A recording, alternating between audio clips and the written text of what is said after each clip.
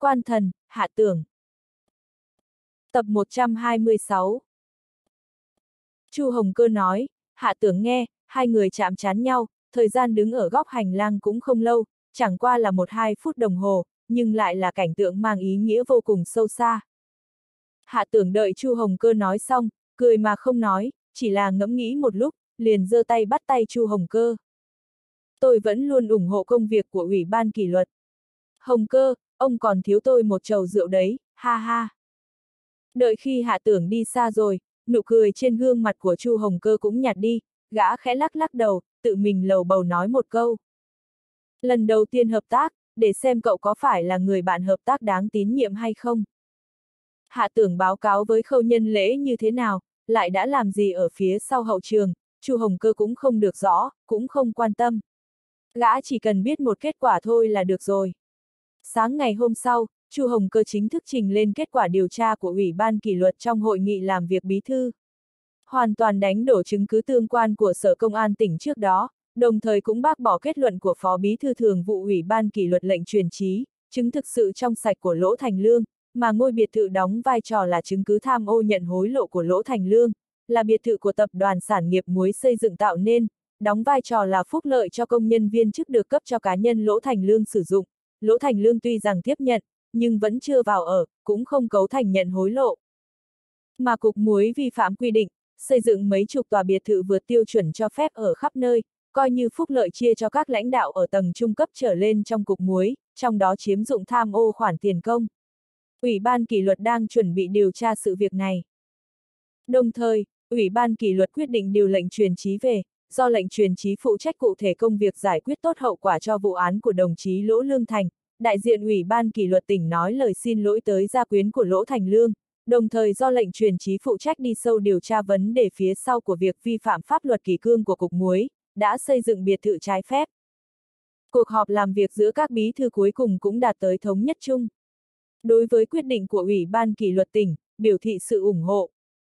Đóng vai trò là một lần phản công quan trọng nhân lúc lệnh truyền trí không ở tỉnh ủy, Chu Hồng Cơ mượn chuyện của Lỗ Thành Lương, tăng cường hoạt động thu gom quyền lực, không chỉ mượn cơ hội chứng thực sự trong sạch của Lỗ Thành Lương, làm suy yếu uy danh của lệnh truyền trí một cách mạnh mẽ, cũng có ý khiến lệnh truyền trí tham gia điều tra việc xây biệt thự trái phép của cục muối, tạo ra mâu thuẫn, hóa giải áp lực đền từ phía lệnh truyền trí, từ đó đạt được mục đích nắm quyền cuối cùng ở Ủy ban kỷ luật. Cũng đánh dấu cục thế của tỉnh Tề, chính thức tiến vào thời kỳ phát triển đa dạng hóa. Bởi vì cuộc họp hội nghị làm việc của các bí thư cũng không có mời Hà Giang Hải tham gia, lúc Hà Giang Hải biết được tin tức, Phó Bí thư Ủy ban kỷ luật tỉnh Mục Chính Nhất đã khởi hành lên đường, xuất phát đến ngũ nhạc, mà lệnh truyền lệnh đã chính thức nhận được thông báo. Yêu cầu trở về tỉnh ủy ngay. Hà Giang Hải thức giận rồi, trước mặt sau lưng đều có kẻ địch, lần đầu tiên gã cảm thấy áp lực to lớn mà sự liên kết của hai phái mang lại. Nhưng mà tin khiến gã khó chấp nhận hơn nữa chính là, Phó Chủ tịch tỉnh Lý Đinh Sơn cũng đã đi ngũ nhạc rồi. Dường như là một hạng mục thu hút đầu tư quan trọng, đóng vai trò là bí thư đảng ủy công an tỉnh, công việc thu hút đầu tư không có chút quan hệ nào với gã, gã không có quyền hỏi đến, cho nên cũng không biết được chi tiết. Không biết còn đỡ, nếu như để ông ta biết được, thì sẽ tức điên lên mất thôi. Hà Giang Hải mới nếm trải quả đắng, đương nhiên sẽ không dễ dàng để yên, nhưng ông ta làm sao biết được, thủ đoạn phản đòn của hạ tưởng, thông thường không phải chỉ một đợt, mà là tầng tầng lớp lớp. Vì kế hoạch lớn, không những phải mở ra cục diện lớn ở tỉnh ủy, ở các thành phố phía dưới, hạ tưởng cũng phải nắm bắt cục diện, bởi vì thời gian không đợi người. Chính lúc sau khi Chu Hồng Cơ lựa chọn thi hành hàng loạt các thủ đoạn, thì có hai tin tức đột nhiên truyền ra, dự báo một vòng phản công mới đang đến. Trước tiên, Chủ tịch tỉnh Tề Tôn Tập Dân đã lên đường đi đến Bắc Kinh, báo cáo công tác với Quốc vụ viện.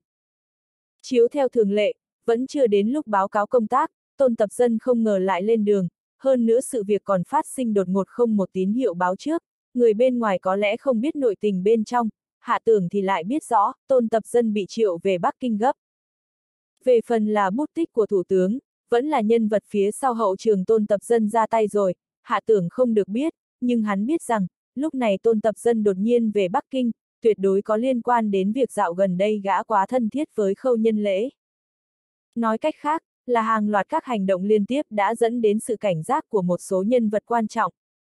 Tiếp đó, những tin đồn có liên quan đến việc Thủ tướng sắp sửa ghé thăm tỉnh Tề cuối cùng đã được xác định, Văn phòng làm việc Viện Quốc vụ chính thức thông báo cho Văn phòng làm việc tỉnh ủy, chính là tiến hành giai đoạn đầu tiếp xúc với chuyện Thủ tướng thị sát.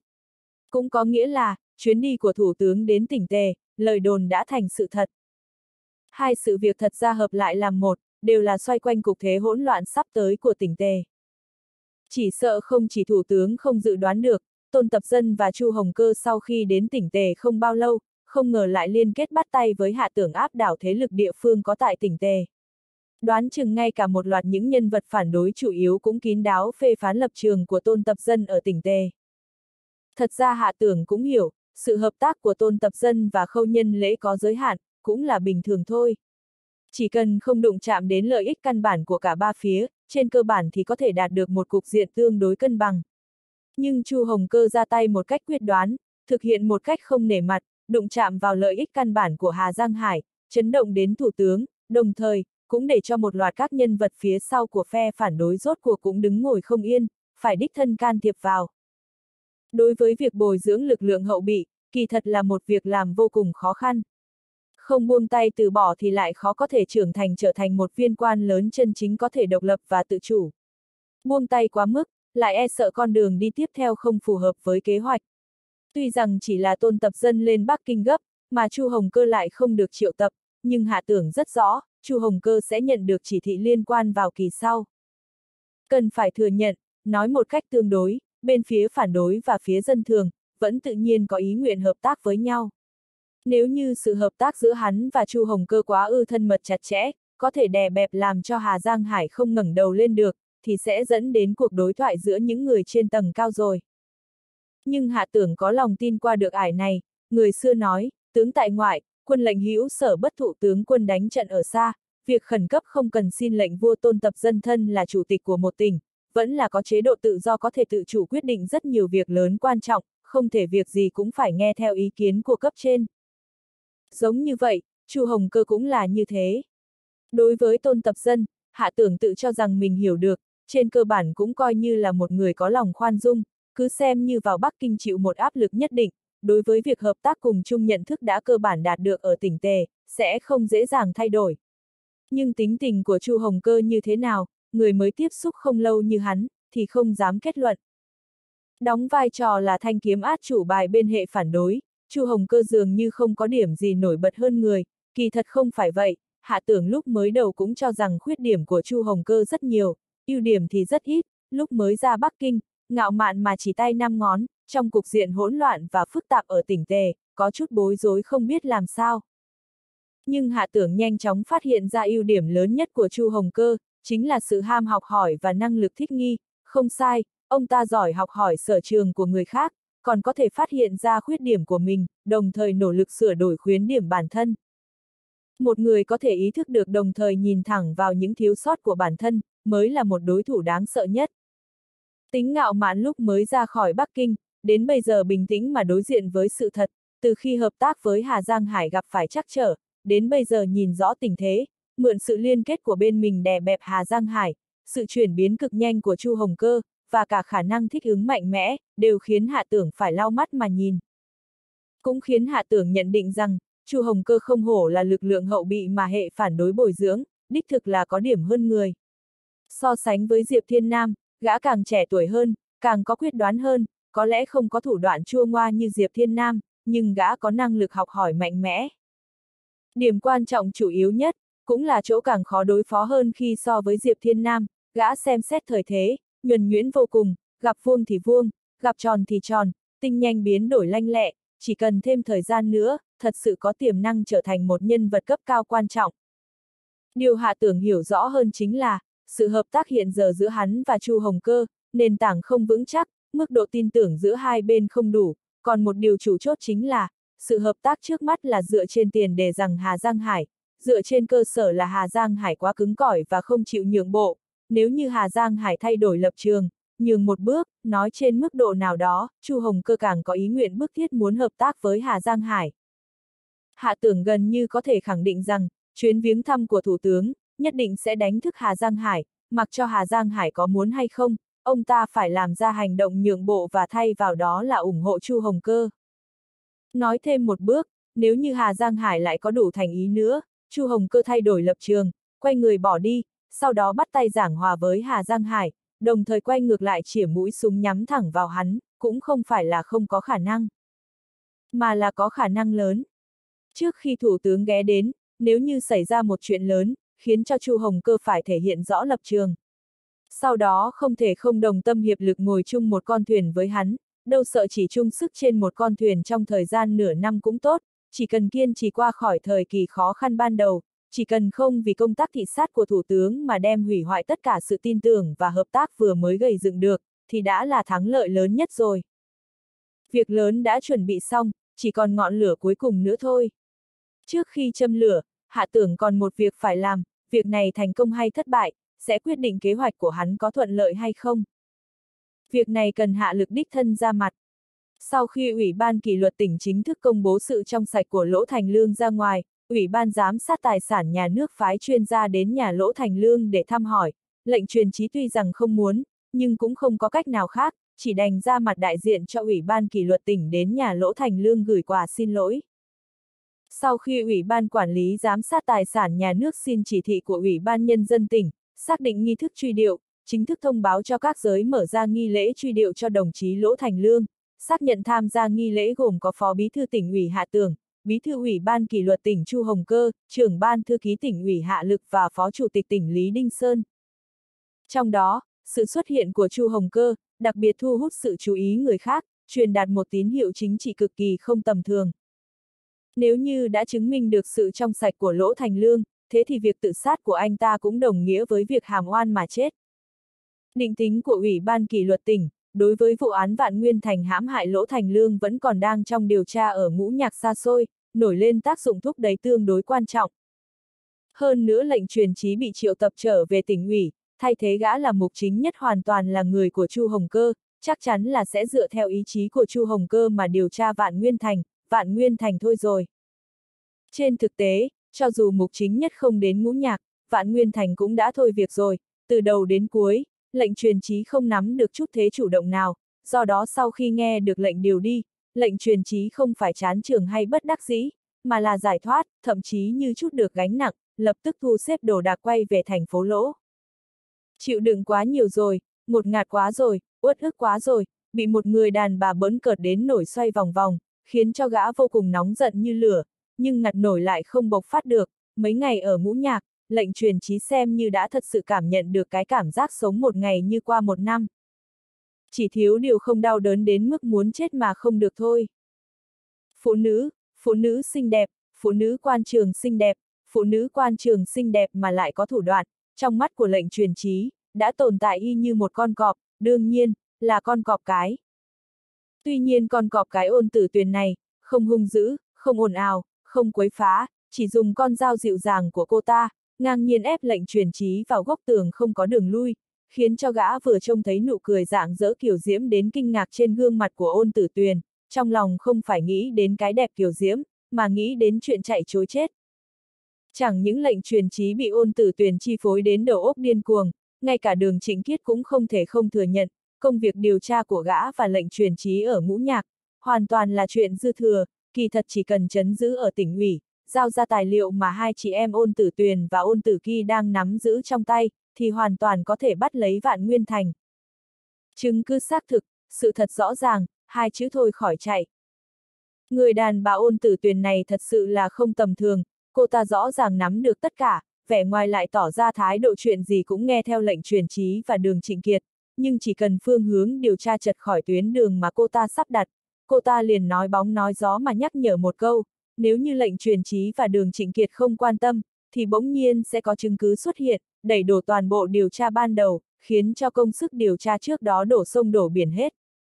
Nhưng nếu như dựa theo đường đi được ôn tử tuyển ám chỉ tới mà đi, lại thật sự là khó đỡ, dù sao ôn tử tuyển chỉ là phó trưởng ban thư ký tỉnh ủy, vừa không phải là lãnh đạo của hệ thống ủy ban kỷ luật, vừa không phải là cán bộ hệ thống chính trị pháp luật, càng không phải thành viên trong tổ điều tra, dựa vào cái gì để nghe cô ta chứ? Lệnh truyền trí càng không phục, nín một ngụm hơi muốn chống lại ôn tử tuyền, không ngờ đến ôn tử tuyền cũng không biết đã dùng thủ đoạn gì, lại khiến cho lập trường của đường trịnh kiệt càng ngày càng nghiêng về phía cô ta, thậm chí đường Trịnh Kiệt còn cách biệt với gã càng ngày càng lớn, dẫn đến công tác điều tra bị chìm trong cảnh đóng băng. Đúng thật là một người đàn bà độc địa. Trong lúc lệnh truyền trí cực kỳ tức giận, dứt khoát phủi tay không lo, toàn quyền giao cho đường Trịnh Kiệt đi xử lý, đương nhiên gã sẽ không từ bỏ quyền hành, chẳng qua cố ý thăm dò, đường Trịnh Kiệt đương nhiên không chịu, dù sao tổ điều tra cũng là tổ điều tra liên kết, một mình gã làm chủ, trở về tỉnh ủy cũng không có cách giải thích.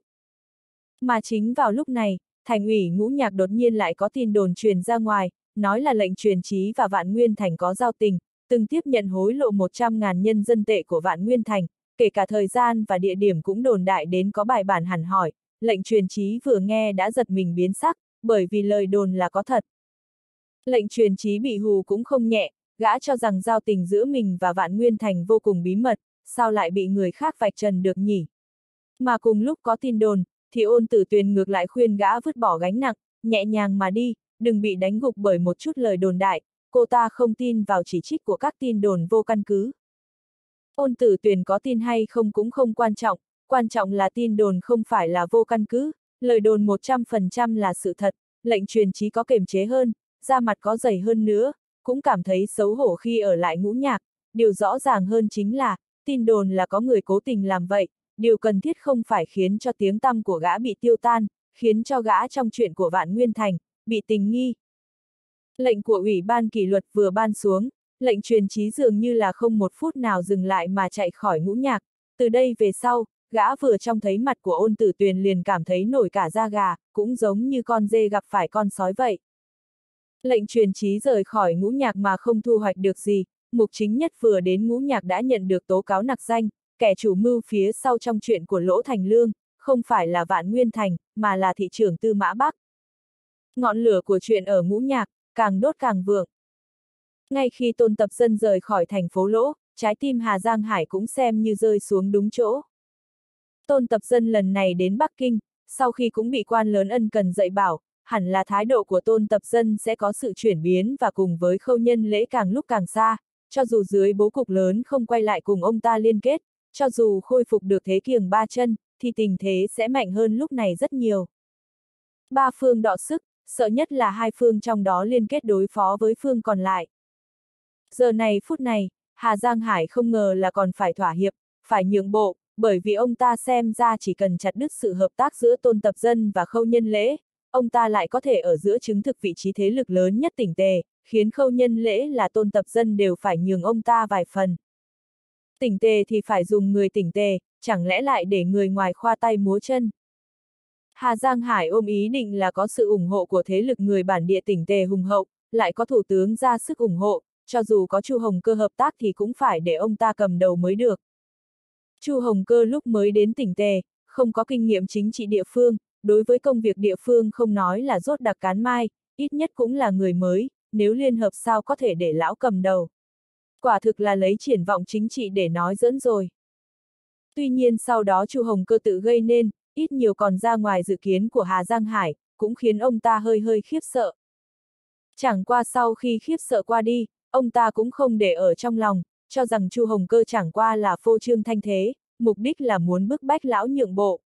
Tuy nói quan hệ giữa Thủ tướng và Chu Hồng Cơ không tồi, nhưng người trong quan trường quan hệ cho dù tốt cũng chẳng qua là vì ích lợi. Quan hệ cá nhân dù có sâu sắc, mà thuộc loại quyền lợi của chính mình, cũng không thể chắp tay dâng lên. Chuôi kiếm, vẫn còn ở trong tay mình mới là tốt nhất. Nhưng tình thế, vẫn dần dần không khống chế được, bí thư tỉnh ủy và chủ tịch tỉnh liên kết, uy lực vô cùng kinh người. Nhân vật số 1, số 2 nhất trí, phía dưới những người có gan thẳng thắn đề xuất ý kiến phản đối gần như đều câm miệng. Mặc dù có hai phản kích lớn vào đối sách công khai tôn tập dân vào thủ đô, Thủ tướng sắp tới thăm chỉ cần lập trường của tôn tập dân thay đổi, sau khi Thủ tướng tới thăm, trong lúc nói chuyện thích hợp đưa ra điều ám chỉ và thiên hướng, gần như có thể khẳng định chính là, hướng gió của tỉnh ủy sẽ lập tức hướng nghiêng sang phía ông ta, nhưng Hà Giang Hải lại bỗng nhiên phát hiện một nhân vật vẫn trốn ở một nơi tối dường như bị ông ta quên đi hạ tưởng. Hạ tưởng dù thế nào cũng vẫn khiêm tốn, không phải nói thủ đoạn của hắn vô cùng sắc bén, có thể khiến người ta cực khổ mà khó nói thành lời, gần đây dường như hắn biến mất, giống như hũ nút, rốt cuộc thuốc hắn bán trong hồ lô là thuốc gì. Quả thật, người mà Hà Giang Hải đề phòng nhất vẫn là hạ tưởng, nhưng bởi vì gần đây sự tình nhiều, hai sự việc lớn là Lỗ Thành Lương và Trần Thu Đống, làm ông ta sứt đầu mẻ chán, đáp ứng không xuể, hơn nữa lôi kéo Chu Hồng Cơ, Chu Hồng Cơ lại đảo hướng về phía Hạ Tưởng, Vi Vi, nhiều sự tình ùn ùn kéo đến, khiến ông ta thiếu chút nữa ngày ngày mất ngủ. Hiện tại nghĩ lại mới giật mình, bên trong một loạt sự tình, Hạ Tưởng dường như biến mất tâm. Hạ Tưởng đương nhiên là không mất tích, hắn tránh ở sau lưng. Một kẻ tiểu nhân giảo hoạt, Hà Giang Hải cười nhạt đối với hết thảy kỹ xảo nấp phía sau của Hạ Tưởng bày ra. Hà Giang Hải càng cho rằng, đợi sau khi tôn tập dân từ Bắc Kinh trở về, thái độ tôn tập dân thay đổi, thái độ Chu Hồng Cơ cũng sẽ theo đó mà thay đổi, đến lúc đó Hạ Tưởng còn muốn lợi dụng Chu Hồng Cơ cùng ông ta đọ sức, còn muốn mượn tay tôn tập dân và ông ta đối kháng, mộng đẹp đã tan biến toàn bộ.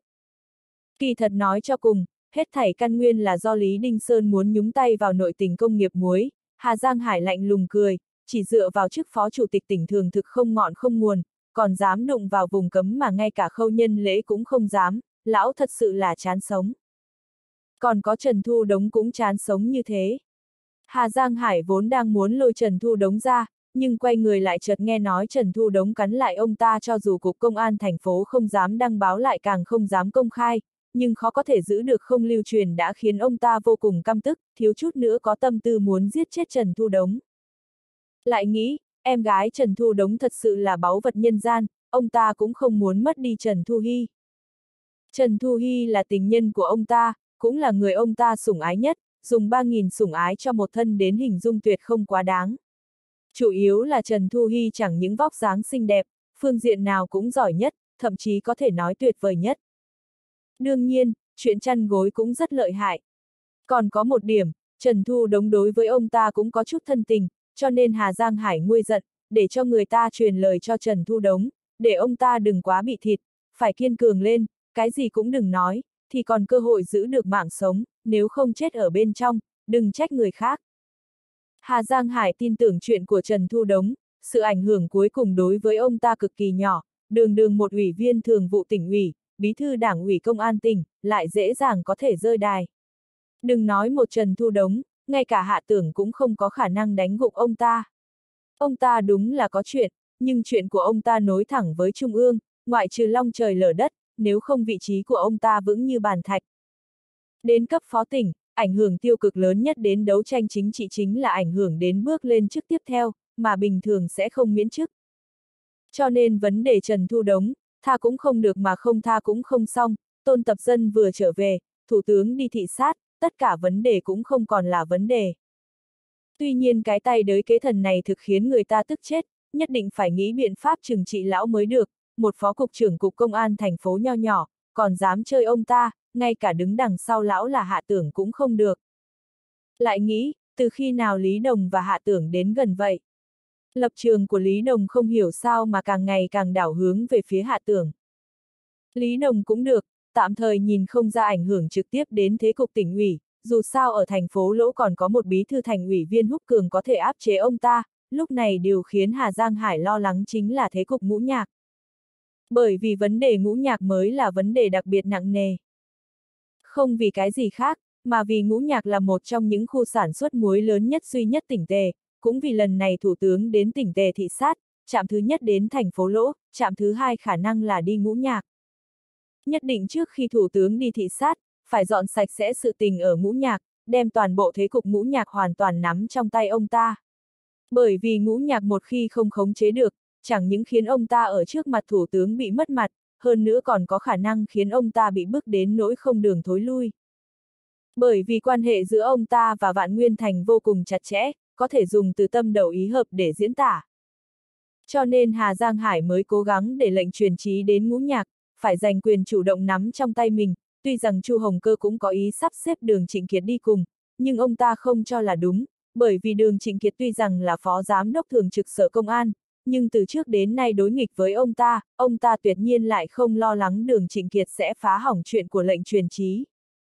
Đường Trịnh Kiệt thủ đoạn không cao, năng lực hữu hạn, không cần ông ta phải để tâm, trong hệ thống công an, đường Trịnh Kiệt so với ông ta tư cách cao hơn, nhưng vẫn bị ông ta ép tới gắt gao, một chút cũng không ngẩng đầu lên nổi, ông ta chỉ biết, đường Trịnh Kiệt chơi không qua nổi lệnh truyền trí. Hà Giang Hải quả thật sáng suốt, Đường Trịnh Kiệt đúng là không chơi qua nổi lệnh truyền trí, từ đầu đến cuối ở tổ điều tra liên hợp, không nắm giữ quyền chủ động, nhưng ai có thể nghĩ đến là, ngũ nhạc còn có một ôn tử tuyền. Khi Hà Giang Hải nghe được lệnh truyền trí hoàn toàn bị ôn tử tuyền đùa dỡn đến xoay như trong chóng, ở ngũ nhạc không thu hoạch được gì, khi lại bị Chu Hồng Cơ khẩn cấp triệu hồi, ông ta rốt cục cũng phẫn nộ rồi, không phải oán giận lệnh truyền trí vô dụng, mà là giận hạ tưởng vô sỉ và ôn tử tuyền vô lại. Ôn tử tuyền vì sao phải một lòng bán mạng vì hạ tưởng? Chẳng lẽ cô ta trâu già gặm cỏ non, bị hạ tưởng chinh phục trên giường?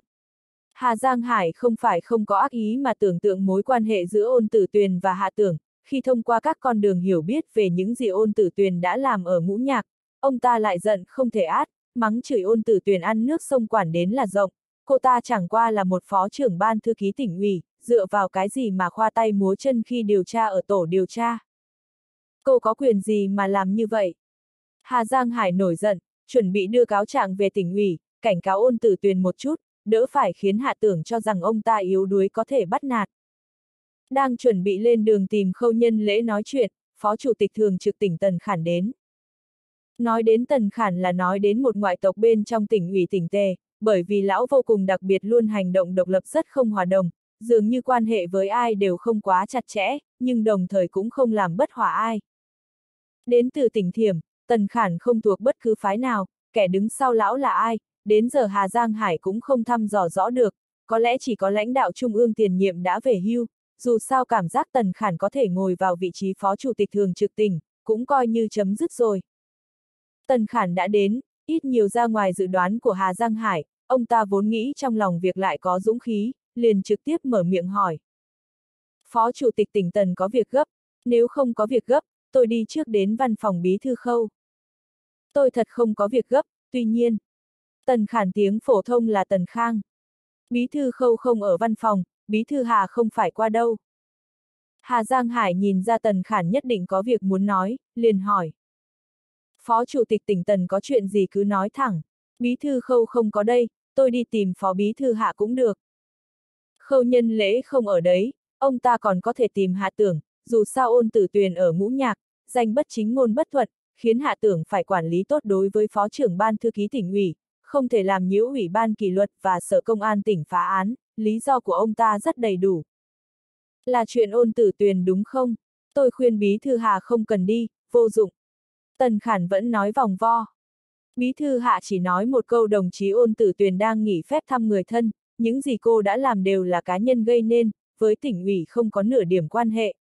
Anh còn gì để nói? Hà Giang Hải nghẹn họng, người người sửng sốt. Chủ tịch tỉnh Tần Cao Minh, còn điều gì chỉ giáo, tôi xin chăm chú lắng nghe. Chỉ giáo thì không dám, chỉ là có một tin tức muốn dâng tặng miễn phí. Tần Khản cười thần bí. Anh biết rằng Lý Đinh Sơn và tập đoàn Đạt Tài đến từ tỉnh Yến đã đến ngũ nhạc, là khảo sát thị trường gì không? Cái đấy còn phải nói, tập đoàn Đạt Tài khai thác, phát triển bất động sản, đương nhiên là khảo sát thị trường bất động sản. Hà Giang Hải hơi bất mãn, Tần Khản cứ vòng vo, không nói vào vấn đề chính.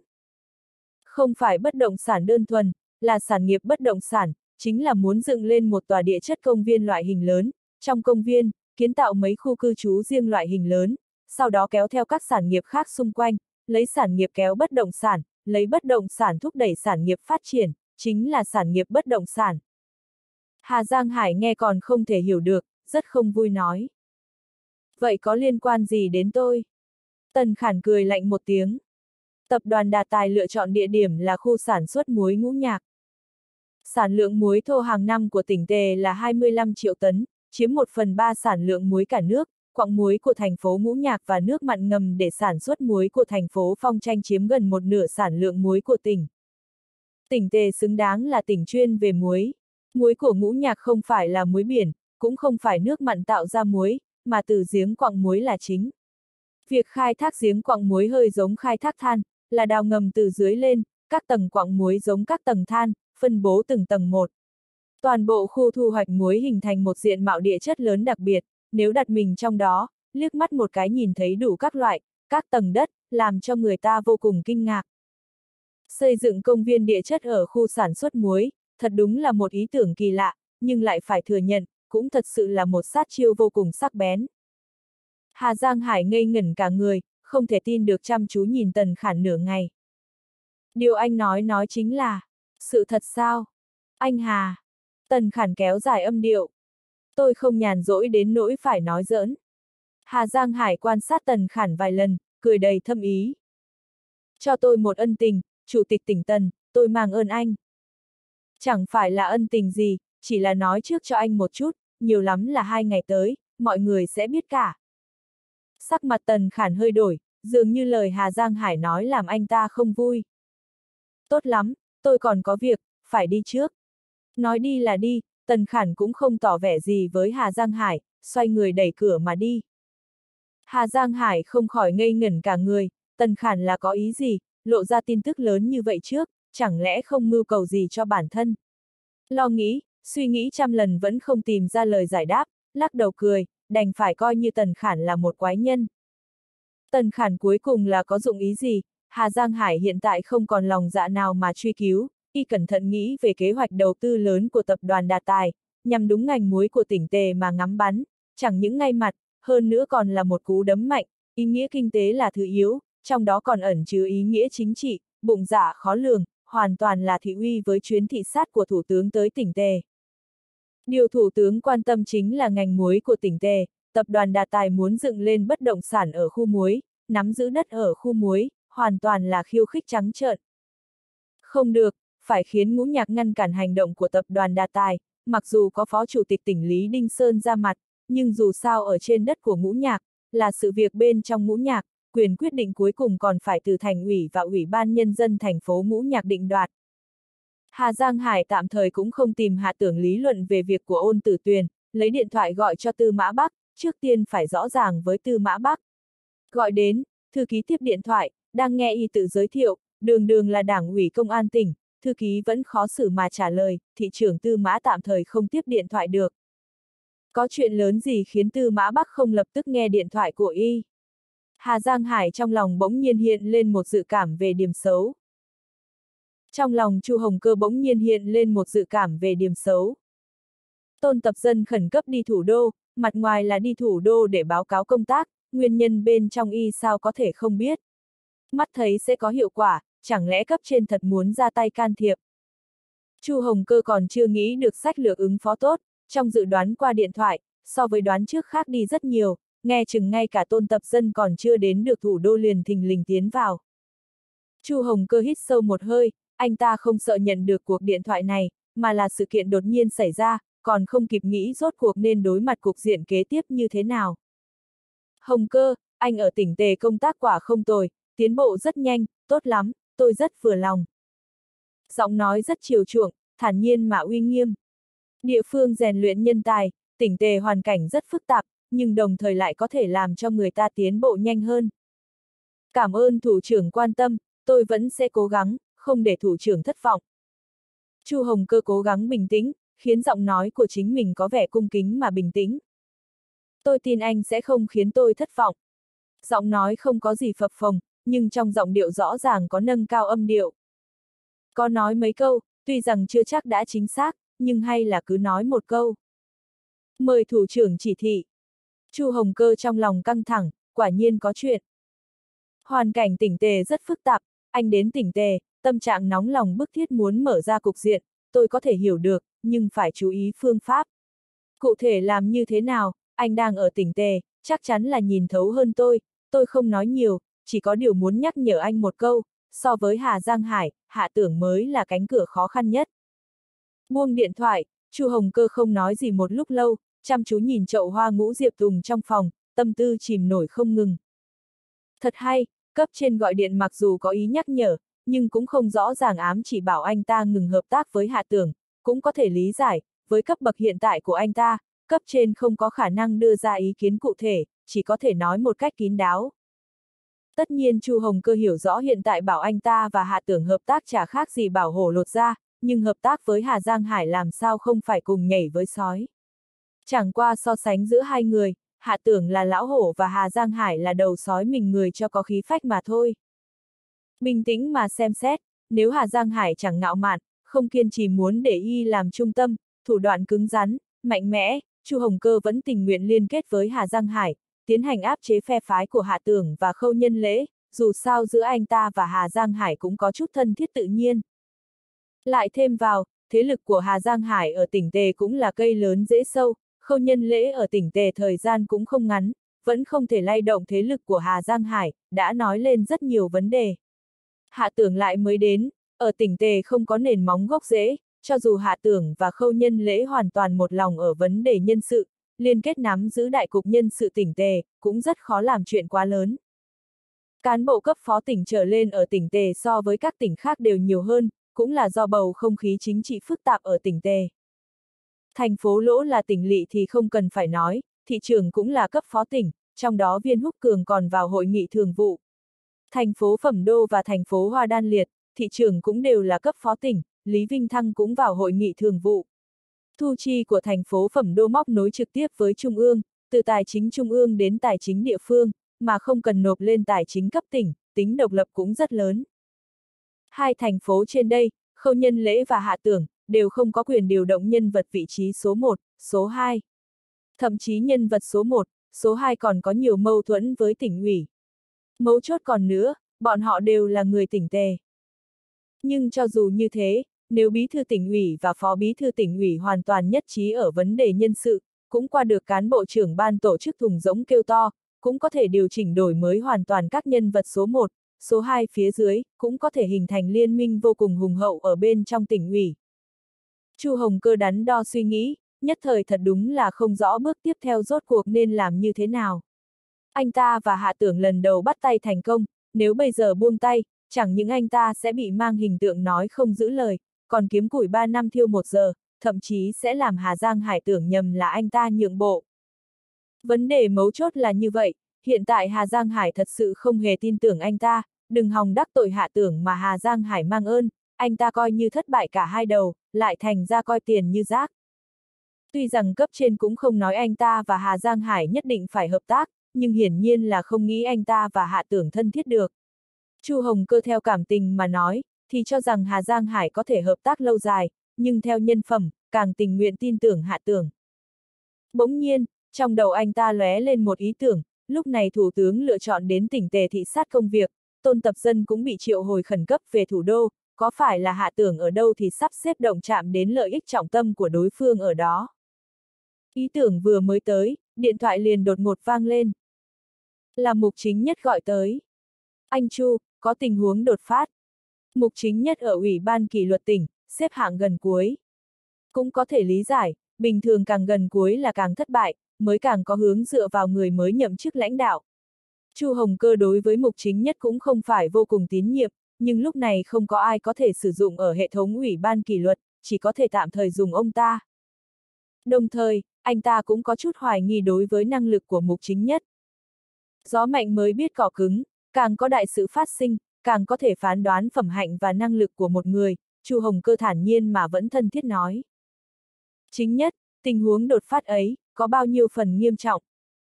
Vừa phái đi ngũ nhạc một ngày, cũng là lúc Chu Hồng Cơ thử mục chính nhất một lần, mục chính nhất đương nhiên cũng rõ ông ta chưa hoàn toàn giành được sự tín nhiệm của Chu Hồng Cơ, và để có thể được trọng dụng trong ủy ban kỷ luật, hành trình đến ngũ nhạc vô cùng quan trọng, là điều kiện tiên quyết.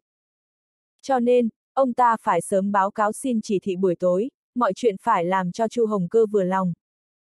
Vạn Nguyên Thành bị người ta sai khiến, sự thật phu cáo hãm hại Lỗ Thành Lương đã được lập thành, Ủy ban Nhân dân và Cục Công an thành phố Liên hợp điều tra, đã tìm ra được phần lớn sự thật.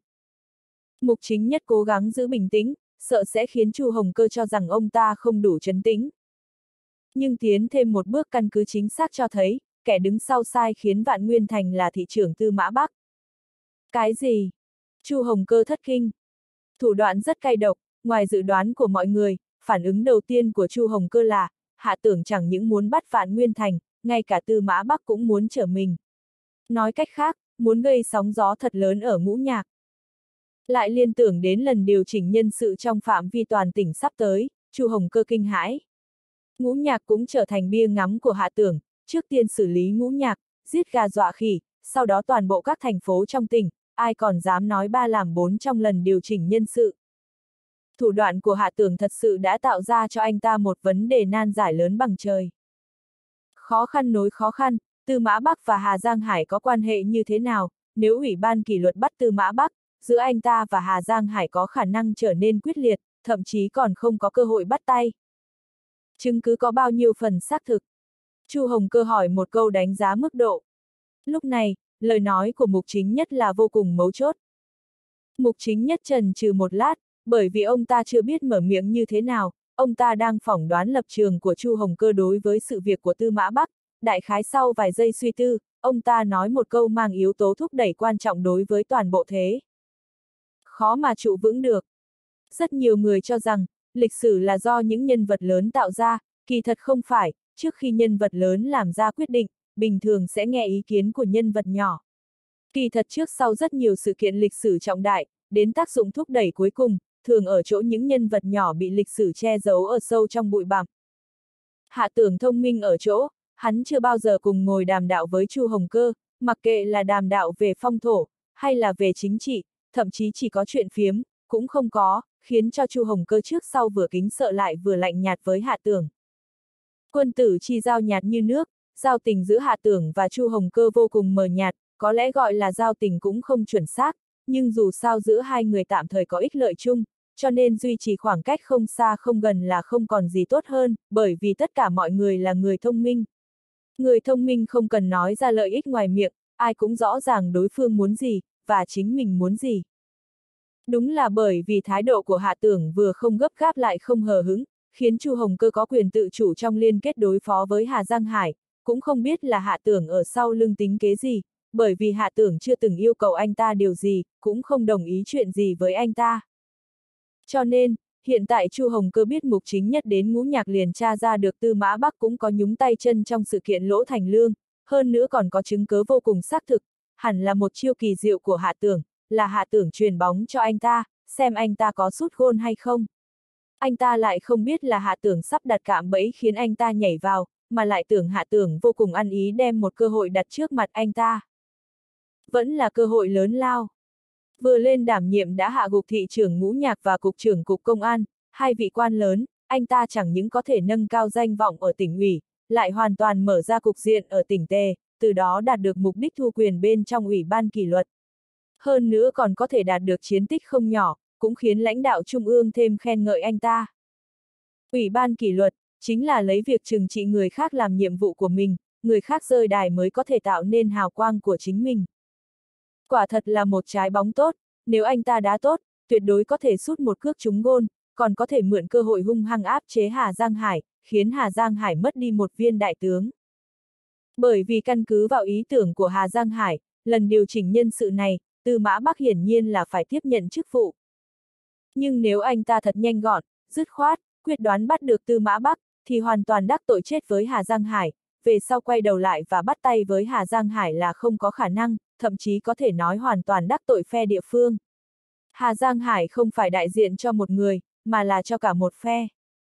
Nếu anh ta hoàn toàn phân rõ giới hạn với phe địa phương, hoàn toàn đứng ở mặt đối lập, chẳng những không thể giải thích với cấp trên, cũng tuyên cáo sau này anh ta ở tỉnh Tề, chỉ có thể đồng hành với hạ tưởng. Mà anh ta vừa mới nhận được cú điện thoại hàm ý đánh thức của cấp trên, buông điện thoại lại đánh vào đầu Hà Giang Hải một đao, có thể hay không khiến cấp trên nhìn anh ta với cái nhìn không tốt. Cho rằng anh ta cứng đầu, không nghe lời. Chu Hồng Cơ vẫn còn do dự, im lặng ước chừng đến nửa phút không nói gì. Mục chính nhất hiểu lầm khi thấy Chu Hồng Cơ im lặng, nghĩ là Chu Hồng Cơ muốn chờ ông ta tiến thêm một bước thuyết minh tình huống, liền nói thêm. Vạn Nguyên Thành vì muốn giữ lại mạng sống nên cắn lại Tư Mã Bắc. Kỳ thật cho dù Vạn Nguyên Thành không nhận tội, tài liệu tố cáo cũng đủ để định tội Tư Mã Bắc. Không chỉ là sai khiến Vạn Nguyên Thành hãm hại lỗ thành lương, Tư Mã Bắc còn có rất nhiều vấn đề kinh tế, tài liệu tỉ mỉ xác thực, có kẻ mạnh đứng sau lưng làm không ít việc. Đúng rồi, trưởng ban thư ký ôn vừa mới trở về thành phố lỗ, bí thư hạ lại tới ngũ nhạc. Chu Hồng Cơ bất chợt nhớ tới điều gì. Phó cục trưởng cục công an của ngũ nhạc là ôn tử kỳ phải không? Em trai trưởng ban thư ký ôn. Mục chính nhất nghĩ ông ta hoàn toàn đoán đúng tâm tư Chu Hồng Cơ, còn nói. Trưởng ban thư ký ôn và Lâu Hân Đông quan hệ vô cùng chặt chẽ, nghe nói, quan hệ giữa phó bí thư hạ và Lâu Hân Đông cũng rất thân thiết. Lâu Hân Đông là phó thị trưởng thường trực ngũ nhạc, nếu tư mã bắc rớt đài, người được lợi lớn nhất chính là Lâu Hân Đông. Chu Hồng cơ chợt như bắt được điều gì, không đợi mục chính nhất nói tiếp, trực tiếp cắt ngang lời ông ta, giọng anh ta có vẻ như trở thành giọng điệu giải quyết việc chung. Chính nhất, không cần thảo luận việc của lãnh đạo sau lưng, mặc kệ việc công hay là việc tư, tốt nhất là ít nói một chút. Đột nhiên lại dừng lại, ra một quyết định ảnh hưởng toàn cục. Nhận được tố cáo của quần chúng, Ủy ban kỷ luật sẽ theo nếp mà phá án, sẽ nghe theo tiếng nói của quần chúng. Mục chính nhất lập tức ngầm hiểu. Là Chu Hồng Cơ chỉ thị tinh thần xử lý công việc. Sự đời, thường thường một mặt sẽ được trời đất run rủi, ngay khi Chu Hồng Cơ quyết định, lấy việc xử lý ngũ nhạc làm đống lửa thứ nhất từ khi anh ta mới nhận chức ở tỉnh Tê. Cùng lúc Hà Giang Hải xem xét thời thế và liên hệ được với ngũ nhạc, sau đó biết được tình cảnh của Tư Mã Bắc không ổn, để làm dịu đi quan hệ giữa y và Chu Hồng Cơ, quyết định thỏa hiệp với Chu Hồng Cơ, có được sự nhượng bộ từ Chu Hồng Cơ, Tư Mã Bắc không đến nỗi bị bắt. Nếu Tư Mã Bắc bị bắt thì phiền toái lớn. Hà Giang Hải trong lòng bất an và bối rối, đi ra bên ngoài, đang muốn nhích người đi tới văn phòng của Chu Hồng Cơ giáp mặt nói cho rõ ràng, thì ở hành lang lại chạm trán với Liêu Đắc Ích đang đệ trình văn bản kiểm điểm cho khâu nhân lễ. Vừa nghe Liêu Đắc Ích khó tránh khỏi phải gặp mặt khâu nhân lễ trình bản kiểm điểm, Hà Giang Hải lên cơn tức không kiềm chế được, đầu choáng não căng phòng, liền quên đi việc tìm Chu Hồng Cơ nói chuyện, mà lại giữ chặt Liêu Đắc Ích cùng về văn phòng y. Muốn để cho Lưu Đắc Ích không phải cúi đầu, phải đợi sau khi thủ tướng đến thị sát mới nói được. Đường đường bí thư tỉnh ủy khâu nhân lễ cũng không có khả năng bắt lấy một chuyện nhỏ, mỗi ngày lại đi truy vấn đòi bản kiểm điểm của trưởng ban tổ chức cán bộ. Liêu Đắc Ích và Hà Giang Hải tính cách hoàn toàn khác nhau, y làm việc thích ổn thỏa, nhất định phải giải quyết vấn đề trước mới có thể khai triển công tác, nếu không ngay cả ngủ y cũng không ngủ nổi. Liêu Đắc Ích đã nói ra lý do của gã, Hà Giang Hải không cho là đúng, tiếp tục khuyên bảo, nói đi nói lại, thời gian liền trôi qua. Nhưng vào lúc này, một việc khiến Hà Giang Hải bất kể như thế nào cũng sẽ không nghĩ đến, là phòng làm việc của Chu Hồng Cơ có người đến gõ cửa. Chu Hồng Cơ vừa mới ra một quyết định đủ lớn để ảnh hưởng đến bước tiếp theo của đại cục, anh ta lúc này cũng không biết quyết định của anh ta, sẽ ảnh hưởng sâu xa đến toàn bộ tiến trình lịch sử của tỉnh Tề. Anh ta chỉ là vẫn còn đoán vì sao hạ tưởng vô duyên vô cớ đưa một món quà lớn cho anh ta, bởi vì bắt đầu từ Lỗ Thành Lương, đến Trần Thu Đống, rồi đến Vạn Nguyên Thành và Tư Mã Bắc, bên trong một loạt sự kiện, người được lợi lớn nhất chính là anh ta, là chủ nhiệm ủy ban kỷ luật. Hạ tưởng chắc chắn là không thật tâm thành ý vì kết giao bạn bè mới tặng quà tới cửa, nhất định còn có ý đồ chính trị sâu xa. Đang suy nghĩ thì Tần Khản gõ cửa đi vào. Chu Hồng Cơ không có ấn tượng gì đối với Tần Khản, trên cơ bản cũng không hay lui tới, chỉ có điều nghe Tôn Tập Dân nói qua, Tần Khản ở bộ máy ủy ban nhân dân tỉnh là người rất đặc biệt, về phần là đặc biệt như thế nào, Tôn Tập Dân chưa nói, anh ta cũng không hỏi, bởi vì anh ta không cảm thấy hứng thú với Tần Khản. Phó Chủ tịch tỉnh Tần, đúng là khách quý ít đến, mời ngồi. Chu Hồng Cơ nhiệt tình đứng dậy đón chào, dựa theo xếp hạng, Tần Khản cao hơn anh ta, anh ta nên có thái độ thích hợp. Anh Chu đừng khách sáo, tôi chỉ là đến uống chén trà. Tần Khản cười tủm tỉm, trong tay thật sự đang cầm một chén trà không. Phó Chủ tịch thường trực tỉnh đến uống trà. Chu Hồng cơ tin mới là lạ, tuy nhiên vẫn tự mình pha một ấm trà cho Tần Khản, cười nói. Có thể mời Phó Chủ tịch tỉnh Tần uống một chén trà, đúng là vinh hạnh của tôi. Tôi uống trà của anh Chu, không uống xuông. Khi nói chuyện, Tần Khản đúng là uống một hớp lớn, sau đó dường như thưởng thức dư vị một lát. Không tôi, không tôi, thật sự là trà ngon, tôi đã nói, trong tay anh Chu chắc chắn có trà ngon. Nếu đã uống trà của anh Chu, tôi phải cảm ơn. Chu Hồng Cơ không nói lời nào, vẻ mặt mỉm cười nhìn Tần Khản. Anh ta đương nhiên hiểu rõ Tần Khản đến, chắc chắn là có việc, nhưng anh ta không dự đoán được, sự việc Tần Khản lộ ra, sẽ là một đại sự thế nào, hơn nữa còn trả lời cho anh ta những nghi vấn và khó hiểu đối với Hạ Tưởng. Phó Chủ tịch tỉnh Lý thật không đơn giản, mới đến không lâu, liền lôi kéo được vốn đầu tư đáng kể, nghe nói kim ngạch đầu tư cao tới hơn 10 tỷ. Khi nói chuyện Tần Khản nhìn thẳng vào mắt Chu Hồng Cơ, dường như muốn từ vẻ mặt của Chu Hồng Cơ suy ra được manh mối gì.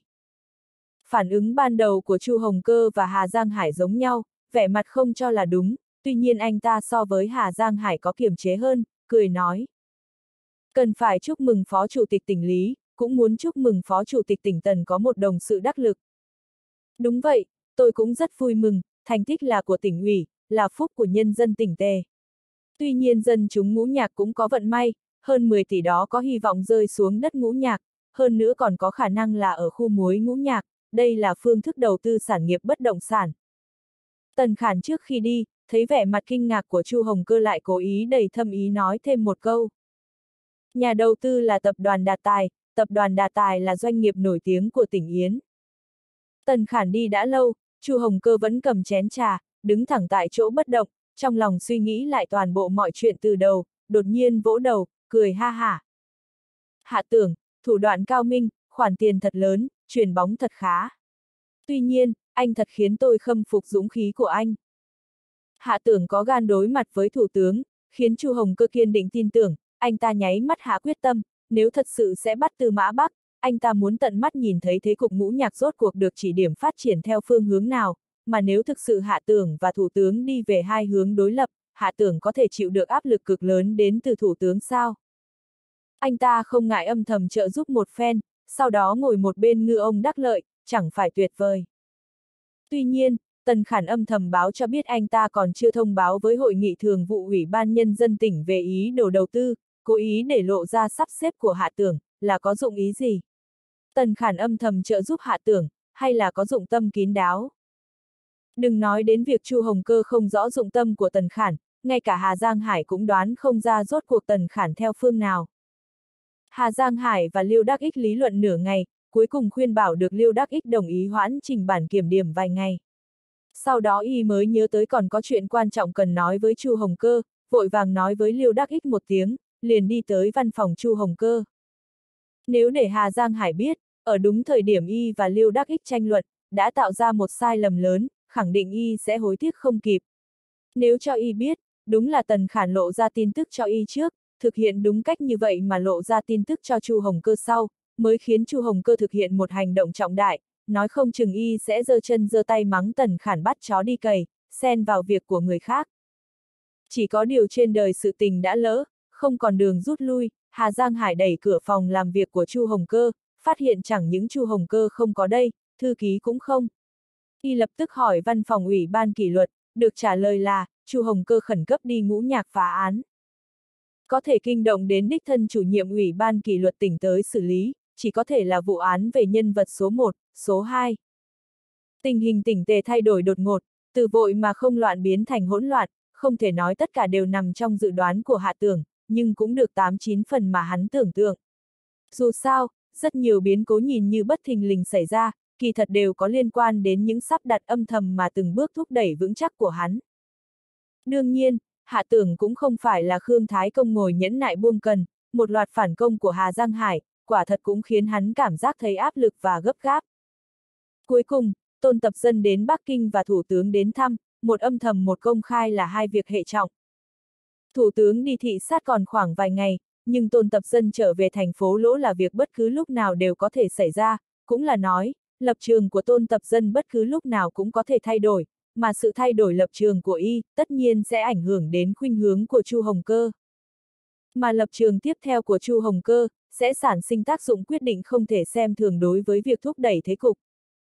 Chu Hồng Cơ là chủ nhiệm ủy ban kỷ luật tỉnh, có quyền lập án điều tra, tuy rằng điều tra một quan lớn cấp phó giám đốc sở phải trình qua hội ý bí thư nghiên cứu, nhưng dù sao hệ thống ủy ban kỷ luật cũng có tính độc lập tương đối, Chu Hồng Cơ hoàn toàn có thể tiền trảm hậu tấu. Hạ tưởng không hề hiểu rõ về con người Chu Hồng Cơ, nhưng có một điểm hắn hiểu trong lòng, là lực lượng dự bị được bồi dưỡng của một thế lực, Chu Hồng Cơ tuyệt đối là một người thông minh, nói cách khác, chính là khẳng định có thể nhạy bén nắm bắt thời cơ, có thể tìm ra điểm gia nhập từ tình hình loạn lạc của tỉnh Tề, sau đó sử dụng cho hắn. Nếu Chu Hồng Cơ không có mắt nhìn và dũng khí, anh ta sẽ không đủ năng lực để trở thành lực lượng dự bị. Phe phản đối cũng không phải là cho không, trong nền chính trị quốc gia, có thể cùng Tổng Bí Thư, Thủ tướng phân chia thành ba phần cục thế, cũng là phe có thực lực phi phàm và trí tuệ chính trị hơn người. Nếu đã là ứng cử viên được họ chỉ định, Chu Hồng Cơ nếu quá kém, hạ tưởng cũng rất thất vọng. Audio điện tử võ tấn bền. Còn về tôn tập dân đến Bắc Kinh, thực ra hạ tưởng cũng không quá lo lắng, với những kinh nghiệm trải qua sự chìm nổi của chính trị mà người bình thường không trải nghiệm được, chắc chắn tôn tập dân đã trưởng thành và chín chắn hơn xưa rất nhiều, cấp trên còn có chỉ thị và ám thị đi nữa, chắc chắn trong lòng y là có suy nghĩ và tính toán riêng. Hơn nữa, thực ra hiện nay tôn tập dân cũng không thân gần bao nhiêu với khâu nhân lễ, chẳng qua là tạm thời hợp tác có hạn mà thôi. Sở dĩ đến Bắc Kinh báo cáo công việc, chỉ sợ chẳng qua là có người theo đuổi sĩ diện, cố ý tỏ vẻ. Thủ tướng sắp tới đến thăm, hà tất khiến tôn tập dân phải chạy tới thủ đô báo cáo công việc, không phải là cố ý gây sức ép hay sao? Chính trị, có lúc chính là gây sức ép. Đột nhiên nhận được thông báo của khâu nhân lễ, phải họp, không bất ngờ chính là Chu Hồng Cơ đề nghị họp hội ý phạm vi nhỏ, quả nhiên giống như suy nghĩ của Hạ Tưởng, Chu Hồng Cơ chính thức đề xuất với tỉnh ủy, anh ta chuẩn bị đích thân đến ngũ nhạc một chuyến, đôn đốc vụ án Tư Mã Bắc. Vụ án Tư Mã Bắc, từ đó chính thức bước vào trình tự điều tra của Ủy ban kỷ luật, lần đi này của Chu Hồng Cơ, tuy không biểu đạt rõ ràng với tỉnh ủy cần áp dụng cái gì hữu hiệu đối với Tư Mã Bắc, nhưng nếu chủ nhiệm Ủy ban kỷ luật tỉnh đích thân tham gia vụ án này, ít nhất cũng nói rõ vấn đề của Tư Mã Bắc vô cùng nghiêm trọng, đã đến mức phải nghiêm trị. Khâu nhân lễ và hạ tưởng đương nhiên không có ý khác, đều gật đầu tỏ vẻ tán thành quyết định của Ủy ban kỷ luật. Hạ tưởng tự mình tiến Chu Hồng Cơ lên xe, nắm chặt tay Chu Hồng Cơ nói. Sau khi chủ nhiệm Chu đến nhận chức, tình hình tỉnh tề nhờ đó mà đổi mới hoàn toàn, đáng mừng đáng vui. Trước lời khen tặng không giấu vết của hạ tưởng, Chu Hồng Cơ đương nhiên không cho là hạ tưởng thật lòng khích lệ, mà coi đó là lời khẳng định và ủng hộ thích hợp nhất với chuyến đi ngũ nhạc của anh ta, hạ tưởng đưa lời, anh ta hồi đáp. Công tác của Ủy ban kỷ luật, không tách rời khỏi sự ủng hộ mạnh mẽ của tỉnh ủy, cũng như không tách rời khỏi sự phối hợp phó bí thư hạ. Trong vấn đề chống tham nhũng, tỉnh ủy luôn là hậu thuẫn vững chắc cho Ủy ban kỷ luật. Hạ tưởng như cười như không nói vài câu khách sáo, sau đó chuyển chủ đề, lại nhắc đến vấn đề chính. Đồng chí Hạ Lực có việc đến ngũ nhạc trước, chủ nhiệm Chu đi sau, có bất cứ vấn đề gì cần tỉnh ủy ủng hộ, có thể trực tiếp yêu cầu đồng chí Hạ Lực hỗ trợ. Chu Hồng Cơ bây giờ xem như hoàn toàn hiểu rõ dụng ý chính của việc Hạ Lực đi ngũ nhạc, là vì đắp đường cho Ủy ban kỷ luật tiến thêm một bước điều tra Tư Mã Bắc, thậm chí nếu anh ta quyết định bắt giam Tư Mã Bắc, Hạ Lực sẽ thay mặt tỉnh ủy tuyên bố, do Phó Thị trưởng Thường trực Lầu Hân Đông tạm thời chủ trì công việc hàng ngày của Ủy ban Nhân dân thành phố. Đúng là một thế cục bước bước gấp gáp, các mắt xích được kết nối chặt chẽ, hoàn toàn không cho người ta có thời cơ nghỉ xả hơi, Chu Hồng Cơ âm thầm khâm phục Hạ Tưởng, hiện nay anh ta thấy rất may mắn được cộng sự với Hạ Tưởng, bởi có thể gần gũi theo sát Hạ Tưởng, học được từ hắn rất nhiều điều mà trước đây không tưởng tượng đến. Chu Hồng Cơ nghiêm túc nói. Xin Phó Bí Thư Hạ yên tâm, dưới sự lãnh đạo của tỉnh ủy, ủy ban kỷ luật nhất định sẽ nghiêm túc điều tra tham quan, thanh trừ tham nhũng. Vừa mới tiến Chu Hồng Cơ, Hạ Tưởng lên lầu, vừa lúc đó ở hành lang gặp Hà Giang Hải đang tìm kiếm Chu Hồng Cơ mà không gặp. Hà Giang Hải cực kỳ buồn bực, định về văn phòng gọi điện cho Chu Hồng Cơ, ngẩng đầu lên gặp Hạ Tưởng bình tĩnh quay về. Trong lòng đoán được chắc là tiến Chu Hồng Cơ đi rồi. Trong lòng cũng rất khó chịu, nhưng không tiện biểu hiện ra ngoài, gật đầu nói. Phó Bí Thư Hạ đúng là người rất bận rộn, anh đi bận gì vậy? Hạ tưởng mỉm cười. Đi xuống hít tí không khí trong lành, trong phòng quá buồn bực, thế nào, Bí Thư hà có việc gì? Có phải muốn tìm chủ nhiệm Chu? Anh ấy dường như vừa ra ngoài.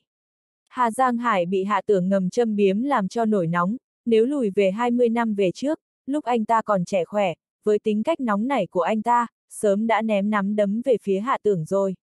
Bây giờ đã khác, vị trí cao, tuổi cao rồi, khí huyết cũng không đủ, cho nên chỉ có cười ha ha. Tôi không tìm chủ nhiệm Chu. Sau đó ngượng ngùng bỏ đi.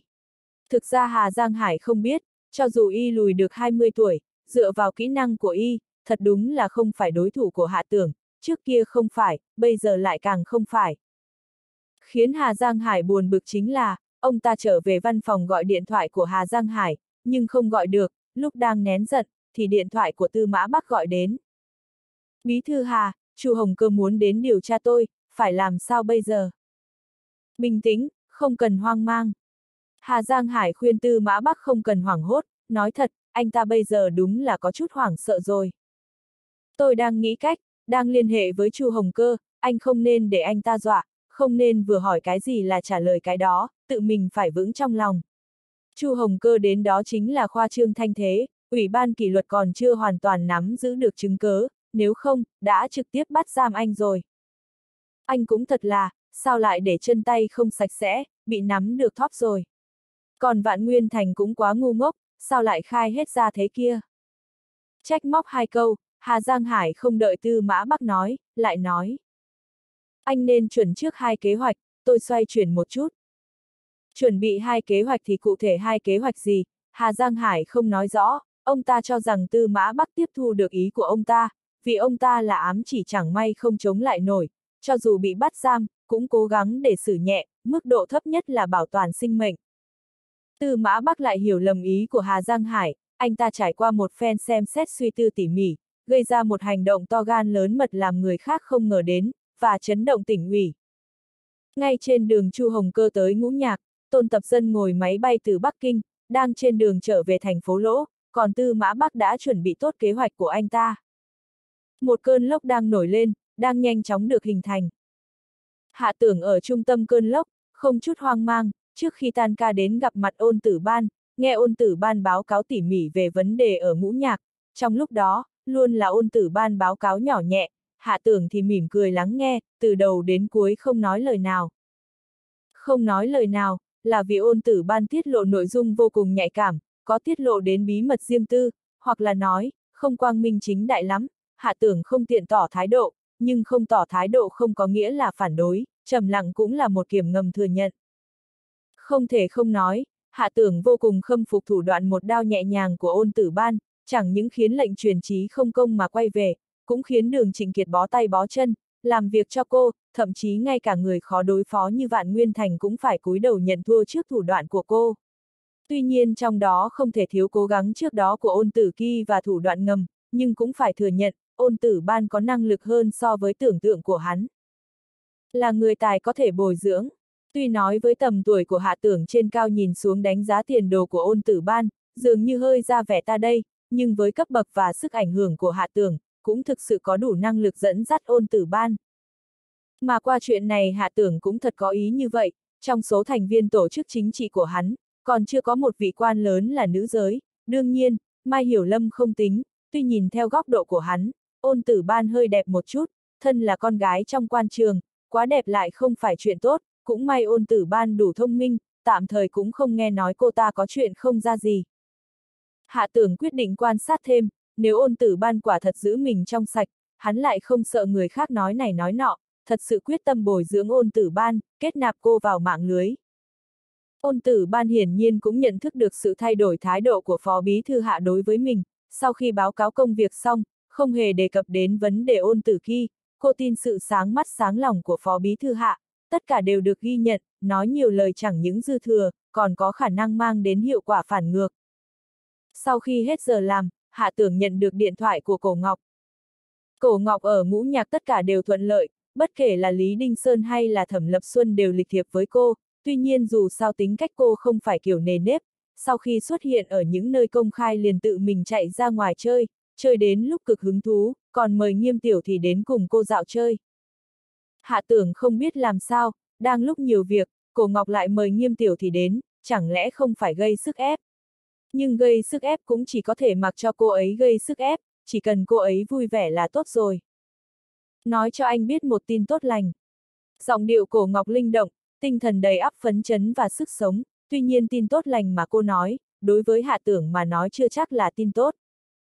Ông nội gọi điện đến nói, mấy ngày nữa ông cũng muốn tới thành phố lỗ một chuyến, nói muốn gặp mặt anh nói chuyện tử tế.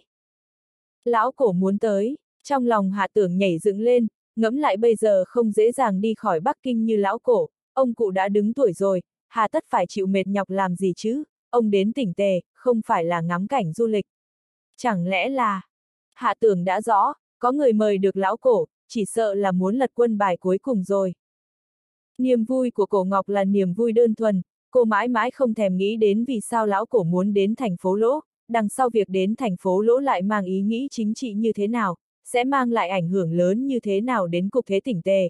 Cô thậm chí không biết tình hình chính trị hiện nay ở tỉnh Tề phức tạp, lắm biến nhiều hơn rất nhiều so với vẻ bề ngoài ôn hòa như tiết trời cuối xuân đầu hạ, đồng thời còn hàm ẩn sát khí của đao kiếm. Tin rằng lão cổ lần này đến thành phố Lỗ là cũng có nỗi khổ bất đắc dĩ, hạ tưởng cũng hiểu được suy nghĩ của lão cổ, ông cụ và bản thân mình như nhau, không muốn để cổ ngọc biết quá nhiều tính toán phía sau chính trị, đều muốn hết sức bảo vệ trái tim thuần khiết không nhiễm thế sự khó mà có được của cổ ngọc. Cũng thật khó cho lão cổ, hạ tưởng thầm than một tiếng, hy vọng cổ ngọc có thể luôn giữ gìn được một trái tim hoạt bát, trong suốt, chỉ cần hắn còn có khả năng, hắn nhất định sẽ cố gắng cả đời để bảo vệ cổ ngọc luôn là người con gái vui tươi nhất giữa thế gian vẩn đục, giữa ánh mặt trời và gió mùa xuân. Lão cổ và hắn, một già một trẻ, đều không nói gì mà ăn ý ngầm bảo vệ sự hồn nhiên của cổ ngọc, cũng coi như là một lần trong nhiều năm quen biết giữa hắn và lão cổ có tâm tư thông nhau. Đến được là tốt rồi, hắn quét dọn giường chiếu đón chào, pha trà tiếp đãi. Lại nghĩ đến một loạt thủ đoạn của thủ tướng, hạ tưởng không khỏi cười khổ, thủ tướng cũng không dễ dàng, nếu có cơ hội, hắn mong muốn được nói chuyện với thủ tướng, đem một số chuyện ra ánh sáng, có lẽ, sự việc còn có thể có chuyển biến không ngờ đến. Về đến nhà, Tào Thù Lê đã làm xong cơm tối. Con gái bí thư tỉnh ủy, phu nhân phó bí thư tỉnh ủy, hai thân phận lừng lẫy như vậy, trong nước không thể nói là chuyện có một không hai, nhưng cũng khẳng định là lông phượng và sừng lân tượng trưng cho quý báu, quý hiếm. Tuy nhiên tính tình cô bé Lê Dừng Dưng, không thích so sánh với người khác, cũng không thích qua lại với mấy phu nhân của đám quan lại, thậm chí cũng rất ít khi nói chuyện phiếm với nhà người khác. Khi cô không đi làm thì ở lì trong nhà, hoặc là dọn dẹp nhà, hoặc là cân nhắc nuôi trồng thực vật, dù sao nguyện vọng của cô cũng rất đơn giản, con trai khỏe mạnh, hạ tưởng mập trắng. Chỉ tiếc là, hạ tưởng là không thể trắng ra được, bất kể cô có cố gắng như thế nào, hạ tưởng cũng không béo lên được, khiến cho cô vô cùng buồn bực. Đều nói cháo kê rất tốt cho người, cháo ngô rửa sạch dạ dày, cô mỗi ngày đều phải nấu cháo cho hạ tưởng ăn, hạ tưởng cũng rất nghe lời, cô làm cái gì thì ăn cái đó, rất ít khi kén ăn, nhưng cứ là không béo lên, thật là làm người khác bó tay trước hắn. Tào thù lê liền mắng hạ tưởng là cái số vất vả, người khác làm quan lớn đều là tai to mặt lớn, còn hắn ngược lại, chẳng những không mặt mày hồng hào, béo cũng không béo lên được, dường như là đất nước bạc đãi hắn rất nhiều. Đương nhiên hạ tưởng đáp lại cũng rất thú vị. Em là ý kiến của đàn bà, những cán bộ từ cấp giám đốc sở trở lên, tai to mặt lớn liền ít đi nhiều, làm đến phó chủ tịch tỉnh trở đi, còn có mấy người mập mạp. Tào Thù Lê đương nhiên không phục. Hừ, lãnh đạo nhà nước đều không béo, anh xem tổng bí thư và thủ tướng, cân nặng đều bình thường. Đặc biệt là thủ tướng, một ông già gầy. Đúng vậy, thủ tướng là ông già gầy làm lụng vất vả, lại bôn ba vì đất nước, xét cho công bằng, từ sâu trong nội tâm hạ tưởng vẫn luôn cung kính thủ tướng. Quay về gia đình ấm áp, được ngửi mùi cơm quen thuộc, được nhìn bóng dáng bận rộn quen thuộc, mệt mỏi của cả ngày của hạ tưởng đều tan thành mây khói, ánh mắt dừng lại ở vòng eo vẫn thon thả như xưa của Tào Thù Lê, ngắm nhìn cặp đùi săn chắc của cô, cùng với dung nhan xinh đẹp không thay đổi, trong lòng bỗng chốc tràn trề hạnh phúc. Người trong quan trường, quả thật không tự chủ được, phải tính toán các mặt được mất, phải đề phòng đủ loại người muôn hình muôn vẻ, chỉ có ở trước mặt người mình yêu thương mới thoải mái nhất, vui vẻ nhất. Hạ tưởng lại mới nghĩ tới bước tiếp theo của tiêu ngũ, Dương Uy và Nga Ni Trần ở tỉnh Tề, còn chưa nghĩ xong, hôm nay quá bận rồi, đã nói gặp mặt với Nga Ni Trần, vừa mệt vừa vội, lại lỡ hẹn. Ngẫm nghĩ một chút, lấy điện thoại gọi cho Nga Ni Trần. Cũng đã sắp hơn một năm, là lần đầu tiên hắn và Nga Ni Trần gọi điện thoại. Chủ tịch Trần, thật ngại quá, tôi hôm nay bận quá, e rằng buổi tối hôm nay không tiện gặp nhau rồi. Giọng nói của Nga Ni Trần già nua đi rất nhiều, nhưng vẫn tràn đầy khí phách, mà còn rõ ràng nhẹ nhàng hơn rất nhiều, chứng tỏ tâm trạng hiện nay đã hoàn toàn thoát ra khỏi vực sâu so với trước kia rồi. Không sao, Phó Bí Thư Hạ có việc thì làm trước đi, vừa may tôi và Tiêu Ngũ, Dương Uy cùng khảo sát qua thị trường ở thành phố Lỗ. Tiêu Ngũ và Dương Uy đều rất khá, con mắt của Phó Bí Thư Hạ rất chuẩn. Nga Ni Trần thản nhiên lại không mất đi sự cung kính, rất phù hợp với tình cảnh hiện tại của y. Hoa nhài vàng, hoa nhài bạc lại về Thụy Sĩ học rồi, phỏng chừng còn hơn 2 năm nữa mới hoàn thành chương trình học về nước, Nga Ni Trần hiện nay không có người nối nghiệp, cũng cấp bách hy vọng hai con gái có thể sớm gánh vác cơ nghiệp. Phó Bí Thư Hạ, tôi gặp một người bạn từ phía Nam đến, anh ấy nói cũng biết anh, còn nói hy vọng có cơ hội ngồi cùng anh, có rất nhiều việc muốn thỉnh giáo trực tiếp với anh. Nga Ni Trần nhớ ra cái gì đó, nói. Anh ấy tên Nguyên Minh Lượng. Nguyên Minh Lượng, hạ tưởng ngây người. Một cái tên vô cùng xưa mà lại quen thuộc, đã từng dậy sóng ở sông Hạ Mã, đã từng có năm tháng lừng lẫy ở quận Hạ Mã, giữa hắn và Nguyên Minh Lượng đã từng trải qua rất nhiều lần giao đấu đáng để tưởng nhớ. Thời gian cách biệt lâu, Nguyên Minh Lượng lại bất ngờ hiện thân tại thành phố Lỗ, là muốn đầu cơ nhà đất hay đầu cơ muối. Hoặc là đầu cơ cái gì đó, tỉnh tề nổi tiếng là tỉnh lớn về rau quả. Trong nháy mắt hạ tưởng suy nghĩ rất nhiều, không khỏi có chút thất thần, bị Tào Thù Lê khua khua tay trước mặt, hắn mới giật mình tỉnh lại, cười ha hả. Xin chuyển lời tới ông Nguyên Minh Lượng, tôi cũng chờ mong gặp mặt ông ấy. Năm đó nước lũ ở sông Hạ Mã đã đi xa, thời gian qua đi, giữa hắn và Nguyên Minh Lượng không còn là đối thủ, có lẽ không trở thành bạn bè được, nhưng ít ra có thể cùng ngồi một chỗ, cùng hướng về tương lai. Sau đó, lại nói với tiêu ngũ, Dương Uy vài câu, đều là nhân vật có máu mặt, nhiều từng trải, sau khi đến thành phố lỗ đều có thể thích nghi, cũng không cần hạ tưởng nói quá nhiều. Tuy nhiên sau khi gác điện thoại, hạ tưởng lại nhạy bén phát hiện một điểm thiết nhập không tồi, liền trực tiếp gọi điện cho Lý Đồng. Lý Đồng, khi nào không bận, tôi giới thiệu cho anh mấy người bạn. Gọi thẳng tên, không gọi chức vụ thể hiện quan hệ thân mật. Lý Đồng rất thích thú với sự thân thiết của hạ tưởng. Được thôi, sẽ chờ một câu của Phó Bí Thư Hạ, thời gian của tôi, bất cứ lúc nào cũng có thể sắp xếp được. Vậy thì tốt, tôi để thiên thiếu dẫn người qua. Hạ tưởng cũng không giải thích quá nhiều với Lý Đồng là ai có chuyện gì, chính là sự tin tưởng và ăn ý lẫn nhau. Lý Đồng không nói lời thứ hai, vui vẻ đáp lời. Rõ là về nhà ăn cơm thoải mái lại điện thoại không ngừng, việc không ngừng, hạ tưởng gác điện thoại, ngẫm nghĩ một chút, tắt điện thoại dứt khoát, tình hình đã ủ âm ỉ sắp đến một điểm giới hạn, chỉ chờ thời khắc cuối cùng đến, chắc là sẽ không có việc lớn bất ngờ xảy ra. Hắn muốn yên tĩnh ăn một bữa cơm. Nhưng trên thực tế đúng lúc hắn tắt máy, đã xảy ra một sự cố không lớn không nhỏ. Trong lúc ăn cơm, Tào Thù Lê nhắc tới tình hình Hạ An gần đây. Hứa Ninh từ sau tiệc lần trước cho đến nay vẫn liên lạc thân mật, thường tâm sự chuyện gia đình với Tào Thù Lê, chị em dâu cư xử với nhau vô cùng hòa hợp.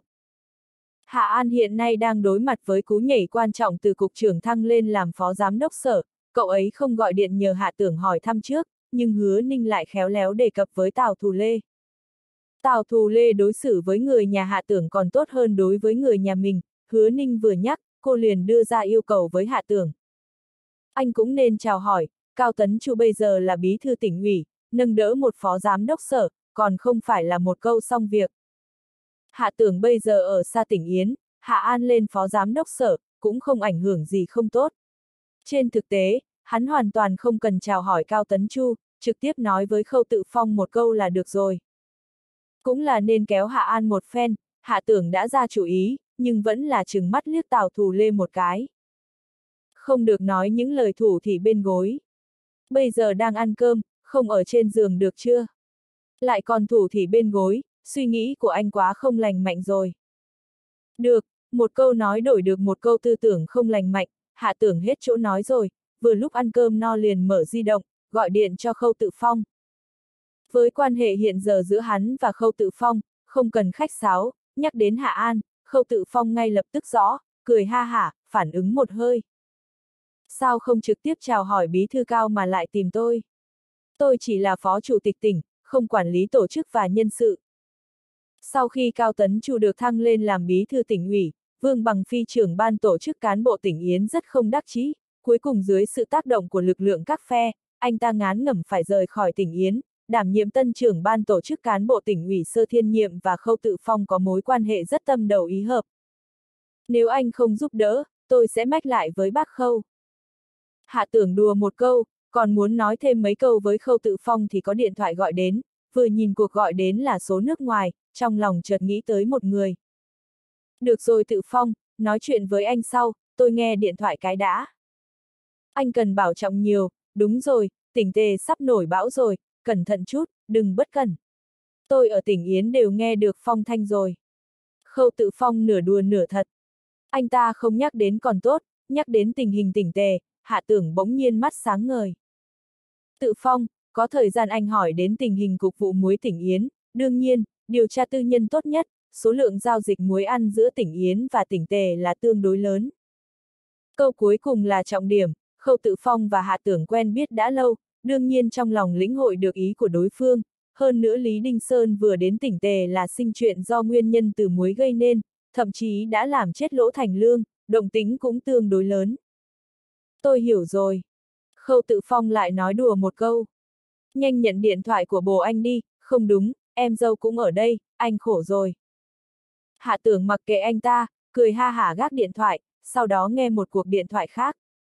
Đừng nói, thật đúng là điện thoại của con gái. Tuy nhiên tình nhân của hạ tưởng đều rất hiểu việc, cũng sẽ không gọi điện đến trong khoảng thời gian mẫn cảm, chỉ có hai người con gái dám gọi khi hạ tưởng ở nhà. Một là cổ ngọc, cổ ngọc là đơn thuần không có tạp niệm, cô cho rằng giữa cô và hạ tưởng là quan hệ vô cùng tinh khiết trong sáng. Người kia chính là Liên Nhược Hạm.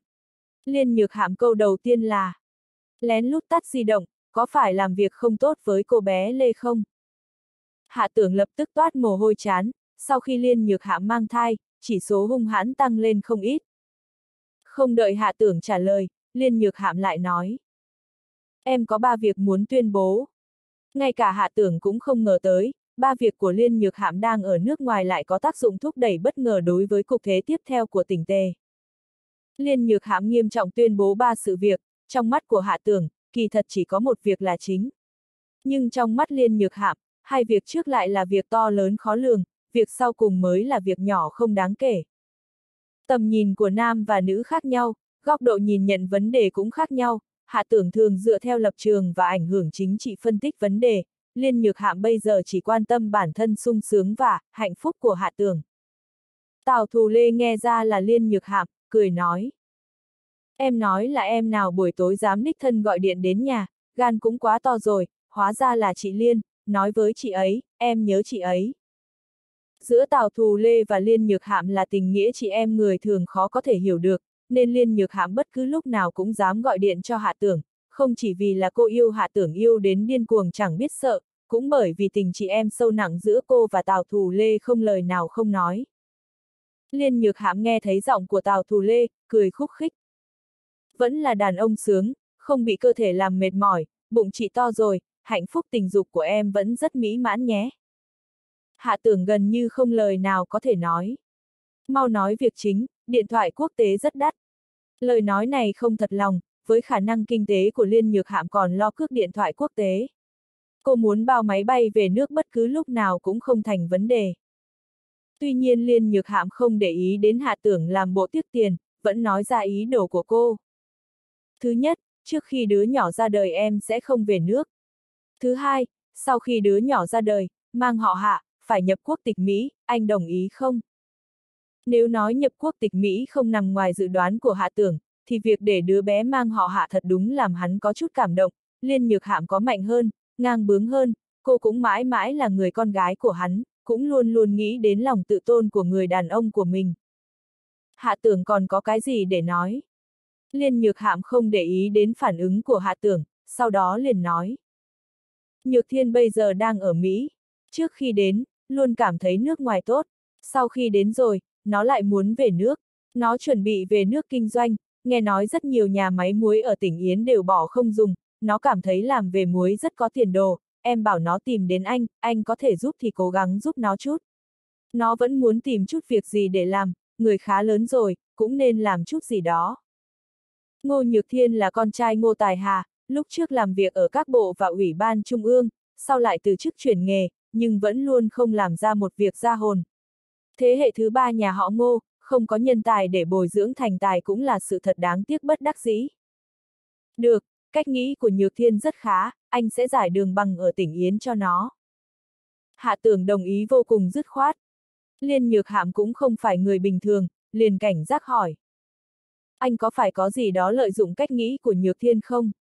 Anh trước kia không nhiệt tình như vậy, nhất định có mục đích chính trị không thể cho ai biết. Hạ tưởng cười ha ha. Lợi dụng nói chưa đúng, Nhược Thiên không phải người ngoài, anh sẽ làm hại nó. Em cứ yên tâm là được rồi. Liên Nhược Hạ mới không tin lời của Hạ Tưởng, tuy nhiên cô cũng không quan tâm Ngô Nhược Thiên có bị Hạ Tưởng lợi dụng hay không, cô chỉ quan tâm Hạ Tưởng có cơ hội đến Mỹ thăm cô hay không. Mặc kệ mưu kế giữa anh và Nhược Thiên, em hỏi anh, lẽ nào anh nhẫn tâm một năm không gặp em một lần? Gác điện thoại, trầm tư rất lâu, Hạ Tưởng vẫn bất đắc dĩ lắc đầu, hắn muốn đi Mỹ thăm Liên Nhược Hạm, quả thật hơi khó khăn, chỉ có thể đợi cơ hội. Tuy nhiên ý tưởng Ngô Nhược Thiên muốn gia nhập kinh doanh chế muối quả thật không tồi, vừa đúng lúc hắn muốn bắt tay điều tra nội tình giao dịch muối giữa tỉnh Yến và tỉnh Tề từ phía tỉnh Yến, từ đó có thể mở được thêm một con đường, từ phía cạnh mở ra cửa đột phá, từ ngoài và trong phá giải thế cục rối rắm của tỉnh Tề. Thủ tướng mà đến, hạ tưởng lo lắng những nỗ lực và bố trí cục thế lúc trước tuy nói không chừng tất cả đều đổ sông đổ bể, chỉ sợ cũng sẽ tạm thời rơi vào cảnh khó khăn. Đặc biệt là tôn tập dân đến thủ đô, một hai ngày đã trở về, tình hình có khả năng không quá khả quan, cho dù tôn tập dân sẽ không lập tức chuyển hướng, bước đi đại khái cũng sẽ bảo thủ một chút. Cho nên, mọi việc không thể ngồi đợi, phải lo trước tính sau, nghĩ trước cho bước tiếp theo. Sáng sớm hôm sau, Hạ Tưởng vừa đi làm mới biết một tin, Tôn Tập Dân đã về đến thành phố Lỗ rồi, đêm qua trở về, Ngô Thiên Tiếu sau khi biết tin lập tức gọi điện báo cho hắn, đúng lúc hắn vừa tắt máy. Tuy nhiên còn may, sau khi Tôn Tập Dân trở về, dường như cũng không có động tĩnh gì, tất cả vẫn như thường. Nhưng vào lúc giữa trưa thì xảy ra một chút chuyện, trong tình huống Lý Đinh Sơn vắng mặt, Tôn Tập Dân tổ chức hội nghị thường vụ Ủy ban Nhân dân tỉnh, lấy hình thức kinh tế trước mắt của nền kinh tế tỉnh tề tiến hành dự báo và thảo luận. Trong cuộc họp, Tôn Tập Dân trịnh trọng chỉ ra, bây giờ Trung ương ra sức thu hẹp vòng quay chu chuyển tiền tệ, kiểm soát tình hình bất động sản quá nóng, tỉnh tề cũng phải có hành động thiết thực, tránh việc càng đi càng xa trên con đường giá nhà quá cao, đặc biệt là một số khu du lịch thành thị vùng Duyên Hải, thu nhập dân cư vốn không cao, nhưng giá nhà lại ở mức cao vút, không những xa rời thực tế, cũng không phù hợp với kế hoạch phát triển lâu dài. Lời phát biểu của tôn tập dân dường như không chỉ vào cái gì, nhưng người sáng suốt đều có thể nghe ra ý khác trong đó, là ám chỉ Lý Đinh Sơn và tập đoàn Đạt Tài đang khảo sát ở ngũ nhạc, bởi vì tập đoàn Đạt Tài tiến quân quy mô vào ngũ nhạc, chính là chuẩn bị đầu tư bất động sản. Thật ra hành động này của tập đoàn Đạt Tài không phải tâm huyết dâng trào nhất thời, cũng không phải hạ tưởng cố ý ngắm bắn thị trường muối ở ngũ nhạc mà kéo tập đoàn Đạt Tài xuống nước, mà là hắn thông qua kết quả suy nghĩ cặn kẽ. Dựa vào tiến trình lịch sử định ra, một năm trước tập đoàn Đạt Tài nên đến tỉnh Tề đầu tư bất động sản rồi, nhưng vì bỗng dưng thêm ra việc đầu tư quận Hạ Mã, chỉ hoãn hơn một năm tập đoàn Đạt Tài khuếch trương ra bên ngoài, cho đến hôm nay mới chính thức hành động. Lịch sử vẫn mang lệ thường cực lớn mạnh, mặc dù ưu thế dự trữ dự đoán tương lai của hạ tưởng đã rất ít rồi, nhưng không làm trở ngại hắn tổng kết điểm trùng hợp của kiếp trước và kiếp này, lại tiếp tục suy đoán ra kết luận mới. Và lại cấp bậc bây giờ của hắn, cho dù không phải một gốc cây đại thụ, ai muốn lật đổ hắn cũng gần như không có khả năng, trừ phi chính hắn phạm phải ngớ ngẩn, phạm phải sai lầm chí mạng. Cho nên có dựa dẫm vào ưu thế đi trước người khác một bước hay không cũng không quá cần thiết rồi. Bởi vậy, bây giờ tập đoàn Đà Tài đến tỉnh Tề đầu tư đều không phải là ngoài ý muốn, cũng không phải xảy ra bất ngờ, tuy nhiên là kết quả tất yếu và kéo dài của lịch sử. Đương nhiên, hạ tưởng ở trong đó cũng gây nên tác dụng thúc đẩy tích cực và đưa đẩy khéo léo, khiến tập đoàn Đà Tài đầu tư vào thành phố Hải Tân khác với lịch sử ban đầu là, lại là đến ngũ nhạc đầu tư vào công viên địa chất. Công viên địa chất là một khái niệm đổi mới, dưới xu hướng bão hòa và tiền cảnh lý trí của thị trường bất động sản, bất động sản sau này sẽ chú tâm vào sản phẩm tinh xảo và đặc sắc, đồng thời, thành đạt tài cả đời khởi xướng và phấn đấu sản nghiệp bất động sản, cũng là một hướng phát triển vô cùng tốt. Hạ tưởng tin hạng mục đầu tư của tập đoàn Đạt Tài có thể mang lại hiệu quả và lợi ích cho ngũ nhạc, đồng thời, cũng có thể cung cấp tư tưởng mới cho sự phát triển thị trường bất động sản sau này. Đối với hắn mà nói, đấu tranh chính trị không chỉ là đấu tranh chính trị, tạo phúc cho dân luôn là giấc mộng bất diệt trong tim hắn. Hắn cũng không phải muốn mượn thị trường chế tạo muối ở ngũ nhạc để gây nhũng loạn hay chiếm đoạt, đối kháng toàn diện mãi mãi chỉ có thể gây ra sự phản ngược mãnh liệt, cái hắn muốn chỉ là một cơ hội. Chính là xem một vài nhân vật mấu chốt có lĩnh hội và tình nguyện ngồi xuống nói chuyện hay không. Hạ tưởng cũng biết, hạng mục của tập đoàn Đà Tài muốn thực sự chắc chắn, thành ủy và ủy ban nhân dân thành phố Ngũ Nhạc là một cửa, tỉnh ủy và ủy ban nhân dân tỉnh cũng là một cửa, cửa tỉnh ủy dễ qua, cửa ủy ban nhân dân ít nhiều cũng có chút phiền phức. Bởi vì không chỉ là cục vụ muối cực lực phản đối, ủy ban kế hoạch và phát triển không chừng cũng sẽ chẹt họng. Và nữa chính là thái độ không rõ của Tần Khản, mà lập trường của tôn tập dân mới là mấu chốt của mấu chốt, nếu tôn tập dân không cho qua, hạng mục cũng khó được thông qua mà lập thành dự án. Lúc này, Hội nghị thường vụ Ủy ban Nhân dân tỉnh đã kết thúc, Lời phát biểu của tôn tập dân trong cuộc họp thế nào hạ tưởng vẫn chưa biết được, hắn vừa mới nhận được tin, sau khi Chu Hồng Cơ đến ngũ nhạc bắt đầu tiếp xúc với Tư Mã Bắc, Tư Mã Bắc tỏ ra rất bình thường, mà Chu Hồng Cơ tạm thời không có hành động tiếp theo, dường như đang chờ đợi cái gì. Hạ lực báo về tin tức nói, tình hình ngũ nhạc bây giờ rất lung tung, Vạn Nguyên Thành nên lập tức chính thức bị ủy ban kỷ luật bắt giam, nhưng sau khi Chu Hồng Cơ nổ thanh thế lớn đến ngũ nhạc, dường như bỗng nhiên lại cất cờ tắt trống, cũng không biết cuối cùng chủ nhiệm Chu là tính toán cái gì. Ngũ nhạc lâm vào tình trạng yên tĩnh ngắn ngủi. Ngũ nhạc hiện giờ có thể nói là trung tâm toàn bộ tỉnh chăm chú nhìn vào, bởi vì chẳng những có chủ nhiệm ủy ban kỷ luật tỉnh đích thân tới, còn có trưởng ban thư ký tỉnh ủy cũng ở đó, mặt khác, cũng có một phó chủ tịch tỉnh ủy viên thường vụ đang đi cùng tập đoàn đạt tài khảo sát thị trường, ngũ nhạc, chưa bao giờ có cục diện ba vị lãnh đạo tỉnh ủy cùng lúc đích thân đến thăm. Nhưng tất cả mọi người đều biết, với ngũ nhạc mà nói đó không phải vinh quang, là phiền toái. Trước sự viếng thăm của Lý Đinh Sơn và tập đoàn Đạt Tài, ít nhất công việc bề mặt thành ủy và ủy ban nhân dân thành phố Ngũ Nhạc làm rất tới bến, bày ra trận thế nhiệt liệt hoan nghênh và vô cùng coi trọng, do bí thư thành ủy Chu Vũ Uyên đích thân tiếp khách, thị trường Tư Mã Bắc cũng nhiều lần ở cuộc họp, buổi gặp mặt công khai tỏ lòng cảm ơn chính sách ưu đãi của Ủy ban Nhân dân tỉnh, nguyện chung sức hợp tác với tập đoàn Đạt Tài, tạo ra sản nghiệp bất động sản mang bản sắc ngũ nhạc. Công việc bề mặt đều biết làm, cuối cùng có thể chắc chắn cụ thể hay không lại là một chuyện khác. Lý Ninh Sơn và Thẩm Lập Xuân ra mặt khảo sát thị trường còn chấp nhận được, với thân phận đối tác hợp tác, Cổ Ngọc chỉ lộ mặt một lần trong một cuộc họp hài hòa, tuy rằng sau đó về sau không còn thấy tam hơi người đâu, nhưng vẫn là gây cho nhiều người suy đoán, tin tức cũng đi qua đủ loại đường truyền đến Bắc Kinh đến tai những người quan tâm đến động hướng ở ngũ nhạc. Công việc khảo sát của Lý Đinh Sơn ở ngũ nhạc, ngày thứ hai sau khi Chu Hồng Cơ đến đã chính thức kết thúc, y cũng không thẳng mặt nói chuyện với Chu Hồng Cơ, chỉ cùng Chu Vũ Uyên, Tư Mã Bắc chào hỏi xong liền ra về. Lý Đinh Sơn vừa đi, lãnh đạo tỉnh ủy ở lại ngũ nhạc chỉ còn Chu Hồng Cơ và Hạ Lực, tình hình có chút kỳ lạ, Chu Hồng Cơ tuy nói là lấy danh nghĩa điều tra Tư Mã Bắc đến ngũ nhạc, nhưng dường như không thực sự bắt tay vào điều tra, vừa không điều tra, cũng không rời đi khiến mọi người không hiểu rõ. Càng làm cho người không rõ là hạ lực, trưởng ban thư ký tỉnh ủy nếu có việc tư ở lại ngũ nhạc, hoàn toàn có thể không ở thành ủy, tùy ý ra bên ngoài là được. Nếu là việc công, dường như cũng không có gì quan trọng. Đều làm sao vậy? Đều đang đợi cái gì? Hạ tưởng biết Chu Hồng Cơ đang chờ cái gì, cũng biết hạ lực đang đợi cái gì, sự tình lâm vào thế bế tắc, có liên quan đến sự trở về kịp thời của tôn tập dân. Đang lúc hắn chuẩn bị nhúng tay thúc đẩy ý đồ phá thế cục, cuối cùng cũng có người không kiềm chế được. Từ mã bắc ngay trước mắt Chu Hồng Cơ, bỏ trốn rồi. Cục thế ngũ nhạc, một kiểu phá thế cục mà tất cả mọi người đều không ngờ tới. Tư mã bắc lẩn trốn sau gần mười mấy giờ, mới có người phát hiện điều khác thường, trải qua xác nhận của thư ký Tư Mã Bắc, cùng với lời khai của người tài xế, cuối cùng cũng xác định được, Tư Mã Bắc thị trưởng Tư Mã vào 5 giờ trước đã bay đến một nước không có hiệp ước dẫn độ bên kia đại dương, dự định bắt đầu một cuộc đời tươi đẹp mới. Mà thị trưởng tư mã vẫn luôn là lõa quan, không tồn tại vấn đề nan giải như vợ con nheo nhóc níu chân níu tay khó có thể thoát thân. Chu Hồng Cơ vẫn luôn do dự không biết nên hay không nên ra tay, kinh sợ đến há hốc mồm.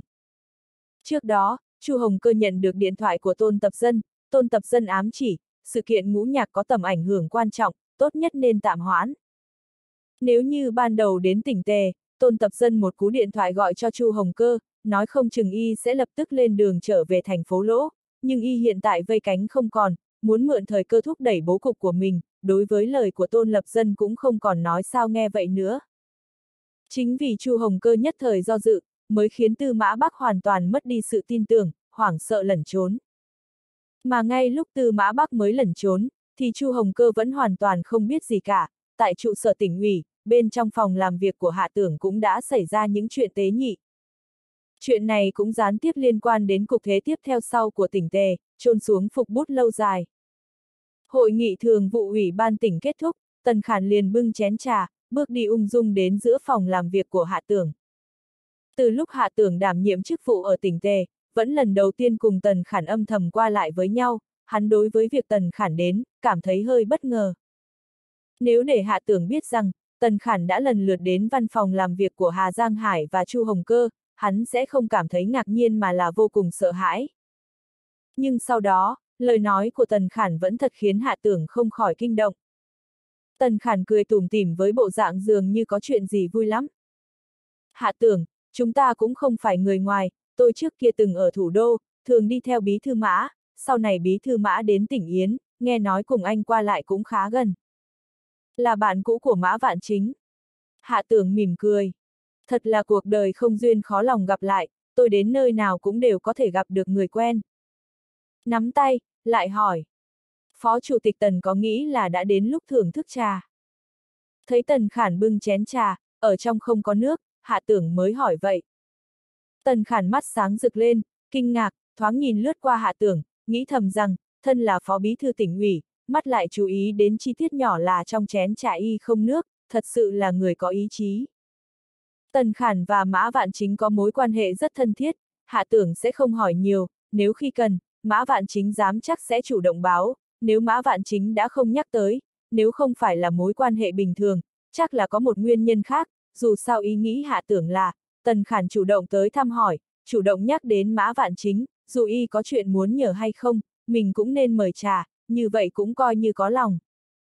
Hạ tưởng đón tiếp Tần Khản rất chu đáo, tự tay rót trà cho y. Đến văn phòng làm việc của tôi, anh là khách, không nên khách sáo. Tần Khản liền thản nhiên hưởng thụ, rồi nói. Tôi không thể uống trà của anh, anh niềm nở tiếp đãi như vậy, tôi cũng sẽ có lễ đáp lại. Hạ tưởng mỉm cười nhẹ, hắn biết Tần Khản đến đây, nhất định có chuyện, tuy Tần Khản xử sự tùy ý, nhưng đi thẳng vào vấn đề liền nhắc tới Mã Vạn Chính, rõ ràng có ý, liền nói. Chủ tịch Tần có lễ, tôi đương nhiên phải nhận. Tần Khản những tưởng hạ tưởng sẽ khách sáo đôi ba câu, không ngờ tiếp lời thẳng thắn, cũng không từ nở nụ cười. Anh thật là người thẳng thắn, tôi rất thích giao tiếp với những người thẳng thắn như anh. Tiếp theo còn nói, vừa rồi, tại hội nghị thường vụ ủy ban tỉnh, Chủ tịch Tôn đề xuất muốn hạn chế phát triển bất động sản. Nếu tin tức này còn không đủ để khiến hạ tưởng khiếp sợ, hắn đã sớm dự đoán được Tôn Tập Dân sẽ có hành động, nhưng không nghĩ hành động lại nhanh như vậy, tuy chưa có mệnh lệnh rõ ràng trực tiếp bác bỏ sự thu hút đầu tư của Lý Đinh Sơn, nhưng với lời nói cạnh khóe một cách gián tiếp tỏ vẻ không ủng hộ đối với tập đoàn đạt tài bỏ vốn đầu tư như vậy, sau đó Tần Khản lại nói một câu, thực khiến hạ tưởng sừng sốt mãi. Không dối anh, tôi kiên quyết phản đối thái độ và ý kiến của Chủ tịch Tôn. Cá nhân tôi cho rằng, suy nghĩ của Chủ tịch Tôn khá bảo thủ. Nói chung, Phó Chủ tịch Thường trực tỉnh dù là thường vụ, dù sao cũng là phó chức, phải luôn luôn tỏ ra tôn trọng đối với người có quyền uy nhất là Chủ tịch tỉnh. Như Tần Khản, Phó Chủ tịch Thường trực tỉnh trước mặt phát biểu không hài lòng đối với Chủ tịch tỉnh, ở trong nước không thể nói là không có, thì cũng là ít chi lại ít. Có thể làm Phó Chủ tịch Thường trực tỉnh, cũng không phải là người bình thường, về mặt chính trị đã sớm thành thục quan trường, chưa bao giờ nói lời không suy nghĩ. Nhưng hôm nay, Tần Khản trực tiếp biểu lộ bất mãn với tôn tập dân, là tối kỵ quan thường. Hạ tưởng cũng biết, nếu như không phải tôn tập dân hàng không, tư cách của Tần Khản thực đủ khả năng thay thế chủ tịch tỉnh, bởi vậy thân là phó chủ tịch thường trực tỉnh, y với tôn tập dân hiển nhiên thành thù. Ở sau lưng, phát biểu bất mãn với tôn tập dân, cũng rất bình thường, nhưng không bình thường chính là, lại ở trước mặt hắn đột ngột nói ra, còn có chút thân thiết. Tuy rằng Tần Khản ngay từ đầu đã lấy mã vạn chính ra làm đệm, nhưng lời nói của gã, hạ tưởng không có cách nào tiếp lời, chỉ có thể lặng lẽ cười, cũng không đáp trả. Tần Khản đảo mắt, hiểu ý mỉm cười. Tôi biết anh không tiện phát biểu ý kiến về công việc của Ủy ban tỉnh, tôi chính là muốn nói với anh một câu, công việc của Phó Chủ tịch tỉnh Lý, tôi sẽ ra sức ủng hộ. Chờ Tần Khản bưng chén trà rời khỏi, hạ tưởng sửng sốt một hồi mới lắc đầu mỉm cười, Tần Khản người này rất thú vị, đặc biệt có hứng thú. Tần Khản rốt cuộc đang có dụng ý gì, hạ tưởng không muốn suy đoán quá nhiều, cũng sẽ không mở miệng vâng dạ một mực với Tần Khản, đầu tư của tập đoàn đạt tài, dù là lực cản có lớn, hắn cũng tin tưởng sẽ đặt nền móng tại tỉnh tề, bởi vì hắn còn có chuẩn bị ở sau. Chẳng qua chỉ là hạ tưởng không nghĩ tới, tình thế của ngũ nhạc bỗng nhiên phá cục. Sau khi nhận được điện thoại của Lý Đinh Sơn, biết được bọn Lý Đinh Sơn đã trên đường về, Hạ Tưởng đang chuẩn bị gọi điện thoại cho Hạ Lực, đang muốn chủ động phá cục, điện thoại của Hạ Lực đúng lúc reo lên. Hạ Tưởng, Tư Mã Bắc đã bỏ trốn. Chuyện khi nào? Hạ Tưởng ngây ngẩn cả người, Tư Mã Bắc không chạy còn đỡ, một khi đã chạy chạy thì đã xác định gã toàn thân không thể tẩy sạch, nhưng đồng thời cũng không thể đem tư mã bắc ra trước công lý, sau đó tìm hiểu nguồn gốc tăng thêm thành quả. Phó Bí Thư Chu có thái độ thế nào? Y vô cùng tức giận, yêu cầu lập tức thẩm tra vấn đề của Tư Mã Bắc, đồng thời chuẩn bị đem tình hình báo cáo với tỉnh ủy và ủy ban kỷ luật trung ương. Thanh âm của hạ lực có chút phân khích. Tôi còn chưa kịp báo cáo cho bí thư khâu. Hạ tưởng nghe hiểu ý của hạ lực. Anh cứ báo cáo với bí thư khâu biết tình hình, sau đó tôi sẽ gặp mặt bí thư khâu, xác định quan điểm của tỉnh ủy. Hạ lực hướng về phía hắn báo cáo trước, mà không phải thông báo cho khâu nhân lễ trước, anh biết tôi biết là được, nhưng điều cần thiết là quá trình nhất định phải đi, dù sao khâu nhân lễ mới là người đứng đầu. Hạ lực buông điện thoại, điện thoại của Chu Hồng Cơ lại liền gọi vào. Hạ tưởng, Tư Mã Bắc sợ tội bỏ trốn, qua thẩm tra, Tư Mã Bắc tham ô nhận hối lộ rất lớn, Ủy ban kỷ luật quyết định thông báo lên Ủy ban kỷ luật Trung ương, mời tỉnh ủy phê chuẩn.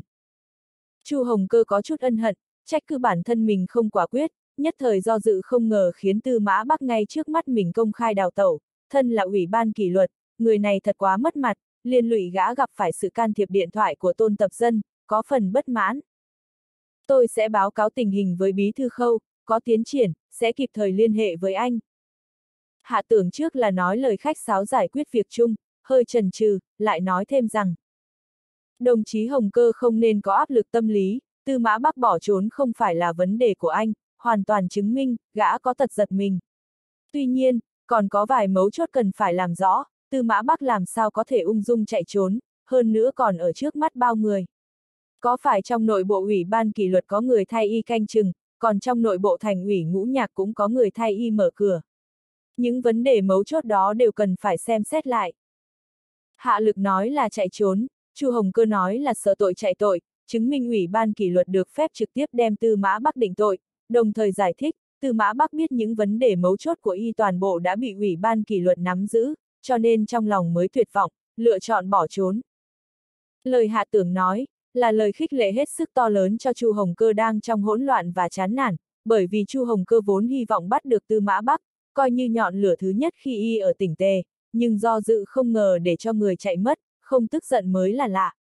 Thấy chiến tích sắp giành được lại chạy mất, mặc cho ai cũng sẽ hối hận và thất vọng. Cũng may, hạ tưởng lại vì y chỉ rõ phương hướng mới, Chu Hồng Cơ liền âm thầm khâm phục mánh khóe của hạ tưởng, nói cho cùng so với y đã từng trải, hiểu biết nhiều, giữa lúc trở tay, lại có điểm vào mới, khiến y có thể mượn cơ hội ở nội bộ ủy ban kỷ luật triển khai một trận loạt hành động chỉnh đốn tác phong thu quyền, thật sự là cao minh. Cảm ơn Phó Bí Thư Hạ. Chu Hồng Cơ nói lời cảm tạ, phát ra từ tận đáy lòng. Hạ tưởng không nói nữa, có lý do để tin tưởng, ủng hộ của hắn sẽ làm Chu Hồng Cơ trong sự thất vọng, lại nhìn thấy ánh dạng đông rực rỡ, hoặc thay lời nói khác, nay hiểu biết của hạ tưởng đối với Chu Hồng Cơ, đã có nắm chắc bước đầu. Là chuyện tốt, so với việc bắt được Tư Mã Bắc, cũng có ý nghĩa sâu xa, thật sự là chuyện đáng vui mừng. 10 phút sau, hội nghị công việc bí thư cấp bách mời dự họp. Hà Giang Hải tham gia hội nghị. Phỏng chừng cũng là không thể ngờ tới Tư Mã Bắc sẽ chạy trốn, Hà Giang Hải sắc mặt cực kém, sau khi tiến vào, không nói được một lời, mặc kệ khâu nhân lễ và tôn tập dân nói gì, y ngoài gật đầu ra chính là hùa theo. Tôn tập dân sắc mặt cũng không tốt lắm, vẻ mặt hầm hầm, cũng không biết là tức giận tư mã bắc, hay là giận chính gã không nên ngăn cản Chu Hồng Cơ. Hạ tưởng cũng không nói thêm gì về việc trốn chạy của tư mã bắc, khâu nhân lễ và tôn tập dân đã nói đủ nhiều, hắn chỉ là đề nghị tạm thời do Phó Chủ tịch Thường vụ Lâu Hân Đông chủ quản công tác thường ngày của Ủy ban thành phố Ngũ Nhạc, cũng như mau chóng nghiên cứu tìm ra người tiếp nhận chức vụ Cục trưởng Công an thành phố Ngũ Nhạc. Vẫn trầm lặng không nói chuyện, Hà Giang Hải lúc này đột nhiên chen vào nói. Tôi đề cử Phó Cục trưởng Công an thường trực thành phố Ngũ Nhạc Thạch Kiến Sương.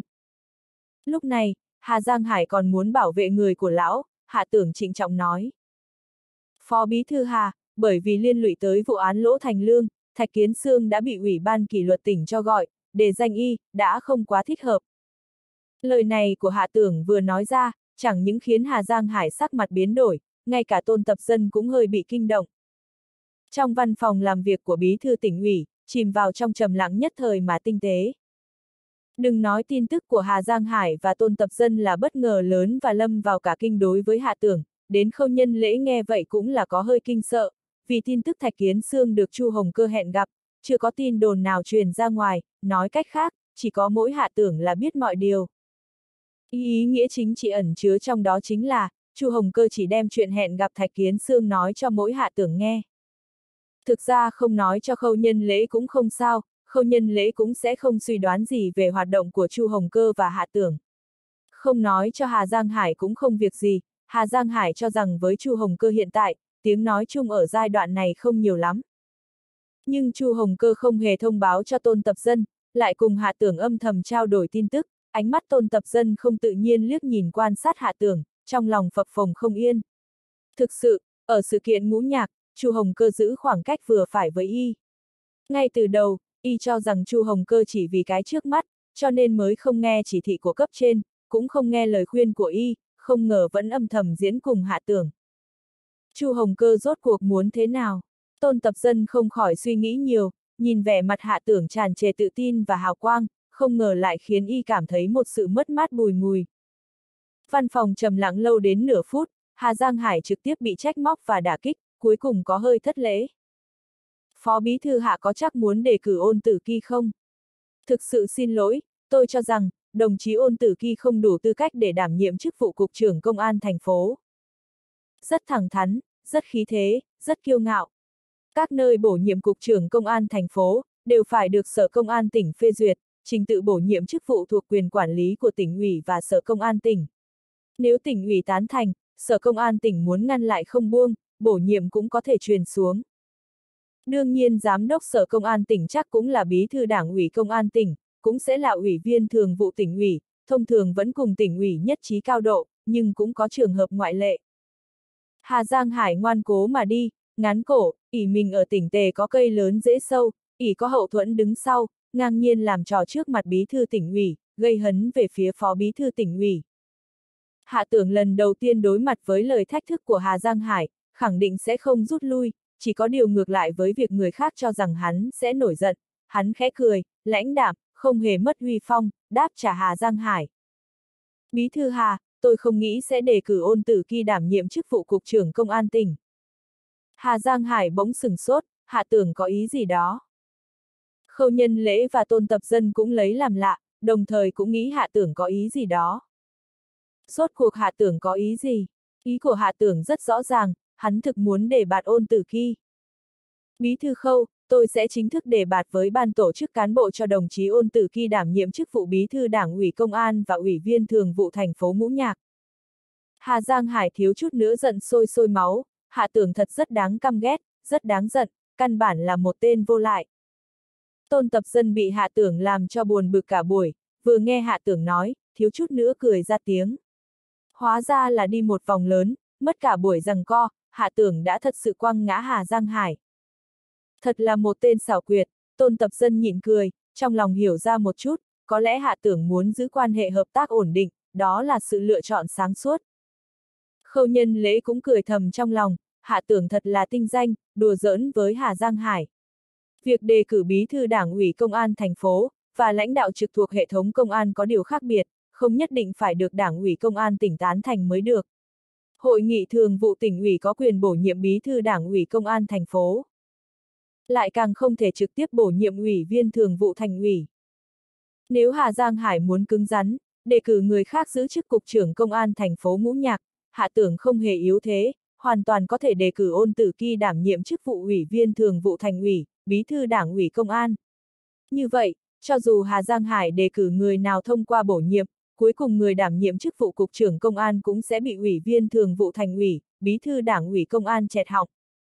Thủ đoạn của giới quan lại quả thật cay độc, không nhân lễ tuy không tỏ thái độ rõ ràng với việc đề bạt của Hạ Tưởng và Hà Giang Hải, nhưng lời của y rõ ràng vẫn thiên vị cho Hạ Tưởng. Nếu đồng chí Thạch Kiến Sương bị ủy ban kỷ luật gọi nói chuyện, chắc tạm thời không thích hợp chủ trì công tác cục công an thành phố, ý kiến của tôi là tạm thời để đồng chí ôn tử kỳ đảm nhiệm công tác cục công an thành phố vài ngày. Bí thư sẽ xử lý sau khi kết thúc, để hạ tưởng thay mặt truyền đạt lại cho hạ lực, bí thư sẽ xử lý với tinh thần hội đồng. Hạ lực ở đại hội cán bộ thành ủy ngũ nhạc, trịnh trọng tuyên bố. Tỉnh ủy nghiên cứu quyết định, đồng chí Lâu Hân Đông tạm thời chủ trì công việc thường ngày ở Ủy ban Nhân dân thành phố, đồng chí ôn tử khi tạm thời đảm nhiệm công tác thường ngày ở Cục Công an thành phố, hai đồng chí hãy làm việc chăm chỉ và nghiêm túc. Cuối cùng thời tiết ở ngũ nhạc đã thay đổi. Mọi người không rõ lắm, cái gọi là tạm thời đảm nhiệm công tác, nếu không có gì bất ngờ xảy ra, trên cơ bản trở qua tình thế này, sẽ phù chính. Lâu Hân Đông xem NH đã đứng đúng đội ngũ, rốt cuộc phải phù chính. Ôn tử kỳ rốt cuộc đụng phải đại vận, một tên phó cục trưởng vô danh xếp hạng gần cuối, bật người nhảy lên, sắp sẽ thăng chức làm ủy viên thường vụ thành ủy, thật sự làm người đời cảm thán, trải nghiệm cuộc sống bất đồng, tiền đồ cũng khác nhau rất lớn. Ngày trước, ai cũng không coi trọng ôn tử kỳ, ngoại trừ một người chỉ không quá cứng rắn là chỗ dựa vững chắc chính là tôn tử tuyền, cũng chỉ là hậu thuẫn không có gì vượt trội hơn người, ai có thể nghĩ đến, nháy mắt, một loạt sự kiện ngũ nhạc sau khi được xác định, ôn tử kỳ lên thẳng mây xanh, tương lai sẽ lên tới chức phó giám đốc sở. Con người, ai cũng không thể đề phòng trước sau, bình thường vẫn là thêm ba phần cẩn thận, ít ba phần khinh thị ngạo mạn mới tốt, nếu không hối hận thì đã muộn rồi. Sau đó, Chu Vụ Huyên đại diện thành ủy và ủy ban nhân dân thành phố phát biểu, bày tỏ hoàn toàn tán thành quyết định của tỉnh ủy. Lâu Hân Đông cũng theo lệ lên tiếng, bày tỏ nhất định làm tốt công tác của mình, không phụ lòng tỉnh ủy. Lời phát biểu cuối cùng, y bất ngờ nhắc tới tập đoàn Đà Tài bỏ vốn đầu tư, chỉ ra tài sản và bất động sản của tập đoàn phù hợp với tình trạng thành phố ngũ nhạc bây giờ. Nếu tiến cử thành công, sẽ thúc đẩy nền kinh tế ngũ nhạc phát triển nhanh, tiến vào nền kinh tế mạnh mẽ. Đều nhìn ra được, cũng nghe ra được, lời nói của Lâu Hân Đông chẳng những nói cho toàn thể cán bộ của thành phố ngũ nhạc nghe, còn có ý chứng tỏ thái độ với một người nào đó trong tỉnh ủy. Hạ lực cuối cùng cũng thành công tốt đẹp, hoàn thành công tác ở ngũ nhạc, quay về thành phố lỗ. Hạ lực mới vừa đi không lâu, Chu Hồng Cơ sau lưng liền có một loạt động tác nhanh gọn, dứt khoát, quyết đoán. Cổ Ngọc đã trở lại. Cùng Cổ Ngọc đi tới thành phố lỗ còn có nghiêm tiểu thì. Tâm tình Cổ Ngọc rất tốt, đi một chuyến Thái Sơn, xem bình binh Thái Sơn nổi tiếng thiên hạ, một người tự do tự tại, dân chơi chính hiệu, cho nên cô vừa gặp hạ tưởng liền nói. Em mới phát hiện, thỉnh thoảng đi một mình cũng rất tốt, chỉ ít khỏi phải vướng bận ai, thích gì làm nấy, cao hứng, vui chơi một trận. Chơi mệt rồi, quay mình xuống núi, không cần phải để ý người bên mình chơi có vui hay không. Cổ Ngọc và Nghiêm Tiểu thì gần như là bạn thân nhất, hai người ở trong một căn hộ rất to, căn hộ ở khách sạn Ginza là xa hoa nhất. Khí trời nóng dần, Cổ Ngọc chỉ mặc áo ngắn với quần đùi, đơn giản chất phác như một nữ học sinh trung học. Nghiêm Tiểu thì mặc đồ cũng rất tùy ý, áo phông rộng, cặp đùi trắng nõn nà, nửa kín nửa hở làm lộ vẻ đẹp hấp dẫn, lôi cuốn. Cô đương nhiên sẽ không mặc váy ngắn áo nghẹo trước mặt hạ tưởng, nếu cổ ngọc đi vắng, cô cũng không cần quan tâm.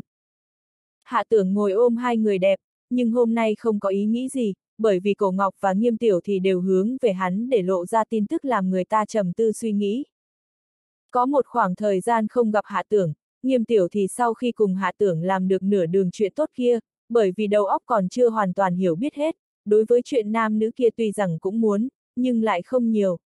Tuy nhiên hôm nay vừa gặp hạ tưởng lại cảm thấy khô nóng khắp người. Cũng có lẽ là cổ ngọc ăn mặc mát mẻ, quần áo đơn giản càng lộ lên vẻ thông minh lanh lợi, khiến cô thân là phụ nữ cũng không khỏi rung động.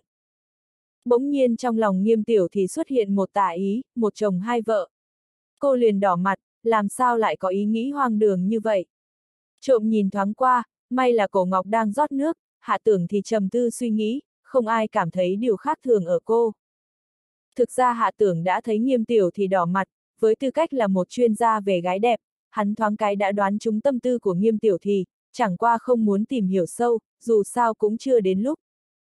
Quả thực chưa phải lúc, vì lão cổ ngày mai tới đây.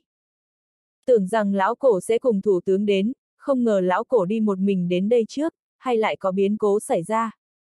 Hạ tưởng cũng không hỏi cổ ngọc về nguyên nhân, bởi cổ ngọc đâu biết vì cớ gì lão cổ muốn tới thành phố lỗ và tại sao lại đến sớm hơn dự định, cô sẽ không nghĩ đến bất cứ vấn đề chính trị gì mà không liên sáu an đến sự vui vẻ. Nếu nói chỉ đơn thuần là lão cổ muốn xuất phát sớm hơn dự định, vẫn không đủ để khiến hạ tưởng suy nghĩ rất lâu, còn một chuyện cũng làm hắn nhất thời không biết chủ ý, nghiêm tiểu thì cũng muốn tham gia kinh doanh muối ăn, vì sau khi cô nhận được điện thoại của Liên Nhược Hạm, cũng động tâm. Liên Nhược Hạm cũng không biết ý tưởng gì, kể từ sau hội nghị thành viên tổ chức kinh tế, cô rất có hứng thú với tất cả thành viên tổ chức của Hạ Tưởng, muốn bồi dưỡng mọi thực lực yếu thế nhanh chóng lớn mạnh, ngoại trừ nhiệt tình ham hở đối với hoa nhài vàng, bạc, cô đối với nghiêm tiểu thì cũng hết sức nhiệt tình. Liên nhược hạm không hề chào hỏi hắn một tiếng, liền lén lút báo cho nghiêm tiểu thì biết về việc kinh doanh muối ăn. Hạ tưởng hơi có chút bất mãn, dĩ nhiên hắn bất mãn không phải là sự chiếu cố của liên nhược hạm đối với nghiêm tiểu thì, mà là nghi ngờ cách làm sau lưng của liên nhược hạm, có thể ẩn chứa tư lợi. Chẳng lẽ liên nhược hạm đã liên tưởng gì đó đến quan hệ giữa hắn và nghiêm tiểu thì? Ngẫm lại cũng là bất đắc dĩ, người phụ nữ bên cạnh mà hắn mẫn cảm nhất không phải là vợ chính Tào Thù Lê, ngược lại chính là vợ thứ liên nhược hạm, tuy nhiên cũng có thể lý giải, liên nhược hạm vẫn luôn mạnh mẽ hơn Tào Thù Lê.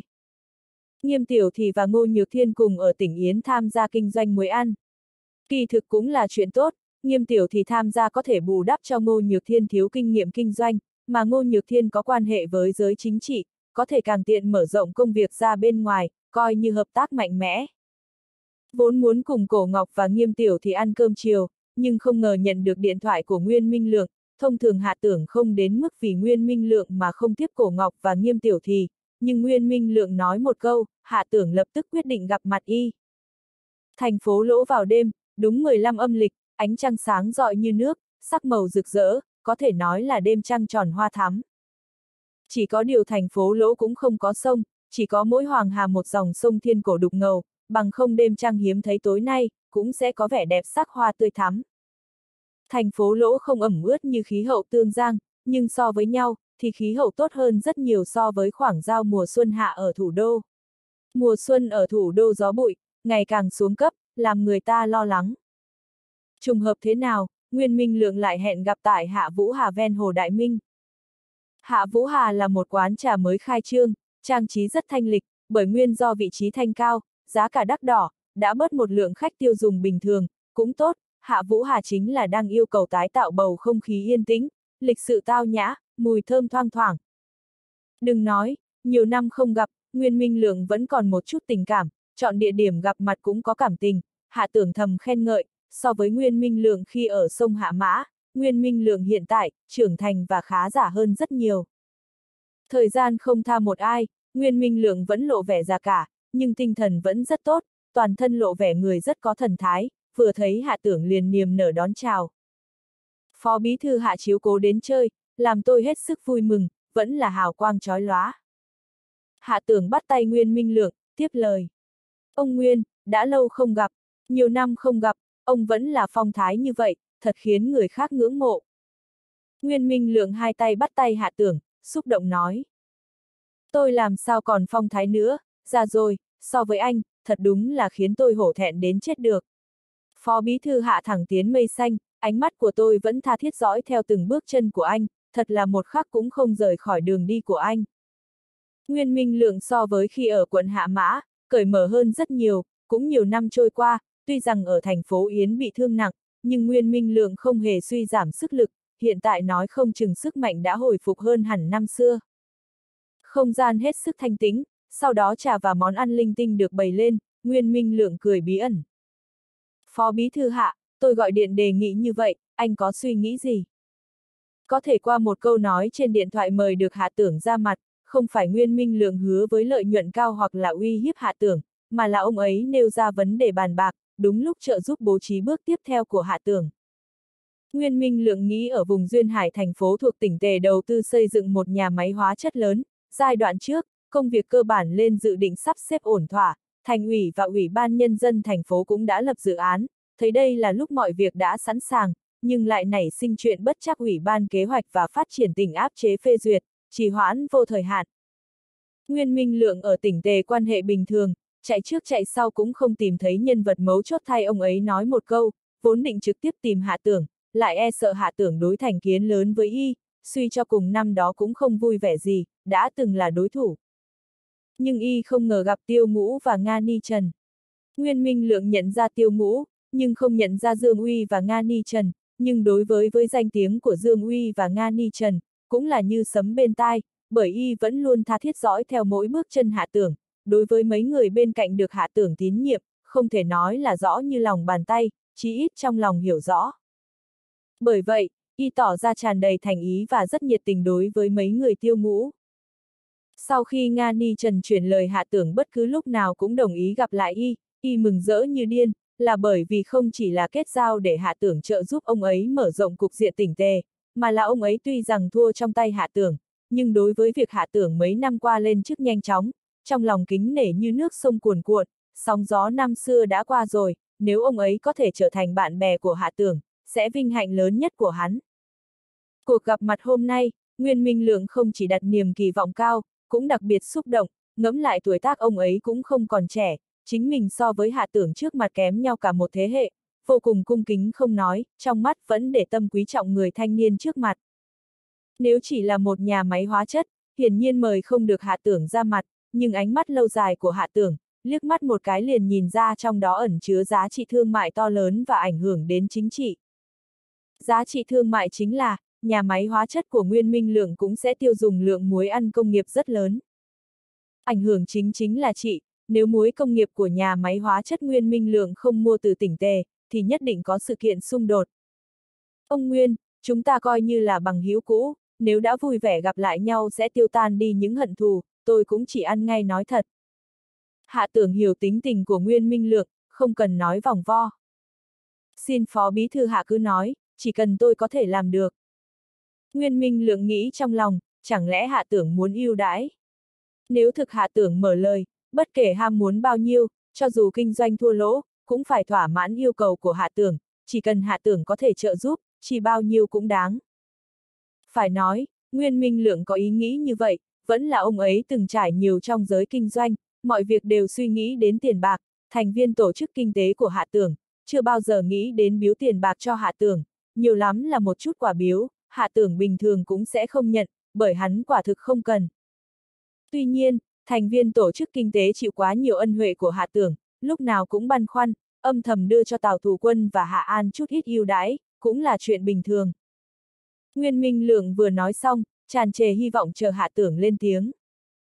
Hạ Tưởng từ ánh mắt sáng ngời của Nguyên Minh Lượng, đã nhìn ra cái gì đó, hắn hiểu quá rõ thương nhân, cũng đúng thôi, bên trong thành viên tổ chức kinh tế của hắn, Lý Thấm thông minh hơn người, Tề Á Nam xuất thân trong thương gia, vân vân, thực ra họ không kém Nguyên Minh Lượng, cho nên vẻ mặt của Nguyên Minh Lượng chứng tỏ điều gì, hắn sao có thể không biết.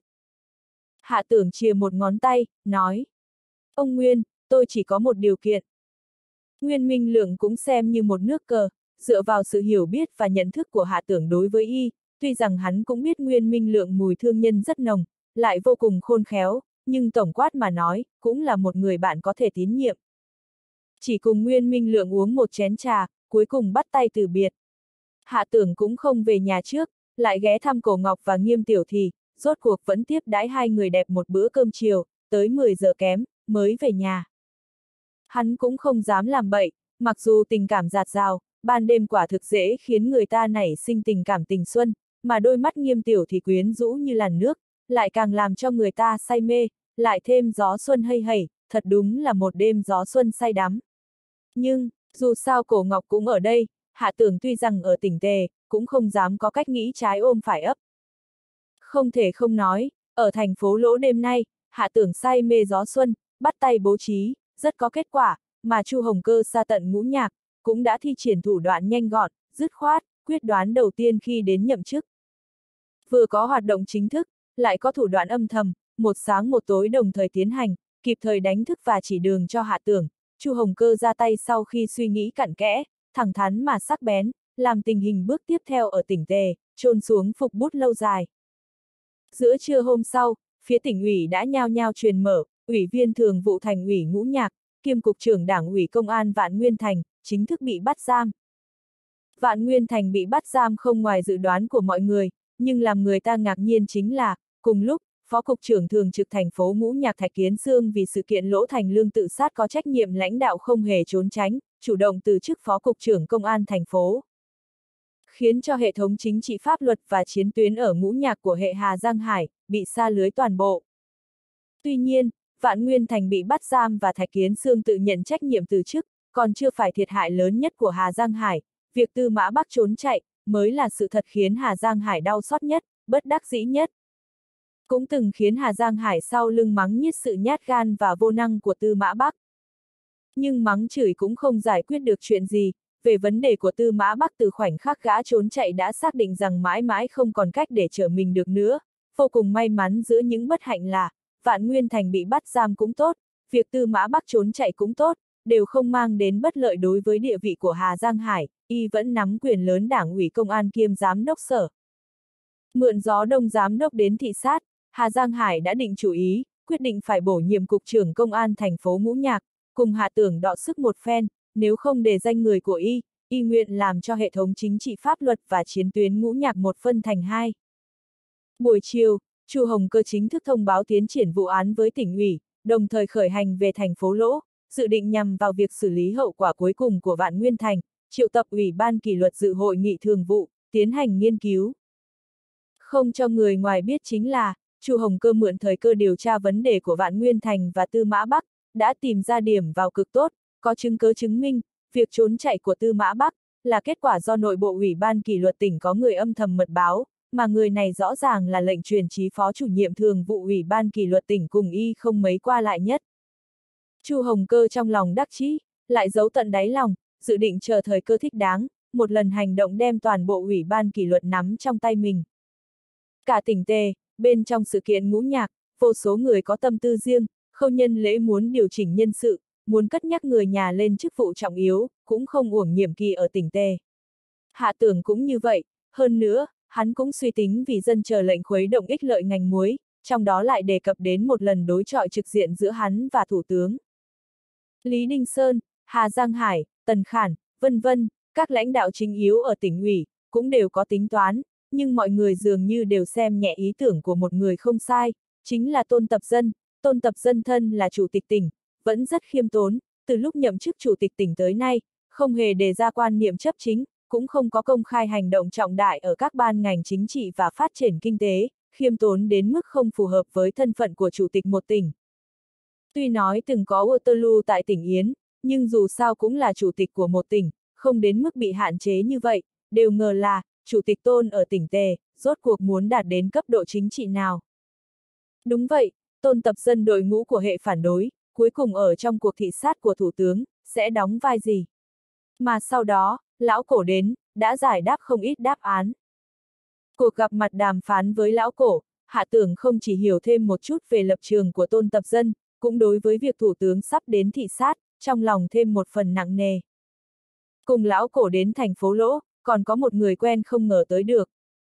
Lần đầu tiên tiếp xúc với thế lực quân đội ở tỉnh Tương, Hạ Tưởng bước đầu làm quen được một số bạn bè bên quân đội, xem như vẽ sẵn đường cho bước đi dài lâu về sau. Nhưng đến tỉnh Tề, Hạ Tưởng có ý muốn giữ khoảng cách với bên quân đội, cũng không phải hắn sợ dẫm vào vết xe đổ ở tỉnh Tương, mà là tình hình ở tỉnh Tề vô cùng phức tạp. Bởi vì tỉnh Tề có hai quân khu, một là quân khu thành phố Lỗ, là một trong bảy quân khu lớn trên toàn quốc, hai là quân khu tỉnh Tề, là quân khu tỉnh bình thường. Mà ngoài cái này ra, ở thành phố Phẩm Đô còn có hạm đội Bắc Hải nổi tiếng. Thời tiết chính trị phức tạp của tỉnh Tề, trong nước chỉ có lĩnh Nam là có thể so sánh với nó, nhưng vấn đề là, Bí thư tỉnh lĩnh Nam Trần Hạo Thiên là ủy viên Bộ Chính trị Trung ương, mà Bí thư tỉnh ủy tỉnh Tề Khâu Nhân Lễ lại không phải. Do đó, hoàn toàn có thể hiểu được sự nhúng nhường của Khâu Nhân Lễ ở tỉnh Tề, hơn nữa điều khác biệt giữa việc lĩnh Nam rất ít khi trọng dụng cán bộ địa phương chính là, tỉnh Tề bởi vì nguyên nhân lịch sử, đã hình thành thế lực bản địa khổng lồ ở tỉnh Tề, động lại lịch sử mấy mươi năm, không phải một sớm một chiều mà một bí thư tỉnh ủy có thể phá vỡ được. Phải biết rằng, trước kia tỉnh Tề đã từng có bí thư tỉnh ủy của Ủy viên Cục Chính trị Trung ương. Khâu nhân lễ tuy rằng trên danh nghĩa là bí thư quan trọng nhất đảng ủy của quân khu tỉnh Tề. Nhưng không phải bí thư đảng ủy của quân khu thành phố Lỗ, không những quân khu thành phố Lỗ nằm ngoài quyền hạn của gã, mà ngay cả hạm đội Bắc Hải cũng nằm ngoài tầm mắt của gã. Hơn nữa hai thành phố cấp phó tỉnh là thành phố Lỗ và thành phố Phẩm Đô, có một nửa thế lực tỉnh tề nằm ngoài vòng kiểm soát của khâu nhân lễ, do đó, sự phát triển lớn mạnh của Hà Giang Hải, cũng không phải là khâu nhân lễ không đủ năng lực, chẳng qua là không rảnh bận tâm thôi. Lại có một điểm nữa là, trước lúc Hạ Tưởng và Chu Hồng Cơ đến nhậm chức, hai vị trí quan trọng là Phó Bí thư tỉnh ủy và Bí thư tỉnh ủy, cũng là đồng minh của Hà Giang Hải. Thậm chí trước khi Tôn Tập Dân lên nhậm chức, Chủ tịch tỉnh tiền nhiệm hình đoan đài cũng bất hòa với khâu nhân lễ, vì vậy những ngày tháng mà khâu nhân lễ ở tỉnh Tề tuy rằng không phải từng bước đi đều khó khăn gian nan, cũng đích thật là nhút nhát đắng đo đủ điều. Việc hạ tưởng đến, cũng đồng nghĩa với việc mở ra một cánh cửa rộng lớn cho khâu nhân lễ. Nói đi thì phải nói lại, thật ra khi hạ tưởng mới đến tỉnh Tề, chỗ đứng chưa vững, cho nên một loạt những sắp đặt và thủ đoạn, mới có vẻ nghiêm túc mà tỉ mỉ, và lại dưới sự vận hành và thao tác cẩn thận, đồng thời cũng luôn mượn tay của Chu Hồng Cơ, lợi dụng triệt để tâm lý nôn nóng gấp rút muốn mở ra cục diện của Chu Hồng Cơ, nhận banh và truyền đến chân của Chu Hồng Cơ một cách đúng lúc mà ăn ý, dụng ý vẫn là liên kết duy trì sự cân bằng của thế cục rồi tính tiếp.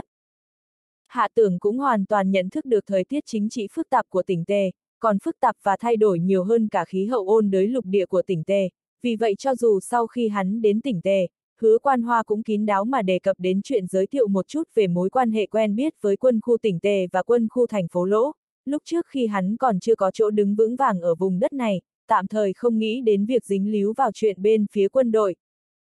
Chỉ có điều là hắn không muốn dính líu, người khác chưa chắc cũng nghĩ như vậy. Bởi vì lần này lão cổ đến thành phố Lỗ, có chút lệch lạc so với trong tưởng tượng của hạ tưởng là mở đường cho thủ tướng, dường như lần này lão cổ đến, còn có mục đích khác, bởi vì, có hứa quan hoa đi cùng. Sau khi lão cổ đến thành phố Lỗ, ở tại nhà khách quân khu, tất cả bố trí ổn thỏa cả rồi mới thông báo cho hạ tưởng. Hạ tưởng nhận được điện thoại của hứa quan hoa, còn có chút kinh ngạc, sao hứa quan hoa cũng đi cùng đến đây vậy? Theo đó trong đầu hắn liền xẹt qua một ý nghĩ, lần này hứa quan hoa đến, e rằng không đơn thuần chỉ là để hộ tống lão cổ, với thân phận và cấp bậc của lão cổ, tự có cảnh vệ và người đi theo, cũng không cần phải điều động một gã tướng quân đi cùng, chẳng lẽ có chuyện quan trọng nào khác ư? Phó Bí Thư Hạ, tôi và thủ trưởng đã đến thành phố Lỗ rồi, thủ trưởng mời anh qua đây gặp mặt, có tiện không? Giọng nói của hứa quan hoa lạnh nhạt mà vô vị. Thủ trưởng có lệnh, chắc chắn là phải chứng thực chỉ thị tinh thần ngay. Hạ tưởng nói đùa một câu. Sao quan hoa cũng đến thành phố Lỗ rồi? Không nói trước một tiếng, tôi còn đi đón anh. Đâu cần phiền phức như vậy, tôi cũng không phải đến giải quyết việc công, chỉ là đến đây chơi thôi. Hứa quan hoa biết hạ tưởng có ý muốn hỏi ý đồ mà gã đến đây, liền cô động một chút nói. Mau qua đây đi, thủ trưởng đang đợi đấy. Nhà khách quân khu mà lão cổ ở lại không phải là nhà khách quân khu tỉnh Tề, mà là quân khu thành phố Lỗ, cũng gián tiếp cho thấy, lão cổ có người quen trong quân khu thành phố Lỗ. Ừ nghĩ cũng phải, với cấp bậc của lão cổ, quân khu thành phố Lỗ đóng vai trò là một quân khu lớn cách Bắc Kinh khá là gần, làm sao có thể không có tay chân của ông ta được. Bởi vì gặp mặt lão cổ, hạ tưởng tự đi một mình, không dẫn theo thư ký và tài xế, mà tự mình lái xe. Nhà khách quân khu thành phố Lỗ có vẻ lâu năm rồi, nhìn từ bên ngoài, vô cùng cũ kỹ, nhưng trang hoàng và dụng cụ bên trong, cũng là pha đủ mọi đẳng cấp, trong sự bình yên, lộ rõ vẻ hoành tráng. Lão cổ ngồi trên ghế sofa rộng lớn, lúc hạ tưởng gõ cửa, do hứa quan hoa mở cửa dẫn hắn vào trong, lão cổ không động đậy, chỉ khẽ gật đầu chào. Hạ tưởng đến rồi, ngồi. Biểu hiện của lão cổ có sự khác biệt so với trong tưởng tượng chính là, lão cổ dường như không có áp lực, tuy rằng không cười, nhưng thái độ rất thoải mái và tự nhiên, vẫn là làm cho hạ tưởng cảm thấy thư thái trong lòng, có lẽ lão cổ không phải là viên quan đi đầu dẫn đường của thủ tướng. Ngẫm nghĩ cũng phải, lão cổ sao lại mở đường cho thủ tướng được chứ? Cũng là do chuyện lần trước của cổ Ngọc làm cho hắn nảy sinh cảm giác sai lệch, nghĩ sai lão cổ ở lập trường trung gian giữa hắn và thủ tướng, có hơi chút thiên hướng. Kỳ thật không phải vậy, lão cổ vẫn là lão cổ, ông ta đứng giữa không thay đổi, phù hợp nhất với tính cách của ông ta, cũng là không khó xử nhất. Lão cổ đến thành phố Lỗ, cổ Ngọc lại không có bên cạnh, hạ tưởng liền hỏi. Cổ Ngọc không đến đây à? Hứa quan hoa vẻ mặt buồn bã nói. Vốn dĩ muốn qua đây, nghe nói tôi đến đây rồi, liền không qua nữa, cổ Ngọc cũng thật là, làm như tôi là người xấu vậy. Hạ tưởng không nói tiếp, cũng không còn gì để nói, lão cổ lại cười. Con bé Ngọc đôi khi đúng là có chút kỳ lạ, đừng quan tâm nó là được, dù sao nó cũng có người đi cùng. Lại đây, hạ tưởng, ngồi bên cạnh tôi.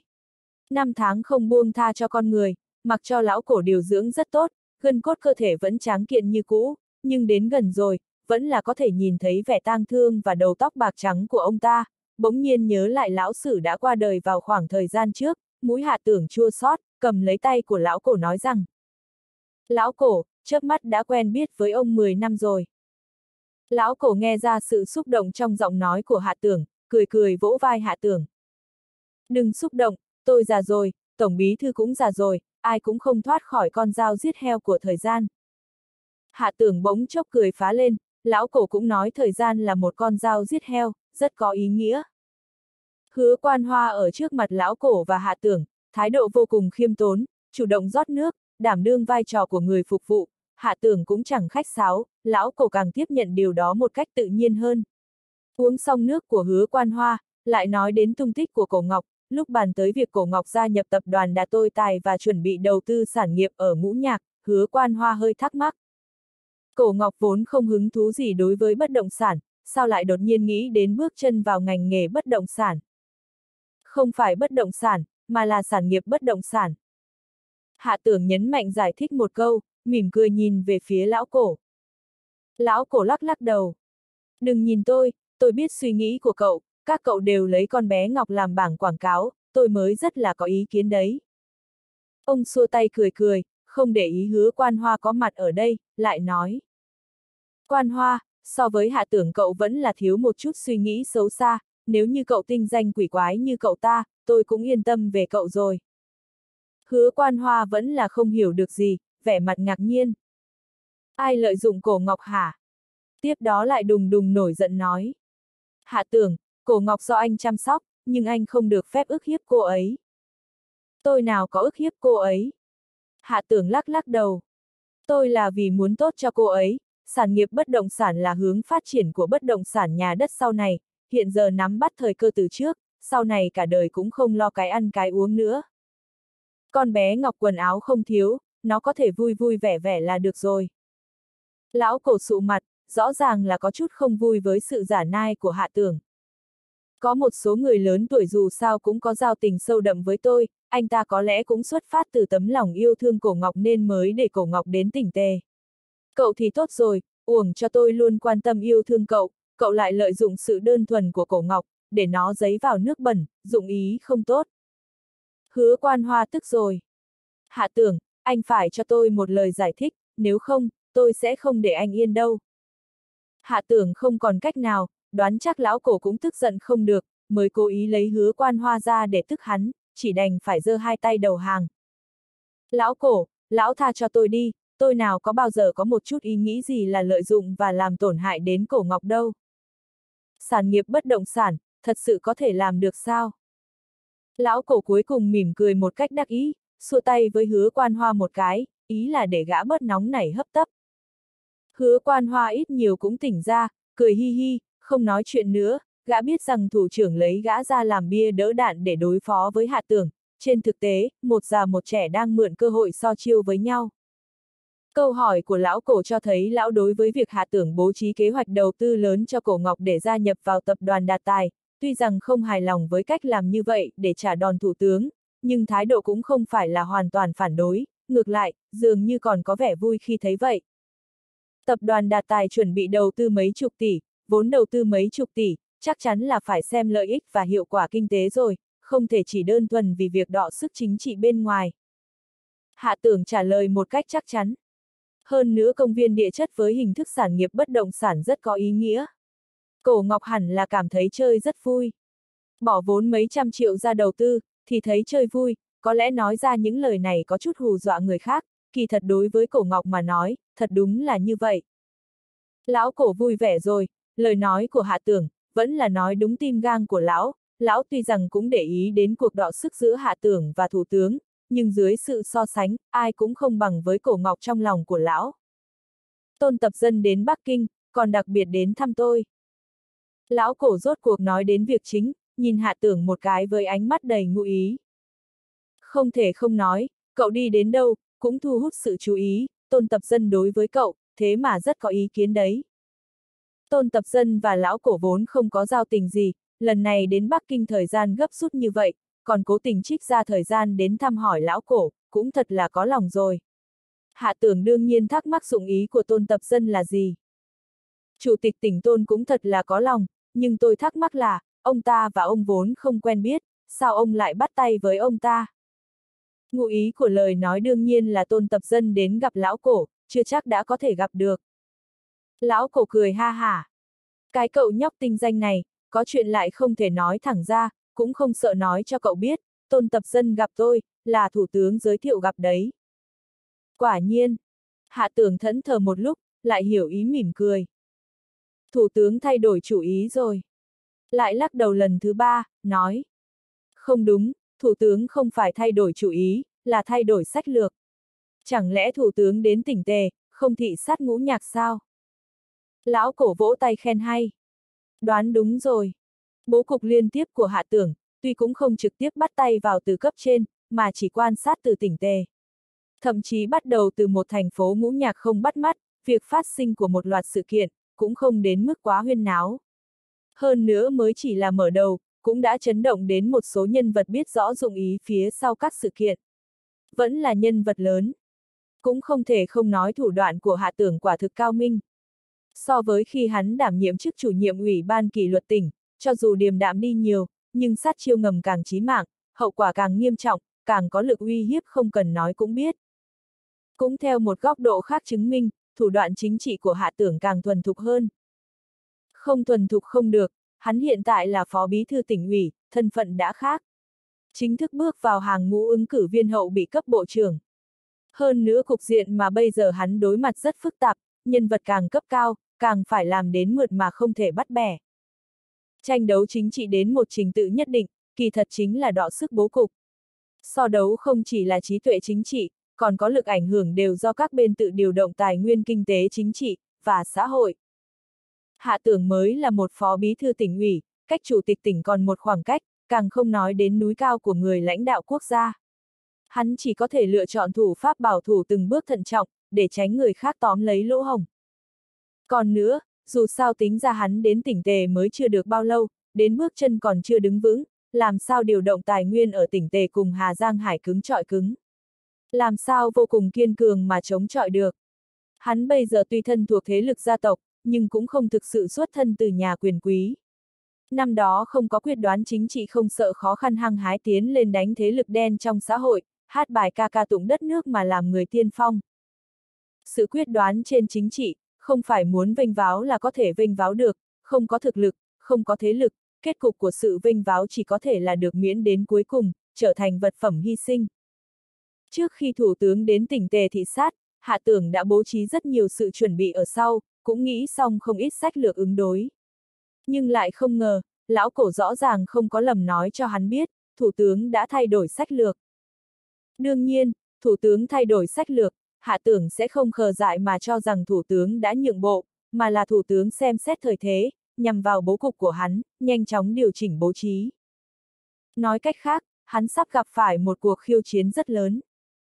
Thủ tướng không theo lẽ thường ra bài, hạ tưởng sớm có nhận thức. Khi có vật giá tăng cao, thủ tướng đột nhiên đến thành phố Yến thị sát. Nơi nào đó xảy ra sự cố đột phát, thủ tướng gián đoạn hội nghị, khẩn cấp đến thăm hỏi. Cứ như thế, vi vi, trong đời sống chính trị trong nước, bóng dáng của thủ tướng luôn xuất hiện ở thiên nam địa bắc, những nơi cần nhất. Ông đừng nói một nửa như thế. Hạ tưởng đợi đoạn sau của lão cổ, không ngờ sau khi lão cổ chỉ nói ra một câu, thì vẻ mặt mang ý cười, không nói thêm lời nào, hắn đành phải mở miệng hỏi. Ta đã nói xong rồi. Lão cổ đứng lên, chắp tay sau lưng đi vào phía trước cửa sổ. Tôn tập dân dưới sự tiến cử của thủ tướng, ở trong sân nhà ta uống một bình trà, nói chuyện nửa tiếng đồng hồ. Ông ta và thủ tướng người hỏi người đáp, đã nói ra hành trình thị sát ở tỉnh Tề, chỉ đi thăm ở thành phố Lỗ và thành phố Phẩm Đô, các nơi khác. Không đi. Hạ tưởng hình như tỉnh ngộ ra điều gì, lại hỏi. Chủ tịch tỉnh tôn cần gì mà phải gặp ông ạ? Lại suy nghĩ, bỗng nhiên bừng tỉnh. Thủ tướng là muốn thể hiện thiện ý với chủ tịch tỉnh tôn, mượn tay của ông, trôn xuống phục bút ở bước tiếp theo cho chủ tịch tỉnh tôn. Hứa quan hoa ở một bên mỉm cười. Bí thư hạ, cậu đúng là thần mà, gì cũng đoán chúng. Hạ tưởng cười nói. Tôi một chút không thần, đâu có đoán được, là lão cổ ám thị thôi. Những lợi thế mà Thủ tướng gieo ở tỉnh Tề thực sự không nhỏ. Ngay từ đầu hạ tưởng còn nghi hoặc vì sao Thủ tướng phải giới thiệu Chủ tịch tỉnh Tôn làm quen với lão cổ. Tôn Tập Dân cũng không phải là nhân lực trong phái của Thủ tướng, hành động này của Thủ tướng, dường như bắn tên không đích.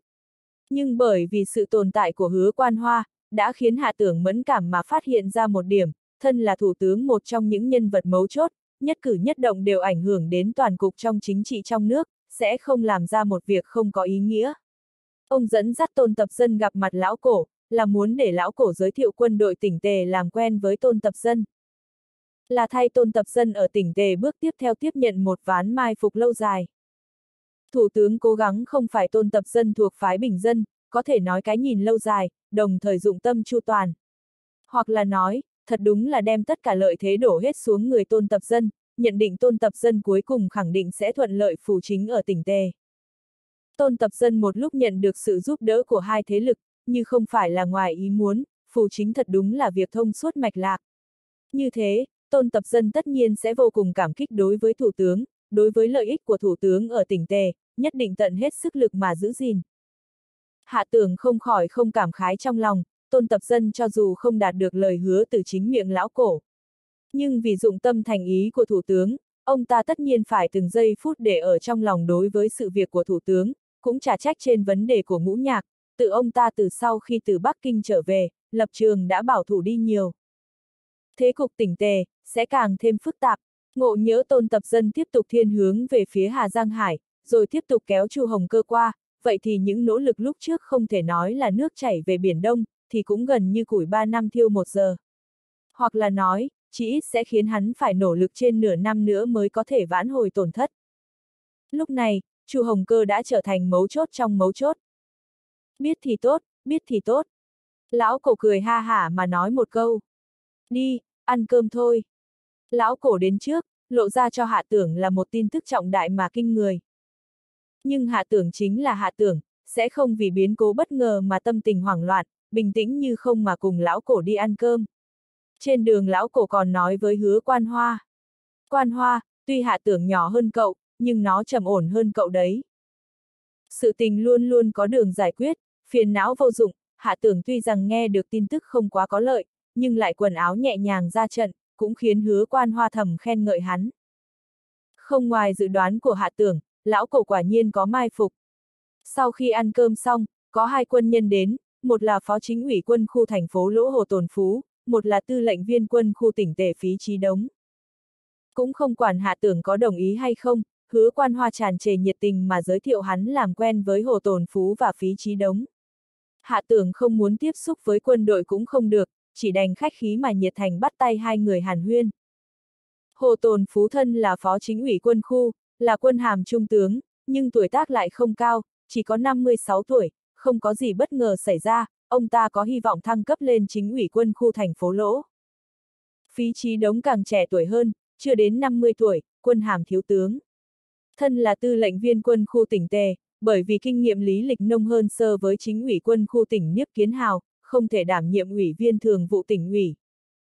Hai người đều vô cùng nhiệt thành đối việc hạ tưởng đến, có xuất phát từ thật tâm hay không trước tiên không cần nói, thái độ của hai người họ chỉ ít nói rõ lực ảnh hưởng của lão cổ với họ rất lớn. Lão cổ chính là một ngọn đèn sáng chỉ đường khác trên con đường cuộc đời của hạ tưởng.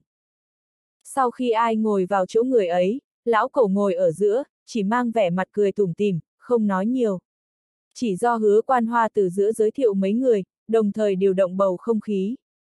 Hạ tưởng trong quá trình qua lại với hứa quan hoa, cùng với hành trình sinh tử với Trương Hiểu, lại có bao năm quan hệ với lão cổ, bây giờ lại kết giao với quân nhân xem như có một bộ tâm đắc rồi. Không bao lâu, sẽ hòa chung với Hồ Tồn Phú và Phí Trí Đống. Hồ Tồn Phú và Phí Trí Đống đối với sự tán thành mang tính lễ tiết ngay từ đầu của hạ tưởng, sau một hồi nói chuyện, bước đầu xây dựng được ấn tượng tốt. Cũng hài lòng với việc hứa quan hoa tận hết sức lực tuyên dương hạ tưởng, đương nhiên, nếu hạ tưởng không có sự tích cũng không được thổi phồng. Chủ yếu cũng là hạ tưởng trải qua suốt con đường bị người ta truy sát, cho dù là hồ tồn phú và phí trí đống, cũng là chuyện dị thường nhiệt huyết dâng trào mà chưa bao giờ tự thân mình trải qua, đều muốn hạ tưởng nói chi tiết trong đó. Hạ tưởng thấy hai người bị hắn làm nổi lên khẩu vị, cũng đã chọn một đoạn mạo hiểm nhất mà kể ra. Chỉ nghe thấy hai người họ vỗ bàn khen hay, liên tục nói quá đặc sắc quá kích thích rồi. Bầu không khí đạt đến mức cao trào. Một chút cơm ước chừng ăn hơn 2 giờ. Thời gian ăn cơm dài, đã chứng minh một điểm, nói chuyện rất đầu cơ. Nếu không đầu cơ thì nửa câu cũng nhiều, nếu tẻ ngắt thì sớm đã giải tán rồi. Lão cổ từ đầu đến cuối giống như Khương Thái Công ngồi buông cần, chỉ nhìn mấy người hòa vào nhau, ông như Thái Sơn, đổ sộ bất động. Bữa cơm hôm nay, cái ăn không phải là cơm, là một vở kịch lớn mà lão cổ tỉ mỉ an bài. Hạ tưởng ít nhiều đoán được gì đó, nhưng không dám khẳng định, đợi khi bữa cơm kết thúc, hứa quan hoa cuối cùng cũng điểm vào đề. Phòng trừng bí thư hạ ở tỉnh Tề có thể giữ được trên 3 năm, đến lúc ấy chính ủy hồ cũng bỏ đi chức phó rồi, tư lệnh viên phí kinh nghiệm lý lịch cũng đủ, tỉnh Tề là vùng đất tốt. Hạ tưởng hàm xúc cười nhìn lão cổ một cái, lão cổ khẽ gật đầu đáp lại. Đến tận lúc này hắn mới tỉnh ngộ, trong lòng cũng cảm động, thủ tướng rõ ràng đích thân ra mặt để lão cổ chiếu ứng tôn tập dân, lão cổ cuối cùng trả lời thủ tướng như thế nào hắn không thể hiểu hết, nhưng cũng không cần phải biết, bởi vì lão cổ đã dùng hành động chứng minh tất cả.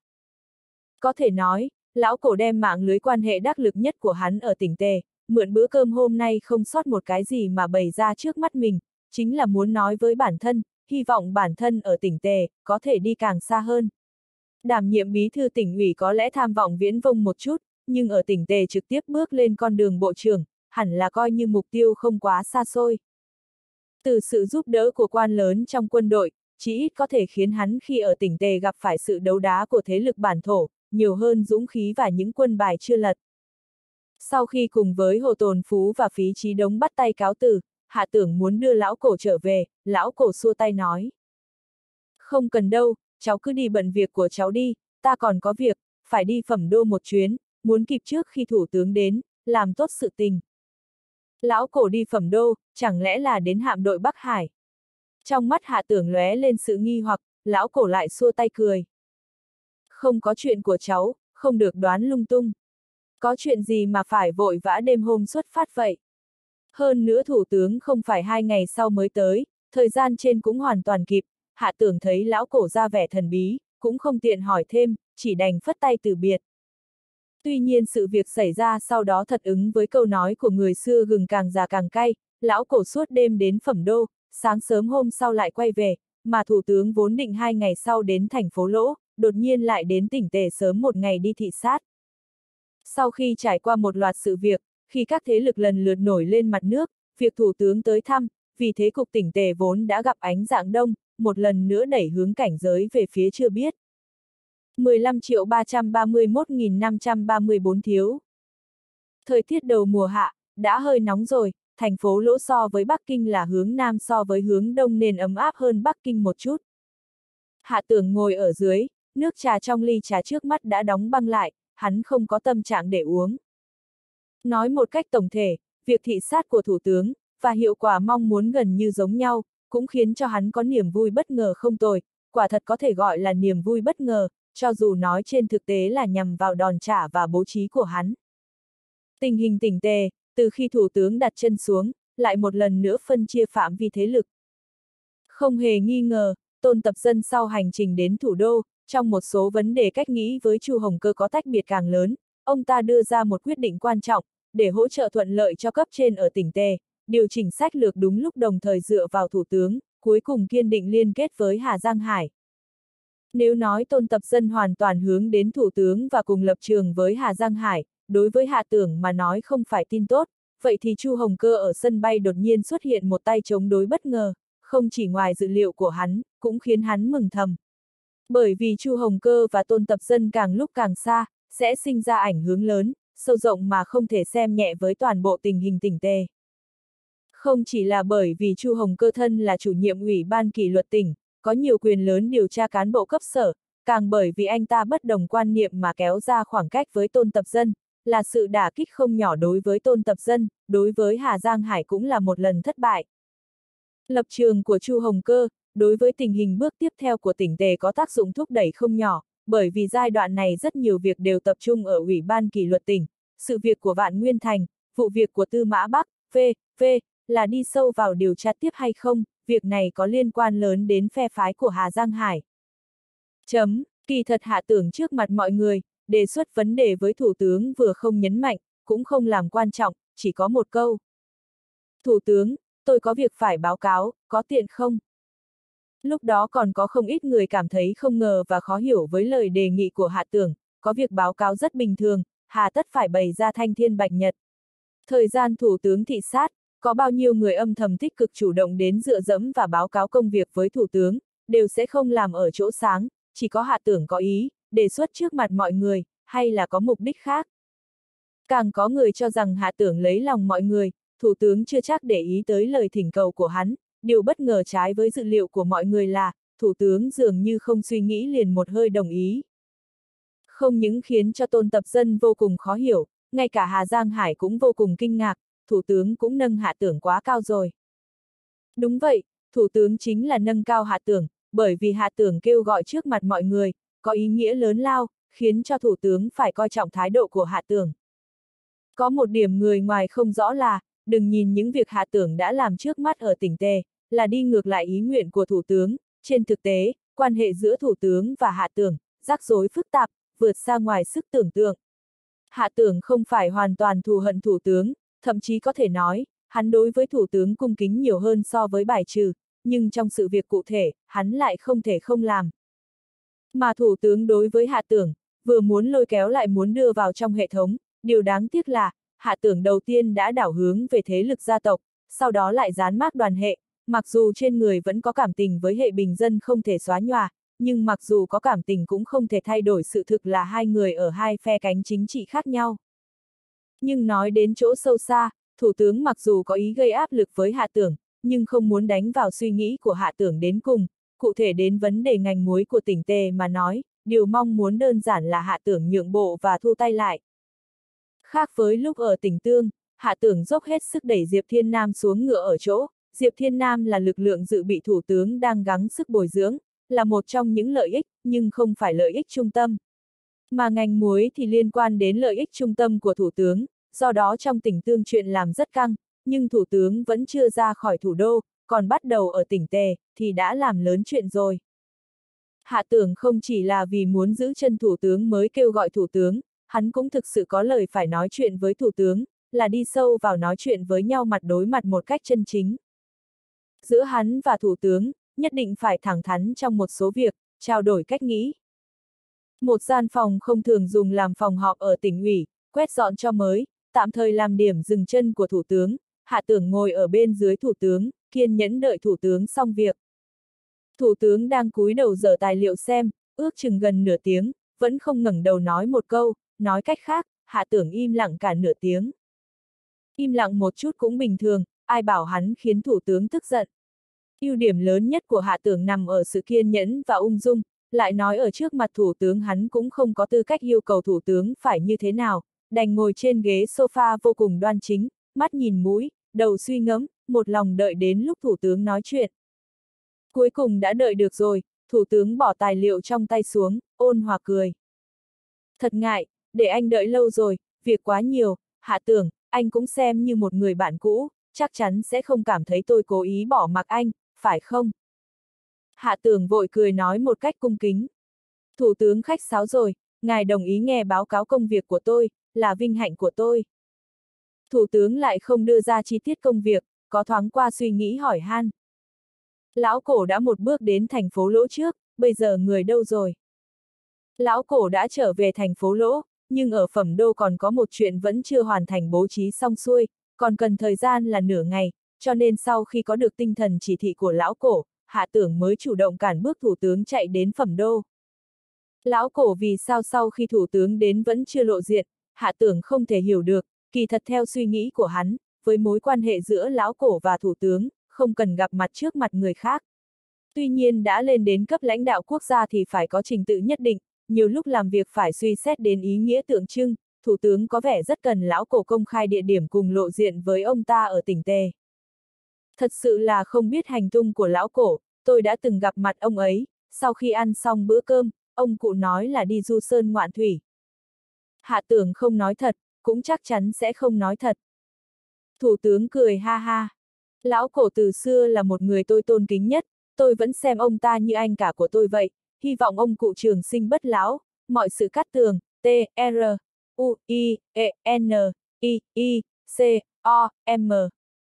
Nói một hơi những câu cắt tường, sau đó lại lên giọng. Hạ Tường kỳ thực tôi có một vấn đề vẫn vô cùng tò mò với anh, anh có thể nói thật với tôi không, nói cho tôi biết suy nghĩ thật của anh. Hạ tưởng nghiêm nghị. Nhất định, xin Thủ tướng chỉ bảo. Nếu là trước kia, thái độ của Hạ tưởng có lẽ còn sẽ khiến Thủ tướng vui vẻ, nhưng hiện tại, sau khi ông ta đã hiểu cách đối nhân xử thể của Hạ tưởng, đã có đủ khả năng miễn dịch đối với lời hứa và sự tôn trọng bên ngoài của Hạ tưởng, xua tay nói. Bây giờ không có người thứ ba ở đây, anh cũng không cần phải câu nệ. Sau khi Hạ tưởng bước vào, Thủ tướng với mọi người đi ra, trong văn phòng lớn, chỉ có hắn và Thủ tướng ngồi đối diện. Thời gian quen biết Thủ tướng cũng không ngắn, đây là lần đầu tiên gần gũi và một mình đối diện với Thủ tướng, hắn biết là phải nói đến một số vấn đề sâu xa. Dù sao giữa hắn và Thủ tướng, hai bên đều không hoàn toàn đối lập, không bằng giữa hắn với phe phản đối đã từng có mâu thuẫn không thể hòa giải. Giữa hắn và Thủ tướng mặc dù có xung đột và mâu thuẫn, nhưng vẫn không động đến điểm mấu chốt, cũng chưa tới mức xé rách mặt. Thủ tướng đứng lên, vẻ mặt của ông ta có chút nghiêm trọng, chậm rãi bước tới trước mặt hạ tưởng hạ tưởng thấy thủ tướng đứng lên cũng đứng lên cùng lúc, hắn cao hơn thủ tướng một chút, đứng gần nhìn thấy tóc bạc và nếp nhăn của thủ tướng, tâm trạng cũng có vẻ nghiêm trọng khó hiểu. Hạ tưởng, anh còn nhớ trước kia anh thường trích dẫn hai câu nói của Lâm Công không? Thủ tướng hỏi han một cách nghiêm túc. Cầu lợi quốc gia sinh tử dĩ, khởi nhân họa phúc tị su chi. Chỉ cần có lợi cho đất nước, cho dù hy sinh bản thân mình cũng cam lòng, tuyệt đối không vì mình rất có thể sẽ gặp tai họa mà trốn tránh. Là câu thơ tự tả cảnh của Lâm Tắc Từ, là lúc Lâm Công bị trục xuất, khi từ biệt người nhà ở Tây An, lúc đó đã tả cảnh sinh ly tử biệt rất chân thực từ trong nội tâm, chứ không phải là thuận miệng hô khẩu hiệu cho cao. Ngày nay, người trích dẫn câu đó rất nhiều, nhưng lại có mấy người khi thực sự đối mặt với nợ nước thù nhà, có thể hoàn toàn làm được, khởi nhân họa phúc tị su chi, tuyệt đối không vì mình rất có thể sẽ gặp tai họa mà trốn tránh. Vô số quan, lẻ loi một mình đảm nhiệm chức vụ quan trọng trong nước, vợ con già trẻ ở nước ngoài hết, nếu bảo anh ta vì nước hy sinh thân mình, khi tổ quốc cần, có thể phấn đấu quên mình không để ý đến sống chết, chắc chắn là chuyện thần thoại. Một người ngay cả người thân thiết nhất bên cạnh cũng không ở trong nước, một cán bộ bất cứ lúc nào cũng chuẩn bị tốt đường lui, sẽ là quan tốt vì dân vì nước sao. Trò cười lớn nhất của thiên hạ. Chỉ sợ là vì nước khác dân khác. Kỳ thực nói đến hạ tưởng đã có rất nhiều thời gian không cần câu thơ của Lâm Công Tự khuyến khích, bởi vì hắn phát hiện hắn thật sự không làm được điều chỉ cần có lợi cho đất nước, cho dù hy sinh bản thân mình cũng cam lòng. Không vì điều khác, chỉ vì hắn không cần phải vì một số tham quan mà nhảy vào nước sôi lửa bỏng.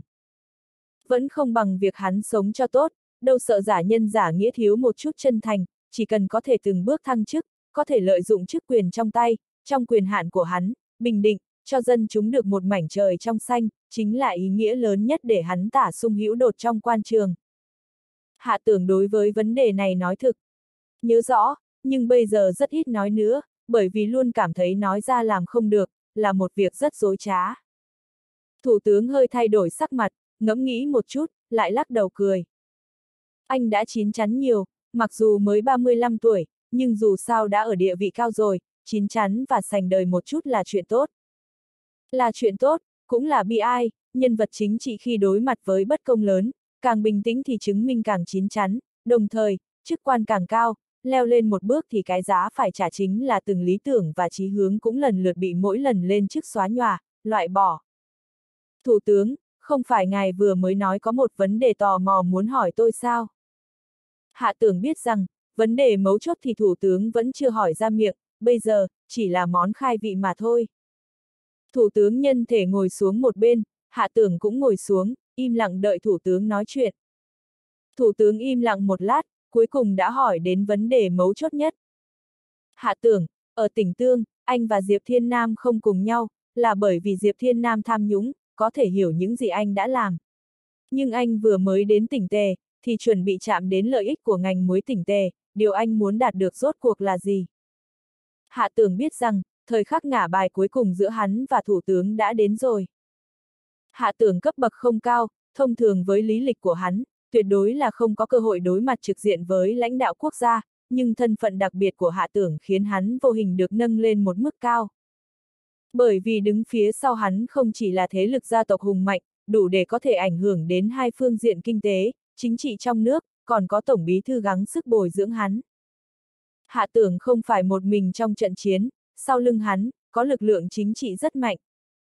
Nếu không tính thực lực kinh tế mạnh tương đương với một quốc gia của Liên Nhược Hạp, một mình hạ tưởng thực sự cũng có thực lực đáng sợ ẩn sâu bên trong. Cho dù là thủ tướng, đối với quân bài thực sự chưa lật của hạ tưởng, cũng là biết một mà không biết hai, nhưng chỉ là thế lực gia tộc và phe tổng bí thư, đã nhất định khiến cho ông ta nhìn thẳng vào những việc hạ tưởng đã làm, sau lưng có sự ủng hộ của thế lực bên nào đó hay không. Thủ tướng đã nói đúng một điểm, hạ tưởng muốn kéo Diệp Thiên Nam xuống ngựa ở tỉnh Tương, quả thực là hắn không thể dễ dàng tha thứ cho những việc Diệp Thiên Nam đã làm.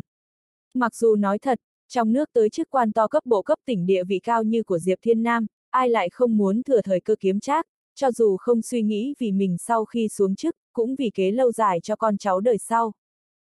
Mà đã lên càng cao tầng, đến tầng của những người lãnh đạo quốc gia, độ cao theo đuổi còn có chỗ khác nhau, nhưng dù khác nhau thì cũng có điểm chung vĩnh viễn không đổi, chính là quyền lực và tiền tài.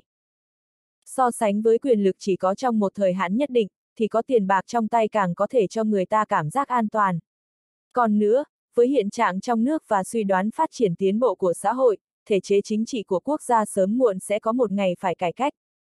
Nếu thực sự có tầm nhìn xa, thì sớm đã phát hiện điểm này, và bắt đầu bố trí xa hơn, cho nên, trong nước càng ngày càng xuất hiện nhiều tập đoàn lớn lũng đoạn, không ngừng ăn mòn thị trường và thâu tóm những nơi nhỏ yếu. Không đến 20 năm còn có triển vọng hình thành vô số thương gia tài phiệt, hoặc nhà tư bản khổng lồ trong lĩnh vực nào đó.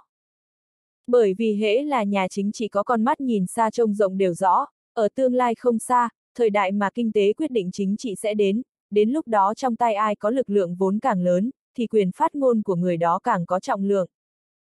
Hoặc là nói một cách trực tiếp hơn, đợi đến ngày vô số người dân nghỉnh cổ chờ đợi, cho rằng đã có dân chủ chân chính, đưa mắt nhìn bốn phía, lại bỗng nhiên phát hiện, người nắm giữ giới truyền thông và lượng lớn tài nguyên xã hội, không có chỗ nào mà không phải là những ông trùm kinh doanh, không có chỗ nào không phải là con cháu của các quan lớn quyền cao chức trọng. Đến lúc đó mới có thể tỉnh lại, nguyên tắc trò chơi, vẫn như cũ nắm giữ quyền cao trong tay, dân bầu, chỉ thay đổi lớp ra khác chỉ là trò cười mang tính lửa gạt trong chính trị mà thôi. Giai đoạn này, hễ là nhà chính trị tinh mắt, đều đã bày ra đường lui cho kế hoạch lâu dài, đều gắng sức bồi dưỡng chủ nghĩa tư bản quyền quý tiếp theo.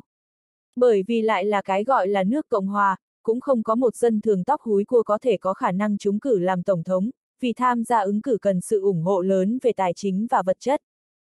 Sự thật ở một thời gian nào đó, sau khi hạ tưởng tìm đọc về sự nghiệp của người nhà các lãnh đạo quốc gia, lại liên tưởng đến nhà họ ngô cầm đầu thế lực gia tộc, mới giật mình tỉnh ngộ. Cái gọi là thế lực bình dân, cái gọi là thế lực gia tộc, hoặc là thế lực khác, kỳ thực bản chất cũng như nhau, đều theo đuổi quyền lực to lớn để nắm giữ tài nguyên chính trị, kinh tế và xã hội.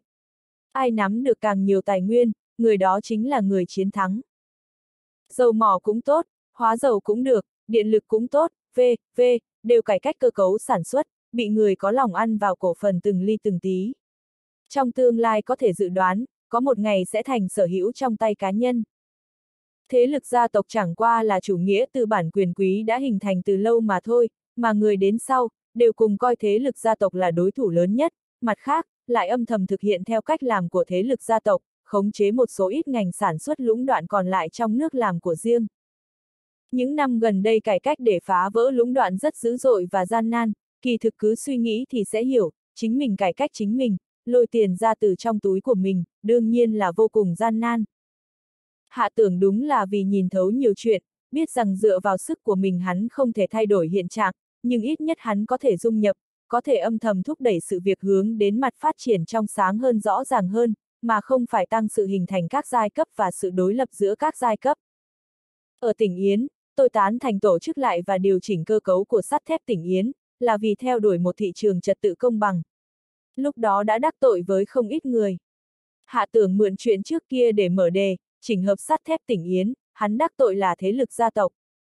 Ở tỉnh Tề, tôi động chạm tới lợi ích của ngành muối, cũng là xuất phát từ xuất phát điểm giống như vậy, hy vọng xúc tiến việc cải cách sản xuất ngành muối, để cho nhân dân được yên tâm ăn muối. Ánh mắt của Thủ tướng rất nhạt nhẽo, giọng điệu cũng rất nhẹ. Không chỉ có một mình tỉnh Tề mới sản xuất muối.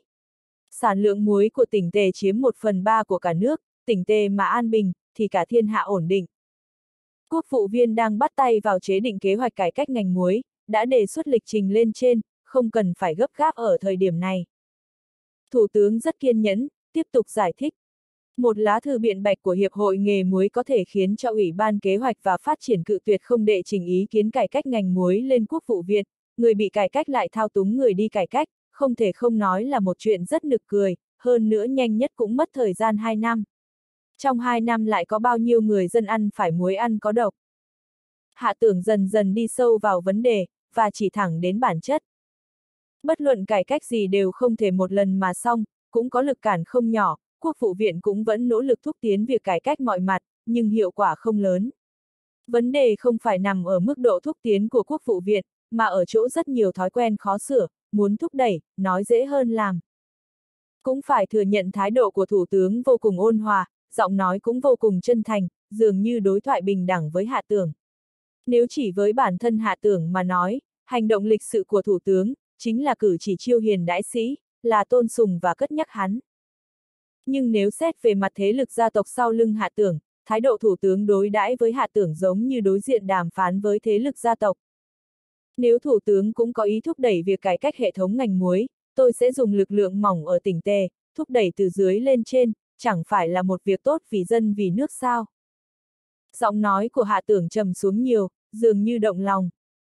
Thủ tướng, tôi xuất thân bình dân, biết chỗ khó của dân thường, dân chúng ở tầng đáy của xã hội dẫy ruộng, đối mặt với chế độ thi cử vào cao đẳng bất công, đối mặt với sự áp bức của giá nhà cao, đối mặt với các loại đặc quyền của các loại xe đặc quyền và giai cấp đặc quyền, đối mặt với với con quan và con nhà giàu ngông cuồng kiêu ngạo, bọn họ đều có thể nhẫn nhịn, cùng lắm thì trở về nhà, không chọc vào được thì tránh đi, đóng cửa phòng rồi, cũng có thể sống những ngày yên ổn. Nhưng nếu người dân ngay cả một ngày yên ổn cũng không có, mua gạo là có gạo độc, uống sữa là sữa kết sỏi, dầu là dầu đậu nành biến đổi gen, được thôi, đều nhìn hết. Nhưng trong muối ăn nhà nhà đều chuẩn bị cũng có chất phụ gia độc, thì thủ tướng, điều người dân mong muốn chính là miếng ăn trong tay họ, dân ăn để sống, khi người dân ngay cả ăn miếng cơm cũng không an toàn, chúng ta hàng ngày yêu cầu dân chúng yêu nước, nhưng quốc gia có gì tốt đẹp đáng để dân chúng yêu quý. Lại vì dân chúng, thực sự đã từng làm những việc thực tế gì? Lần đầu tiên, hạ tưởng thổ lộ tiếng lòng trước mặt thủ tướng, truy vấn trực tiếp mà mạnh mẽ, chỉ thẳng người đứng đầu quốc vụ viện hiện tại. Thủ tướng im lặng. Ngoài của sổ trời chiều dần dần sang hướng Tây, ánh chiều tà lúc mặt trời lặn rất đẹp, rất động lòng người, chỉ tiếc ứng với một câu thơ tịch dương vô hạn hảo, trích thị cận hoàng hôn. Nắng chiều đẹp vô hạn, chỉ tiếc sắp hoàng hôn.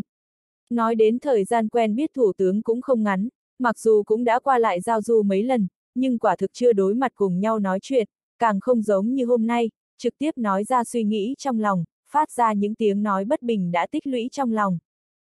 Hạ tưởng bây giờ ở địa vị cao, sự việc đã nói bên trên, đã hoàn toàn cách xa hắn, có thể nói, hắn bây giờ đã là một nhân viên trong giai cấp đặc quyền, hoàn toàn có thể hưởng thụ các lợi ích mà đặc quyền mang lại. Hơn nữa với năng lực hiện tại của hắn, cam đoan tất cả người thân không phải chịu độc hại từ các thực phẩm độc hại, thậm chí cam đoan tất cả bạn bè thân thích đều có thể hưởng thụ được những thứ tốt nhất, cũng không phải lao động chân tay vất vả. Nhưng hạ tưởng sẽ không coi mình thực sự là thế lực gia tộc, cũng sẽ không quên nguồn gốc, bởi vì hắn vốn xuất thân từ bình dân, cũng giống như vô số người dân tầng lớp dưới, tràn đầy niềm kính yêu và niềm hy vọng với quốc gia, cũng đầy niềm tin vào tương lai. Nhưng quốc gia đã báo đáp lại cho dân chúng điều gì? Thu nhập cách xù từ thuế cũng cho qua, nhịn cũng đã nhịn rồi, nhưng ngay cả ăn, mặc, đi lại đều không có cảm giác an toàn, hắn không khỏi không phát ra tiếng lòng, tổ quốc của tôi, người rốt cuộc sao vậy? Chẳng trách chỉ cần có tiền có quyền thì đều sẽ di dân ra nước ngoài, nhìn chung những nhóm người có tiếng trên dưới, còn có mấy người là người quốc tịch Trung Quốc. Đều có hộ chiếu nước ngoài của con cháu viêm hoàng cả. Thủ tướng im lặng khiến cho trong lòng hạ tưởng cũng không dễ chịu lắm, cho dù hắn cũng biết, kỳ thực thủ tướng đảm nhiệm chức vụ, cũng làm rất nhiều việc thực tế, nhưng các thế lực khắp nơi trong nước kiểm chế quá nhiều, muốn hoàn thành bất kỳ công việc gì, cũng khó như lên trời. Im lặng cũng không biết bao lâu, thủ tướng thở dài một tiếng. Hạ tưởng, điều tôi cảm thấy sâu sắc nhất ở anh chính là bất kể anh ở vị trí nào, tình cảm với dân chúng đều không hề thay đổi. Lời nói của anh tôi cũng có nhận thức sâu sắc, chúng ta đều cần lùi về sau một bước, bình tĩnh suy nghĩ kỹ, như thế nào mới có thể giải quyết vấn đề tốt hơn, là đối thoại, mà không phải đối đầu. Lời nói của Thủ tướng đã nói với hắn, cũng là muốn mượn miệng hắn, truyền đến người ở sau lưng. Trên thực tế Thủ tướng thật sự đoán sai, hạ tưởng tham gia vào việc của ngành muối, trước đó không hỏi ý kiến của ông cụ ngô, là tự mình hắn làm. Đối thoại lần này, hạ tưởng không dám khẳng định hắn có khiến cho thủ tướng xúc động không, dù sao lời nói của hắn đã bộc lộ rõ ràng rồi, thủ tướng đã nói lùi một bước là có thành ý hoặc có hành động cụ thể trước hay không thì không nói, bây giờ điểm mấu chốt để thúc đẩy toàn bộ thế cục đã không nằm ở trong tay hắn nữa. Mà ở trong tay Chu Hồng Cơ. Chấm chấm, thị sát lần này, thủ tướng sơ sót ở hai điểm, cuối cùng đã dẫn đến một sai lầm, do đó khiến công việc thị sát còn xa không đạt được hiệu quả mong muốn. Điểm thứ nhất là, Thủ tướng chưa ý thức được sự thay đổi lập trường của Chu Hồng Cơ. Điểm thứ hai là, Thủ tướng không ngờ rằng hôm nay hạ tưởng đối thoại với ông ta, có hai mục đích quan trọng, một là quả thực muốn nói chuyện đi sâu vào với nhau một lần, hai là kéo dài thời gian để lão cổ bố trí. Sự thật chứng minh, mục đích quan trọng thứ nhất của hạ tưởng có đạt được hay không, còn phải xem hiệu quả về sau, mục đích quan trọng thứ hai, thì đã là đạt được một cách thuận lợi.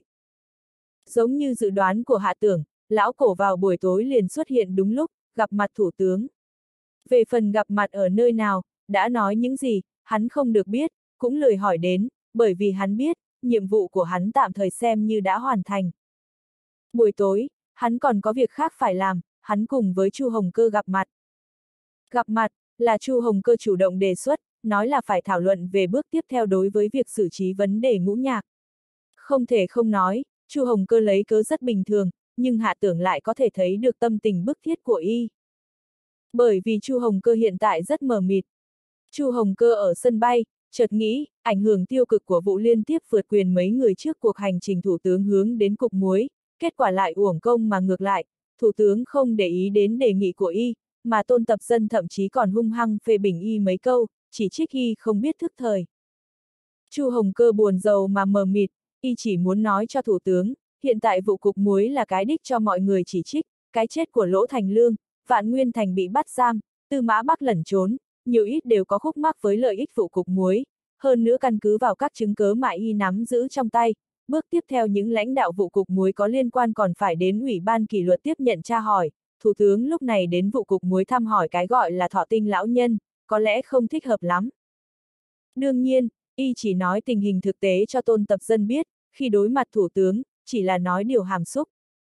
Nhưng mặc kệ là tôn tập dân hay là thủ tướng, đều đối với lòng tốt của y không có hồi đáp tích cực, tôn tập dân giận dữ với y, mà thủ tướng còn hờ hững nhìn, khiến cho y cảm thấy mất mát. Chu Hồng Cơ trong lòng buồn khổ khôn kể, lo nghĩ, lúc này hỏi kế chỗ hạ tưởng là lựa chọn tốt nhất, y liền chủ động gọi điện thoại mời. Thời khắc mà hạ tưởng nhận được lời mời của Chu Hồng Cơ, còn do dự một chút, tuy rằng hắn biết rõ lúc ấy ở sân bay đã xảy ra chuyện gì, một mặt vừa có Chu Hồng Cơ ngây thơ mới ra khỏi Bắc Kinh lần đầu, một mặt lại có hắn một lòng thật tâm sốt ruột muốn nhắc nhở thủ tướng, nhưng bị tôn tập dân và thủ tướng hiểu lầm. Lúc này, đúng là thời cơ tốt nhất lôi kéo Chu Hồng Cơ. Nhưng lúc này thời cơ rất mẫn cảm, thời điểm thủ tướng chưa tới thành phố Lỗ, hắn và Chu Hồng Cơ đã lén gặp mặt, nếu chẳng may rơi vào tai thủ tướng, nói không chừng cũng sẽ mang đến những ngờ vực vô căn cứ không cần thiết. Thật ra đây đều không phải là phương diện khiến hạ tưởng trở lên lo lắng, nhân tố mấu chốt khiến hạ tưởng hơi trần trừ là, thông qua cảnh ở sân bay hắn đối với Chu Hồng Cơ lại thêm một tầng nhận thức, khác với sách lược từng bước một của tôn tập dân chính là, Chu Hồng Cơ gan to, thận trọng, thời cơ ra tay chuẩn, là một đối thủ có tiềm lực thật lớn. Hạ tưởng rất hiểu Chu Hồng Cơ lúc này tìm hắn, khẳng định là muốn tìm kiếm hắn trợ giúp. Trợ giúp Chu Hồng Cơ, ở thời điểm mấu chốt nhất giúp y một tay, quả thật cũng sẽ thu được kết quả ngày sau, nhưng gần như có thể khẳng định chính là, Chu Hồng Cơ sau khi vượt qua chuyện này, sẽ có một quá trình lột xác, cái gọi là gặp gió hóa mưa, gặp mưa hóa rồng, đúng lúc đúng thời. Thay lời khác nói, hắn hiện tại giúp Chu Hồng Cơ, cố nhiên có thể lần nữa đánh mất dấu vết thế cục cân bằng của tỉnh tề, nhưng rất có khả năng Chu Hồng Cơ mượn tay hắn, vút thẳng lên trời, từ nay về sau trưởng thành làm một chính khách thành thục. Mà Chu Hồng Cơ và hắn, dù sao không phải bạn cùng đường, ích lợi tạm thời trước mắt, che giấu không được tính phân kỳ nguyên tắc lâu dài, sẽ có một ngày khi Chu Hồng Cơ ngồi vào vị trí cao ngất trên sân khấu chính trị, có lẽ chính là đối thủ chính trị lớn nhất của hắn, hắn quay đầu nghĩ từng kéo Chu Hồng Cơ một phen, là may mắn tuyệt vời hay là cười khổ vì nuôi hổ thành hỏa. Hạ tưởng chỉ trần trừ vài giây, cuối cùng vẫn là sảng khoái đáp ứng lời mời của Chu Hồng Cơ, bởi vì hạ tưởng biết rằng, hắn giúp hay không giúp Chu Hồng Cơ, Chu Hồng Cơ luôn có một ngày đột phá, không bằng người tốt vẫn là để hắn làm, hắn sẽ thêm muối vào bên trong vừng, thuận thế đẩy lên một phen. Trên đường tới cuộc gặp với Chu Hồng Cơ, Hạ Tưởng nhận được điện thoại của Tiêu Ngũ. Lãnh đạo, Phó Chủ tịch tỉnh Lý làm chủ mở tiệc chiêu đãi tôi và Chủ tịch Dương, Chủ tịch Trần, còn có Chủ tịch Thẩm cũng ở đây. Tiêu Ngũ đúng lúc hướng Hạ Tưởng báo cáo. Nói ra thật xấu hổ, Tiêu Ngũ, Dương Uy và Nga Ni Trần ba người đến thành phố Lỗ đã được vài ngày, hắn vẫn chưa có thời gian ngồi cùng bọn họ, cũng thật là không có gì để nói. Chủ yếu cũng là do sự việc phát sinh liên tục, làm cho người ta trở tay không xuể. Do Lý Đinh Sơn ra mặt cũng là chuyện tốt, làm ủy viên thường vụ phó chủ tịch tỉnh, Lý Đinh Sơn cần chiến tích, mà Tiêu Ngũ, Dương Uy và Nga Ni Trần đang có ý đến tỉnh Tề mở rộng thị trường, cũng cần ủy ban nhân dân tỉnh chiếu cố, hai phía đều là người hạ tưởng tín nhiệm, không tồn tại vấn đề cấu kết và lừa gạt nhau. Nếu chỉ là tin tức vừa rồi, thì không đủ để khiến hạ tưởng giật mình, theo sau tiêu ngũ lại lộ ra một khúc nhạc đệm, khiến cho hắn lập tức cân nhắc đến hương vị khác. Nói đến cũng khéo, vừa lúc gặp Phó Chủ tịch tỉnh Tần. Phó Chủ tịch tỉnh Tần rất rộng rãi, nói mấy câu, liền tiếp cận với chúng tôi ngồi chung một bàn. Tiêu ngũ so với trước kia có trí tuệ chính trị hơn, đè thấp thanh âm nói. Gọi điện thoại trên bàn rượu không tiện, tôi liền chạy ra ngoài xin chỉ thị lãnh đạo một tiếng, ở trước mặt Phó Chủ tịch tỉnh Tần, nói chuyện có nên chú ý một chút không?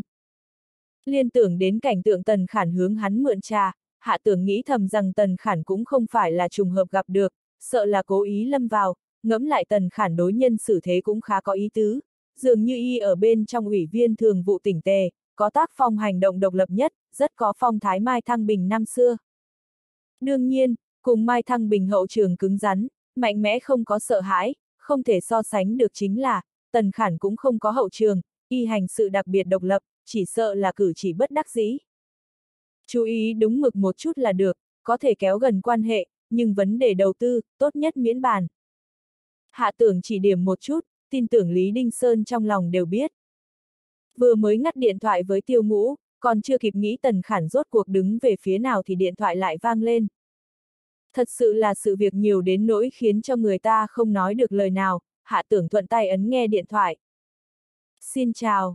Em không ổn, anh hạ, em thật không ổn. Tống nhất phàm thanh âm nhẹ nhàng lọt vào cái lỗ tai, giống như đêm đầu mùa hè thình lình nảy nở một đóa hoa nhỏ, làm cho người ta cảm nhận được mùa hè tươi đẹp. Anh đã bao lâu không có tới Bắc Kinh thăm em? Hừ, em giận anh. Liên nhược hạm dám trực tiếp phản bác ý kiến hắn, dám không xin pháp hắn, tự mình quyết định một chuyện lớn, cổ ngọc dám nổi giận với hắn, dám hờn dỗi hắn, nhưng mặc kệ là liên nhược hạm hay là cổ ngọc, cũng không như Tống Nhất Phàm dám không hỏi nguyên do mà giận hắn. Nhỏ có cái thế của nhỏ, Tống Nhất Phàm ở trước mặt hắn, có thể vĩnh viễn duy trì một tính khí trẻ con. Lại làm sao vậy?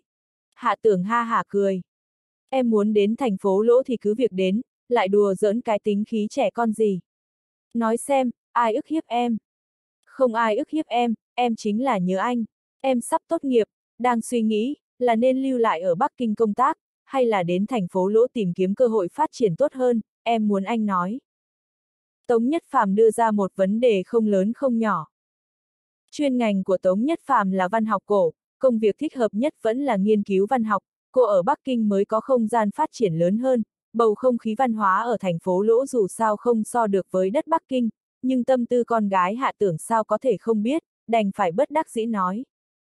Anh gần đây chỉ sợ không có thời gian đi Bắc Kinh, em nếu muốn đến thành phố lỗ, bất cứ lúc nào anh cũng hoan nghênh. Được rồi, trước hết tha cho anh một lần, chờ em sau khi hoàn thành luận văn tốt nghiệp, sẽ đến thành phố lỗ tìm anh. Anh đã hứa sẽ cùng em đi Thái Sơn một chuyến rồi đó, không thể nói lời không giữ lời. Tống Nhất Phàm cười khanh khách, không đợi hạ tưởng nói chuyện, liền nhanh chóng ngắt điện thoại. Anh hứa đi Thái Sơn lúc nào? Hạ tưởng lúc này mới ý thức được mục đích của Tống Nhất Phàm, vội vàng biện minh một câu, nói được một nửa lại dừng lại, bởi vì hắn đang nói chuyện một mình với không khí, cũng thật sự là không có ý tứ. Lắc đầu, Tống Nhất Phàm đơn giản nghịch ngợm không hề suy nghĩ, nếu cô bé muốn đến thành phố lỗ hắn cũng không ngăn cản được, thì mặc kệ cô ấy vậy, chỉ cần cô vui vẻ tươi cười là tốt rồi. Từ Tống Nhất Phàm lại nghĩ tới Tống Chiêu Độ, thời gian gần đây hắn không có liên lạc với Tống Chiêu Độ, nghe nói ông ta quá bận rộn vì phải chuẩn bị cho bước tiếp theo, thường xuyên bôn ba ở giữa Cát Giang và Bắc Kinh, bận tối mày tối mặt. Ngẫm lại cũng là vì kinh nghiệm lý lịch và tuổi tác của Tống Chiêu Độ đều có cơ hội tiến thêm một bước, nhiệm kỳ mới sang năm, mục tiêu của ông ta đương nhiên là bộ chính trị. Có nhu cầu giống như vậy còn có Trần Phong. Khoảng cách nhiệm kỳ mới sang năm còn có hơn một năm, nhưng hiện tại đang là trạng thái hội nhập. Lấy cái cách đối nhân xử thế của Trần Phong và Tống Chiêu Độ, cùng với mạng lưới quan hệ ở Bắc Kinh của bọn họ, muốn tiến vào cục, vẫn là có không ít khó khăn, dù sao hai mươi mấy người của Bộ Chính trị, mỗi một cấp bộ trưởng đều hướng tới chỗ thần thánh. Riêng hắn nhận thấy ở bên trong tỉnh ủy, người có vốn và năng lực hoạt động để tía vào bộ, ngoại trừ Trần Phong và Tống Chiêu Độ còn có khâu nhân lễ. Bởi suy đoán như vậy, cho nên khâu nhân lễ cần có chiến tích ở tỉnh Tề, cần có âm thanh chính trị, cần có một động tác có lực để chứng minh ông ta ở tỉnh Tề là có làm việc. Coi như lần này gặp mặt Chu Hồng Cơ, vì mục đích lâu dài về sau. May mắn thế nào, địa điểm mà Chu Hồng Cơ hẹn gặp mặt Hạ Tưởng, cũng là Hạ Vũ Hà ven Hồ Đại Minh. Giữa Chu Hồng Cơ và hắn cũng coi như từng có hai lần ký kết ngầm, nhưng vẫn thiếu cuộc trò chuyện hàn huyên và khách sáo. Sau khi Hạ Tưởng vừa vào cửa, Chu Hồng Cơ đứng dậy đón chào, vừa mới ngồi xuống liền đi thẳng vào vấn đề. Phó Bí Thư Hạ, tôi muốn điều chỉnh công tác của một phó giám đốc sở giám sát, hy vọng được anh và Bí Thư Khâu ủng hộ. Chu Hồng Cơ ánh mắt sáng ngời nhìn thẳng hai mắt Hạ Tưởng, chờ Hạ Tưởng trả lời. Hạ Tưởng mỉm cười cười. Tỉnh ủy luôn luôn ủng hộ công tác ủy ban kỷ luật tỉnh, tôi cũng luôn luôn ủng hộ công tác của anh. Tuy nhiên, hắn bất chợt dừng lại, hắn cũng thản nhiên đáp lại ánh mắt Chu Hồng Cơ. Hiện tại trong lúc Thủ tướng đang đi thị sát, không nên có động tác lớn, ý kiến cá nhân tôi là, đợi từ từ rồi mới nói. Cái tôi đang cần là những lời này của anh. Chu Hồng Cơ tự đắc cười. Tôi biết thời cơ hiện tại không đúng, hơn nữa điều chỉnh một phó giám đốc sở cần phải trình hội nghị thường vụ nghiên cứu, Thủ tướng đang ở đây, tỉnh ủy cũng không có thời gian mời dự họp hội nghị thường vụ. Tuy nhiên, Ủy ban kỷ luật tỉnh nắm giữ một số lượng lớn căn cứ chính xác, có thể đem vấn đề ngũ nhạc làm sáng tỏ. Hạ tưởng trong lòng chợt bị sốc, Chu Hồng Cơ thật muốn ra tay. Nếu là thật, Chu Hồng Cơ thật đúng là một nhân vật dám làm dám chịu. Hạ tưởng đoán đúng rồi, so với ưu điểm quyết đoán nhanh nhạy của Diệp Thiên Nam, ưu điểm lớn nhất của Chu Hồng Cơ chính là xem xét thời thế và dám nghĩ dám làm, y bất ngờ ra tay, chẳng những khiến thế cục tỉnh tề đại biến, cũng khiến thủ tướng giận tím mặt. Kỳ thật hạ tưởng rất oan uổng, bởi vì Chu Hồng Cơ hẹn hắn đến, hắn vui vẻ nhận lời đến, cũng không phải cùng Chu Hồng Cơ liên kết tay chân ở sau lưng, chỉ là muốn gặp mặt nói chuyện với nhau một lần, lại trong lúc vô ý người khác nhìn thấy, báo cáo với Hà Giang Hải. Hà Giang Hải sau đó liền đem tin tức chuyển đến Tôn Tập Dân. Tôn Tập Dân nghe xong, cũng không có lập tức tỏ thái độ, chỉ có điều gật đầu nói. Tôi đã biết. Trong lòng cũng rất không thoải mái, Chu Hồng Cơ và y càng lúc càng xa, khiến cho y có cảm giác thất bại, cho rằng năng lực quyết đoán hoặc sức hấp dẫn của y không đủ, không thể hoàn toàn thu nạp trái tim của Chu Hồng Cơ. Có lẽ do hạ tưởng dùng một ít thủ đoạn tạm thời hấp dẫn được Chu Hồng Cơ, và Chu Hồng Cơ sau khi vấp phải trắc trở, tự nhiên sẽ quay đầu lại. Tôn Tập Dân khẳng định sẽ không hướng Bắc Kinh tố cáo hành động của Chu Hồng Cơ, Chu Hồng Cơ làm lực lượng hậu bị, cho phép y có không gian tự do phát huy, chỉ cần y không làm gì nguy hiểm cho ích lợi căn bản, và lại y cũng không có tư cách khoa tay múa chân chỉ đạo công việc của Chu Hồng Cơ. Nếu y quản quá nhiều, ngược lại sẽ phí sức mà không có kết quả, vừa đắc tội Chu Hồng Cơ, lại đắc tội cấp trên. Đối với cuộc gặp mặt của Chu Hồng Cơ và Hạ Tưởng, Tôn Tập Dân vẫn không nghĩ nhiều, cho rằng đó là một cuộc gặp tất yếu bình thường, ai cũng không thể hạn chế Chu Hồng Cơ và Hạ Tưởng lui tới. Chính trị không phải trò chơi trẻ con tập làm người lớn, không phải nói sau hậu trường không được qua lại, nếu thế cả đời cũng không qua lại với nhau sao. Cũng là sơ suất của tôn tập dân, mới khiến y sau khi sự việc xảy ra, phẫn nộ bất bình đối với cách làm của Chu Hồng Cơ, đồng thời cũng giận chó đánh mèo đối với Hạ Tưởng, cho rằng Hạ Tưởng ở giữa giật dây, Chu Hồng Cơ mới dám cả gan làm loạn như thế. Mà Hà Giang Hải sau khi đem tin tức tiết lộ cho tôn tập dân, xoay người lại hướng Thủ tướng viết báo cáo. Thủ tướng nghe xong cũng không để ý, nhưng sau đó bỗng nhiên nhớ tới cảnh tượng hạ tưởng và Chu Hồng Cơ gặp mặt, không khỏi vô cùng căm thức hạ tưởng ở sau lưng lôi kéo tay chớ. Cũng khiến hạ tưởng và thủ tướng có được một cuộc nói chuyện đi sâu, cũng miễn cưỡng đạt được một chút nhận thức chung. Ngay cả hạ tưởng cũng thật không ngờ, một lần gặp mặt bình thường, lại dẫn đến sự ngờ vực vô căn cứ khắp nơi, do đó khiến hắn bị phản kích mạnh mẽ, cũng khiến Chu Hồng Cơ ở tỉnh Tề rút ra kinh nghiệm xương máu, cũng làm ra một lựa chọn trọng đại. Làn sóng thủ tướng thị sát vừa mới hình thành, đang dần dần mở rộng, từng đợt sóng dập dờn, không biết khi nào sẽ bị một dòng nước xiết làm xáo trộn.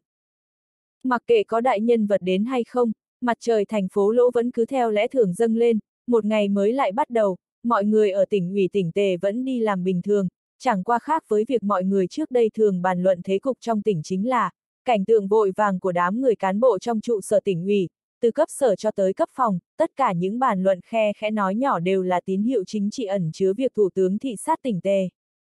Càng làm cho người ta ngạc nhiên chính là, Thủ tướng sáng sớm sẽ lên đường đi thị sát phẩm đô, nếu khâu nhân lễ và tôn tập dân cùng đi thị sát còn nằm trong dự kiến, như vậy hạ tưởng không có cùng đi, Phó Chủ tịch Thường trực tỉnh Tần Khản và Ủy ban kỷ luật tỉnh Chu Hồng Cơ cũng không có đồng hành cũng có thể chấp nhận, nhưng Bí thư Đảng ủy Công an kiêm Giám đốc Sở Hà Giang Hải lại có tên trong danh sách lãnh đạo tỉnh ủy được phép cùng đi, điều này có ý tứ hàm xúc rất sâu xa.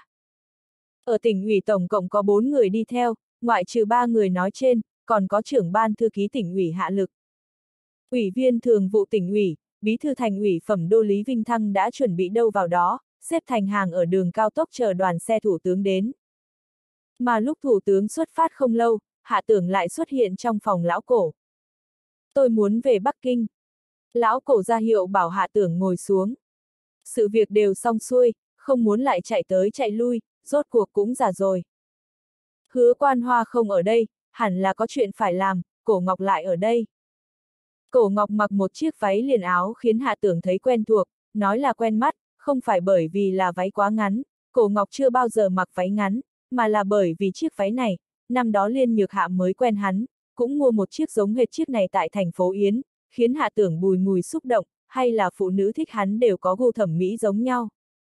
Cũng nói rõ một chút, thời trang và lưu hành, tuy nhiên là thời gian đùa bỡn một chút mà thôi, trào lưu trước kia chỉ là nhất thời, có lẽ trong nháy mắt sẽ lạc hậu, nhưng ở dưới ma lực thời gian, thời gian lưu truyền, lại thay hình đổi dạng một lần nữa trở thành trào lưu. Cũng giống như rất nhiều nhân vật lên xuống trên trường chính trị. Thời trước, sau khi tôn tập dân xuống ngựa, chưa qua nửa năm liền đảm nhiệm tránh văn phòng cấp bộ trưởng không nằm trong tầm nhìn của công chúng, tương đương là một lần nữa bắt đầu khởi động lại, chẳng qua không muốn người ngoại giới biết thôi. Thời này, sau khi tôn tập dân yên lặng 2 năm, một lần nữa bắt đầu khởi động, một bước ra Bắc Kinh thì làm chủ tịch tỉnh tỉnh tề, không thể nói là bước chân quá lớn, mà chỉ là quan phục nguyên chức. Cũng chứng minh một điểm, nhân vật sau lưng ủng hộ tôn tập dân vẫn là rất lớn. Chủ tịch tỉnh tôn nếu đã biết ngài chẳng những không có giúp ông ta, ngược lại giúp tôi, ông khẳng định sẽ không vui. Hạ tưởng mở đầu một câu vui đùa. Tôi và gã ta lại không quen, gã có vui hay không, không liên quan tới chuyện của tôi. Lão cổ có nề nếp nói, lại nhìn thoáng qua cổ ngọc ngồi bên cạnh cắn môi bật cười. Con bé ngọc nó không muốn trở về, ta để nó đi theo cậu, nửa yên tâm, nửa không yên tâm. Yên tâm chính là, hạ tưởng khẳng định sẽ chăm sóc bảo vệ và yêu thương cổ ngọc, không yên tâm chính là, yêu thương quá độ sẽ dễ dàng vứt bỏ, lời lão cổ nói hàm nghĩa sâu sắc, hạ tưởng đành phải cười ha hả, nhưng cổ ngọc rõ ràng không cười. Ông nội, cháu muốn một biệt thự xây dựng ở ngũ nhạc, lầu trên lầu dưới, đèn điện, điện thoại, đến lúc đó mời ông đến ở, được không? Cổ Ngọc vẻ mặt nghịch ngợm nói. Không được, ông tình nguyện sống ở phẩm đô, tốt xấu đều có biển, ngũ nhạc có cái gì? Một đống muối ăn, gió thổi qua, đầu dính đầy muối, khó chịu lắm. Lão cổ ha hả mỉm cười một hơi, đối với cổ Ngọc, ông luôn giữ vẻ mặt hiền từ. Nếu nhắc tới phẩm đô, hạ tưởng tò mò hỏi, T, R, U, I, E, N, I, I, C, O, M. Ở phẩm đô đã không thành vấn đề. Có thể có vấn đề gì? Lão cổ hỏi lại một câu. Gió yên sóng lặng, trời trong nắng ấm, thời tiết đẹp. Tôi còn có chút không hiểu được cách làm của ngài. Hạ tưởng trần trừ một chút, vẫn là nói ra nghi vấn trong lòng. Lần trước ta đã nói qua, ta già rồi, thủ tướng cũng già rồi, người già rồi, nên có cái giác ngộ của người già. Thế giới là của các cậu, cũng là của chúng tôi, nhưng xét đến cùng là của các cậu. Lão cổ cười nói một câu của vĩ nhân. Nhưng lời của ta, ông ấy sẽ không nghe, ta cũng sẽ không trước mặt nói cái gì khó nghe, và lại cùng ông ta rốt cuộc là có giao tình cũ, nên làm một chút việc sau lưng, để ông ta biết tấm lòng của ta là được, đỡ phải về sau lại xuất hiện phiền phức khiến người ta tới cửa. Khiến người ta tới cửa đương nhiên là ám chỉ việc của tôn tập dân, lão cổ ẩn núp được cũng khá sâu, vẫn không nói rõ thái độ của ông, cho đến bây giờ mới chỉ ra một chút, hóa ra ông đối với cách làm của thủ tướng cũng có chỗ bất mãn. Hạ tưởng chỉ có thể cười ha hả, khó mà nói được gì, bởi vì hắn cũng hiểu, nếu không phải do hắn can dự vào, lão cổ đến bây giờ vẫn sẽ kiên định đứng ở phía thủ tướng, và quan hệ chặt chẽ với thủ tướng, ai cũng không thể kéo ông ấy ra khỏi thủ tướng. Cho nên theo một khía cạnh nào đó, thủ tướng có điều bất mãn đối với ông ấy cũng là điều bình thường. Hạ tưởng và cổ ngọc đưa lão cổ ra sân bay, sân bay quân dụng, có hứa quan hoa cùng đi, lão cổ quay trở về Bắc Kinh, trước khi đi, ông vỗ vỗ lưng cổ ngọc, vô cùng chiều mến nói. Cô bé Ngọc, cháu muốn lập nghiệp, ông rất vui mừng, tuy nhiên làm việc phải đến nơi đến chốn, đừng làm nửa chừng thì nản. Ông có thể chờ ngày khánh thành biệt thự của cháu, nói không chừng đến đó sống vài ngày.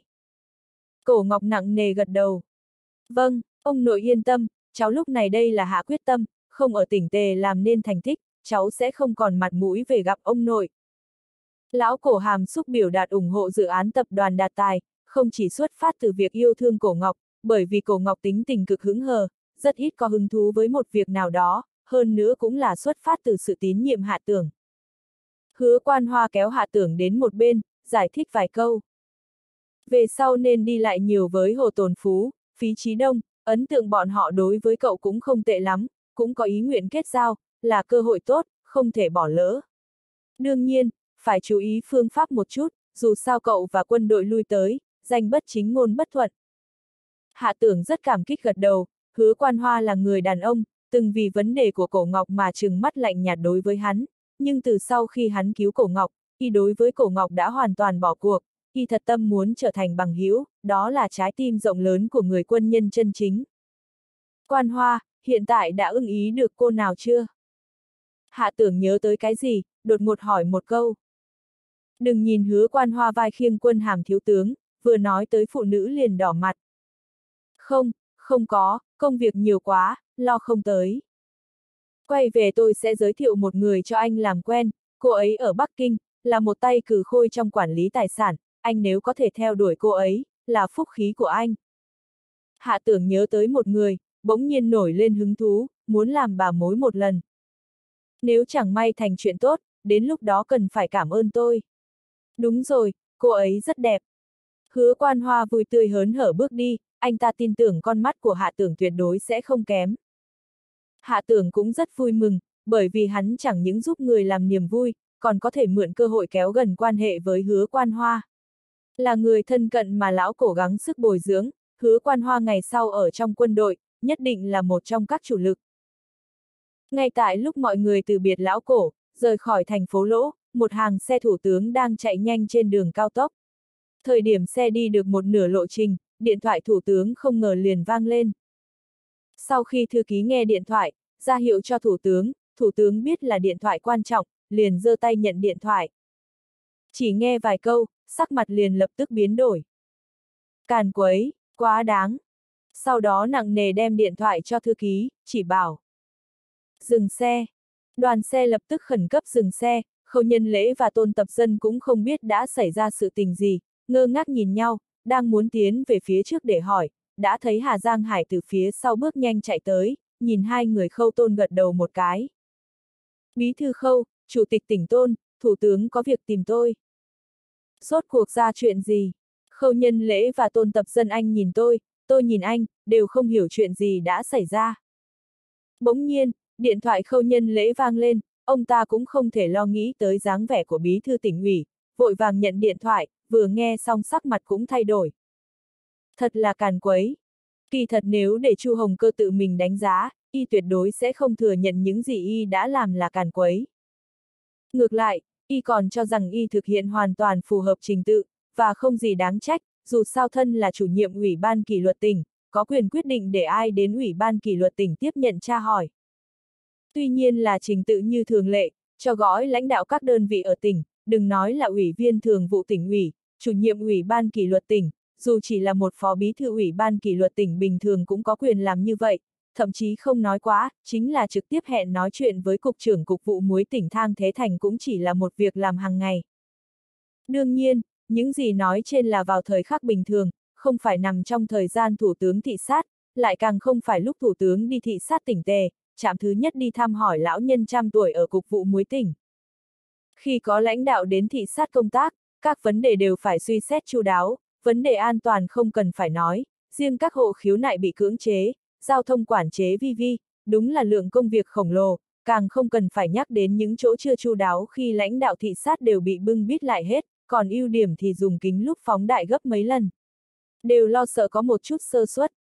Thủ tướng dường như là dưới đề nghị của tôn tập dân, đột nhiên thay đổi hành trình, thị sát cục vụ muối, nhưng người trong quan trường ai trong lòng cũng đều có tính toán, ngộ nhỡ bên trong, còn có người thúc đẩy phía sau màn.